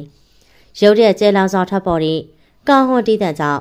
လာရင်တွေကလမ်းဖြတ်ပြီးအမြန်လျှောက်ပြီးတယ်တမင်ချင်းအနီးကမောင်းသွားတဲ့ကားလာရင်တွေကစိတ်တို့ပြီးတော့လှမ်းကြည့်ရင်ဟင်နှင်းဆက် လာရင်တွေးအောင်လှမ်းကြည့်တော့မြမဖြစ်သူရဲ့ကတွေးလိုက်ရတာမို့စိတ်ရှုပ်သွားရတယ်။လာရင်တွေစကားခဏလောက်ပြောရအောင်ကွယ်။ဘာပြောမလို့လဲအမေ။လာရင်ပင်ပန်းနေလို့နားကျင်လို့။ဘာပင်ပန်းတာလဲ။သူများလူကိုမြှူဆွဲဖျားရောက်နေရလို့ပင်ပန်းနေရလား။ဘသူကသူများလူလဲ။ကိုနေသိညီလား။သူပြောတာတော့သူနဲ့နှိမ့်ဆက်ချာမှာမင်းလာပွဲအတွက်သဘောတူညီမှုမရှိသေးဘူးတဲ့နော်။ ကြည်ရတာနှိမ့်ဆက်ဘက်ကအပိုင်တွက်ထားတာများလားအဲ့ဒီလိုတွက်ထားရင်တော့မှားမယ်နော်နှင်းဆက်ကိုနေသိညီကကိုဝေဖြိုးလို့မျိုးနေအပိုင်တွက်လို့ရတဲ့လူမဟုတ်ဘူးနော်တတိလေးနဲ့ထားအောင်ဘာဘာပြောလိုက်တယ်လာရိတ်တမိကြီးစကားကိုဘလို့ပြောလိုက်တာလဲညီမလေးကိုဘာမကျင်းတဲ့ဆရာရှိလို့လဲကွယ်ဒီဇိုင်းကိစ္စကြောင့်လားဒါဆိုရင်အဲ့ဒီကိစ္စကတမိညီမနဲ့လည်းမဆိုင်ဘူးကွယ်သမီးအဖေနဲ့အဖွားက လုပ်ငန်းစချုပ်ချုပ်နိုင်ဖို့အတွက်အတင်းတိုက်တွန်းနေလို့လှုံနေရတာပါပြီးတော့မောင်နေတဲ့ညီနေသမီးနေဆက်ကအခုချိန်မှဘာမှမဆိုင်ကြသေးပေမယ့်မကြခင်လက်ထက်ရမှချိန်တင်နေရပဲလေလက်ထက်ရမှတေချာလို့လာပြီလာရင်နဲ့ကိုဝေဖြိုလိန်နှစ်ယောက်လုံးကလည်းချစ်ခဲ့ကြသလိုနှစ်ဖက်မိဘတွေတည်နေကြပြီးမှလက်ခွက်ခဲရတာပဲလေတော်ပါတော့တခါလာလဲကိုဝေဖြိုပဲအခုသူ့ကြောင့်ပြောနေရမဟုတ်ဘူး မမအဆက်တိတ်ခမရှိခဲ့အကြောင်းကိုပြောနေတာမြမနဲ့လက်ထပ်ပေးဖို့ရီမန်းထားတဲ့သူမန်းတေးတေးနဲ့ဘာလို့အဆက်မရှိလိုက်ကပ်နေရလဲမြင်သမျှယောက်ျားလေးတွေအကုန်လုံးအလွတ်မပေးခြင်းဖြစ်တာလားကိုဝေဖြိုးနဲ့လမ်းခွဲတာဘလောက်ကြသေးလို့လဲနောက်ထပ်တယောက်ချက်ချင်းရှောက်တွဲပြတ်တာပဲနော်ညီအမလို့ပြောရမှာတော့တကယ်ရှက်တယ်ရှက်တာကတော့ငါလည်းရှက်တယ်နှင်းဆက်ရင်နင်းနဲ့ဝေဖြိုးတွဲမှန်သိလိုက်ရချိန်မှာငါမှနင်းတို့အစာရှက်လွန်းလို့ ဘသူ့မှတော့မပြောပြနိုင်ခဲ့ဘူးလေးနှစ်ကျော်ငါးနှစ်နီးပါးတွဲလာခဲ့တဲ့ငါကဝေဖြိုးရဲ့ခါကိုဖတ်ပြီးဝေဖြိုးရဲ့တိုက်ခန်းကိုနှစ်ယောက်တည်းမသွားဘူးဘူးဒါပေမဲ့နေရတော့ဝေဖြိုးရဲ့ခါကိုဖတ်ပြီးသူ့တိုက်ခန်းနေလိုက်သွားခဲ့တာနော်အမားရဲ့ချစ်သူနဲ့တိတ်တိတ်ပုံနှစ်ပါးသွားနေတာကိုရောနင်မရှက်ဘူးလားငွေနေဆက်ဘာလာရင်တွေရဲ့စကားမစိုးခင်မှာပဲငွေနေဆက်ကလာရင်တွေရဲ့ပါပြင်ရိုက်ချတယ်ရိုက်လိုက်တဲ့အရှိန်ပြင်းတာမို့ ငကိုအားပင်အာမရှိသလိုဖြစ်တဲ့လာရင်တွေဆိုဖာကုံမော့လက်ထောက်ရက်နေကျသွားတယ်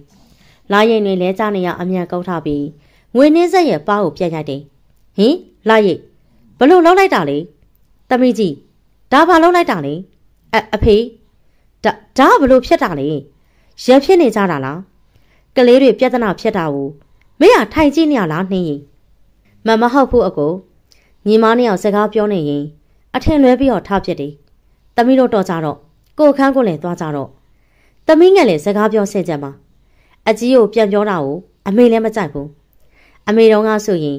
အကိုကြီးဘက်ကမှားနေလည်းပြန်မပြောခဲ့ဘူး။မိဘတွေရှိနေရလေ။မိဘတွေဖြည့်ရှင်းပေးမှာပေါ့။ကဲကဲသွားကြတော့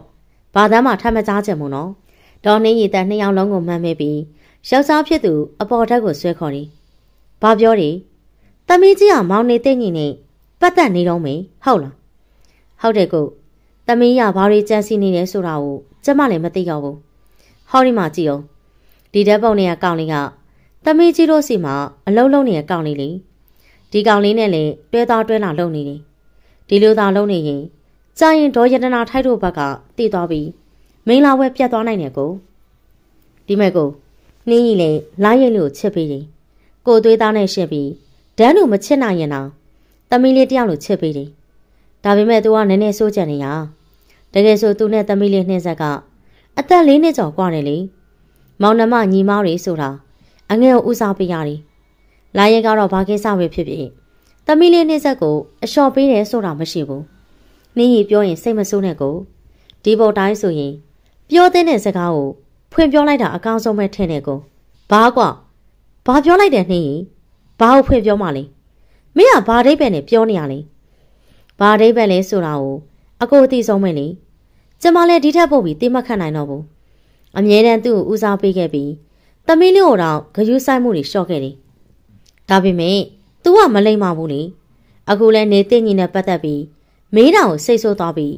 သမီးငယ်ကိုပါရိုက်ပြစ်လိုက်တာအကိုလည်းမြင်နေမှတ်လားကျမဘက်ကဒီထက်ပို့ပြီးသိမခံဘူးသူ့အသက်လည်း30ကျော်နေပြီကလေးမဟုတ်တော့ဘူးအကိုလည်းတော်တဲ့နေပြီထင်နေ မင်းရဲ့တန်ကိုတိုးတိုးပြောစမ်းနှင်းကြီးမင်းကငါတတိပေးခဲ့ပြီးသားနော်မင်းကြိုက်တာလို့ငါဘာမှဝင်မပြောဘူးဒါပေမဲ့တမီးကြီးကိစ္စနဲ့ပတ်သက်ပြီးမင်းမဘာမှလုပ်ပိုင်ခွင့်လည်းမရှိဘူးအဲ့ဒီလိုပြောထားတဲ့ကြားကနေမင်းနှုတ်ကစီးမဆမှုဆိုရင်တော့ကြွားချင်းစကြောအစင်သင်းပြန်ထားလားအဲ့ဒီလိုမပြောပါနဲ့ကိုနှင်းကြီးလည်းရှင်နေနာလုံးလို့ပြောမိရပါနှင်းရဲ့စေတနာအတိမတ်မပြုလို့ရင်နာလုံးလို့ပြောမိရ အကိုမကြိုက်ဘူးဆိုမပြောတော့ဘူးဒါပေမဲ့အကိုလည်းဒီတိုင်းကြည့်မနေပါနဲ့သမီးကြီးကိုနည်းနည်းပါးပါးပြောအောင်လေအမြဲတမ်းနှင်းကြီးပဲပြောနေတော့သမီးကြီးကအထင်လွဲနေရလို့ထင်နေပြီးတော့သမီးကြီးကဆိုင်မအလုံးလုံးနေတဲ့ကောင်းလေးနဲ့ရောမောင်နေသိညီနဲ့ပါရှုပ်တဲ့ကိစ္စကိုအကိုနည်းနည်းလောက်တော့ပြောပြရောอืมတမီမိန်းကလေးဆိုတာမအေးရပြောရတာဒီကိစ္စလောက်ကတော့မင်းတာဝန်ရှုလိုက်ဆိုင်ကားကောင်လေးကိုအလောက်ကထုတ်ပြလိုက် ဒီရက်သေးတမီကြီးကိုအလုံးမသွားခိုင်းနဲ့အောင်ငါလည်းပြောလိုက်မယ်အလုသမားတွေကိုစောင့်ကြည့်ခိုင်းထားလိုက်မင်းကိုယ်တိုင်တမီးကြီးကိုတာဝန်ယူပေးမယ်လို့ဂတိပေးခဲ့တာမမေ့နဲ့သားသမီးမလိမ္မာရင်စွတ်ဆုံးမရမှာပေါ့ဒါပေမဲ့မလိမ္မာတာနဲ့စွတ်ပြစ်ဖို့လောက်တာမိဘတွေမှာထုံးစံမရှိဘူးမင်းမြဲမြဲမှတ်ထားဖို့ကတမီးငယ်ရောတမီးကြီးပါငါရဲ့တမီးတွေဆိုတာမမေ့နဲ့ဦးမုံမြင့်ထုံစကားခက်ပြက်ပြက်ပြောပြီးအခန်းပြင်ကိုထွက်သွားတယ် အခန်းထဲမှာကြံနေဒေါ်နေရီတက်တယောက်လက်သေးကိုတဲတဲဆုပ်တောက်တစ်ချက်ကိုခက်ပြင်းပြင်းမဲ့ခောက်လိုက်တယ်ဒီနေ့ကစပြီတမီးကြီးဘယ်ဟိုမှလည်းမသွားရဘူးရှင်ဘာဖြစ်လို့လဲအဖေတမီးကဘာပြက်လို့မိလို့လဲဘာလို့ပြန်မင်းနေရလဲတမီးကြီးအဖေကပြောရင်တမီးနားထောင်လေတမီးကိုကိုကိုလည်းကြည့်အောင်တနေ့တခြားလူကအယိုးပဲရှိတော်တယ်ဒီရက်ထဲအလုပ်မသွားနဲ့အိမ်မှာပဲအနားရှူလိုက်အောင် ဟုတ်တယ်မမိုးကြီးအမေလည်းမြေကြီးလားရဲကိုကြည့်ပြီးသူ့ကျမကြီးတွေစိတ်ပို့နေရအလုံးမသွားပဲအိမ်မှာအနားယူမယ်ဆိုရင်တော့မြေကြီးကြိုက်တာတွေကိုဖွားသက်ချက်ကျွေးမယ်နော်လာရင်တွေမကြည်မနှက်ဖြစ်တာကိုရှင်းမိရင်ဒေါ်နှင်းရီတက်နဲ့ငွေနေဆက်တားမိနှစ်ယောက်တယောက်မျက်နှာတယောက်လှမ်းကြည့်ပြီးနှုတ်ခမ်းတွေတွန့်ကွေးလို့မတိမတာပြောလိုက်တယ်ဒါကဘယ်ကိုသွားမှလဲလာရင်တွေအဖွားအင်းကိုခဏသွားမလို့ဖွာသက်မသွားရဘူးညီရဖေက ဘဲမှမသွားခိုင်းတယ်လို့မှားထားတယ်လေဘဲမှသွားဖို့မစင်စားနဲ့လာရဲကအဖွားအင်းကိုသွားမလို့ပါဖွာသက်ဒီလောက်ထိတော့လာရဲကိုပိတ်ပင်ဖို့မတင်ဘူးလို့ထင်နေအခုဟာကလာရဲကိုချုံနှောင်ထားသလိုဖြစ်ပြီနော်ဒီမဲ့မိလာရင်ကျုပ်ကလည်းတားခြင်းလုံးလို့တားနေရလည်းမဟုတ်ဘူးညီဖေကကိုကြီးတောင်းလုံးလို့သာညီကိုမပြောချင်ပဲပြောနေတာမယုံရင်ညီဖေကိုဖုံးဆက်လေဖွာသက်ပြောပြရနဲ့အိမ်ထဲကိုပြန်ဝင်နေ ဖားခင်ဖြစ်သူရှိမှဆိုဖွာသက်ရဲ့လေးသက်ချွတ်အေးမှွှင်းနေပြီးဖားခင်ရင်မရှိချိန်ဆိုလေးသက်မှာကြောင်းလှတဲ့ဖွာသက်အသက်ကြီးသလောက်အမှုရအပြောင်းလဲမြန်တဲ့ဖွာသက်လာရိတ်နှွေးကိုမြင်တာနဲ့သူ့မှာပြောစရာဆူစရာတွေတာမွန်ရမုံဖြစ်ရတယ်တလောကလုံးသူ့မြည်အရင်ငွေနှင်းဆက်တာလင်အချုံအလှအလိမ္မာဖြစ်ပြီးလာရိတ်နှွေးရလူဆိုးမကြီးတမီးမကြီးဖြစ်တော်တယ်လာရိတ်နှွေးဒေါသထွက်ထွက်နဲ့ခြံနဂါးစီကိုရှောက်ခဲ့တယ်ခြံနဂါးစီကိုရှောက်တော့ တောင်းနှလုံးတွဲခတ်ထားတာတွေ့ရမို့စိတ်ဓာတ်ကျသွားတယ်ပုတုရေပုတုခြံနဂါးတော့ရောဟိုဖွားသက်သိမ်းထားတယ်မမလာရင်ဟာတကယ်ပဲဘာလို့ကြက်စီနေပြန်ပြီလဲမသိဘူးဟယ်လိုအဖေလားအဖွားစီကိုလာရိတ်သွားချက်လို့အဖေဖွားသက်ကခြံနဂါးတော့ခတ်ထားလို့ပါတမီးကိုပြောပြအောင်ဘဲမှသွားဖို့မစင်းစားနဲ့တမီးကြီးတမီးဖွားလေးအိမ်မှမရှိဘူးဖေတို့ရုံးခန်းမှာရှောင်းနေရင်အခုဧည့်သည်တွေနဲ့ချိန်ထားလို့ နောက်မှပြောတော့မယ်ဖွားသက်စကားကိုနားထောင်လိုက်ဘဲမှသွားဖို့မစင်စားနဲ့အိမ်မှာပဲအနာယူမဟုတ်ဘူးအဖေတမီးမအရေးတကြီးချိန်ထားတာရှိရင်အဖေအဖေခြံရှိမရောက်မလဲနဲ့ရက်နေရလူငယ်ကြည့်ပြီးအုံမိုးမြတ်တော့ချက်ချက်မှတ်မိရင်ရုပ်ဖြောင်းဖြောင်းနဲ့ထိုးလူငယ်သမီးကြီးလားရင်နှွေးနဲ့ပတ်သက်တဲ့အယောင်းဆိုင်ကဝန်ထမ်းဖြစ်တာမှတ်မိရင်ဟေးမောင်ရင်ဒီမှာဘာလုပ်နေရလဲဗျာဟုတ်ဟုတ် ဟုတ်အမားလာရင်နေကောင်းရင်လားလို့လာကြည့်ရပါဘာကွာမင်းကတဲ့တက်တိကောင်းနေပါလားငါသမီးနေကောင်းကောင်းမကောင်းကောင်းမင်းနဲ့ဘာဆိုင်လို့လဲမင်းနဲ့လည်းမဆိုင်ဘူးမင်းရောအယောင်းဆိုင်ကအလုပ်ထုံးလိုက်ပြီမှတ်လားနောက်တစ်ခါငါသမီးနဲ့လာမပတ်သက်နဲ့မင်းသွားတော့မင်းကိုနောက်ထပ်ထပ်မပြောဘူးနော်ဦးမိုးမြတ်တော်ဖုံးကိုကရက်ကဒေါသတန်နဲ့ပြောတာနဲ့ကျော်စင်ဦးတောက်တစ်ချက်ခက်ပြင်းပြင်းခောက်ပြီးခြံရှိရနေထွက်သွားတယ်။ဟယ်လို ခိုင်းတဲ့တိုင်လှုပ်ပေးပြီးပါပြီဗျ။ကောင်းပြီလေမင်းအကောင့်နဲ့ငွေလွှဲလိုက်ပြီ။အယောင်းဆိုင်မှာအလုံးမစင်းနဲ့တော့မင်းအတွက်အလုံးနေအောင်စီစဉ်ပေးထားတယ်။ဟုတ်ကဲ့ကျေးဇူးတင်တဲ့တထေးမ။ကျော်စင်ဦးဘက်ကကျေးဇူးတင်စကားပြောချိန်မှာတစ်ဖက်ကဖုံးချတယ်။ဖုံးချပြီးတော့စက္ကန့်ပိုင်းအတွင်းအကောင့်ထဲကိုငွေလွှဲရောက်ရှိရင်ငွေပမာဏစစ်ကြည့်ပြီးတော့ကျော်စင်ဦးကျင်းနဲ့စွာနဲ့ပြောလိုက်တယ်။အဲကန်နဲ့မိသားစုအားလုံးရှိတော်လေအတန်နေရတိတ်ဆိတ်တယ်။ တိတ်ဆိတ်နေတဲ့ပတ်ဝန်းကျင်ကအုံမိုးမြင့်ထုံးရဲ့အတန်ကစတင်ပေါ်ထွက်တယ်။ဒီဇိုင်းကိစ္စနဲ့ပတ်သက်ပြီးသမီးကြီးကိုအဖေပြောထားတာဘလောက်ကြာနေပြီလဲ။ဒီနေ့ထိုက်ကုမ္ပဏီနဲ့စကားပြောကြတယ်။မကြရင်လုပ်ငန်းစချုပ်ချုပ်ရတော့မယ်။သမီးကြီးကဒီဖိုင်မူချမ်းတွေကိုသမီးငယ်ကိုမပေးရသေးဘူးဆို။အခုတစ်ခါနဲ့ပေးလိုက်တော့သမီးကြီး။ပြီးတော့သမီးငယ်နားလဲအောင်မှတစ်ခါတည်းရှင်းပြလိုက်ပါ။ဖားခင်ဖြစ်သူစကားကြောင့်လာရင်တွေဖားခင်ကိုမော့ကြည့်ခင် ပြီးတော့တက်တိမွေးလို့ရဲရဲဝုံဝုံပြောချတယ်။တမိမပေးနိုင်ဘူးအဖေ။ဘာဘလို့ပြောလိုက်တယ်တမိကြီး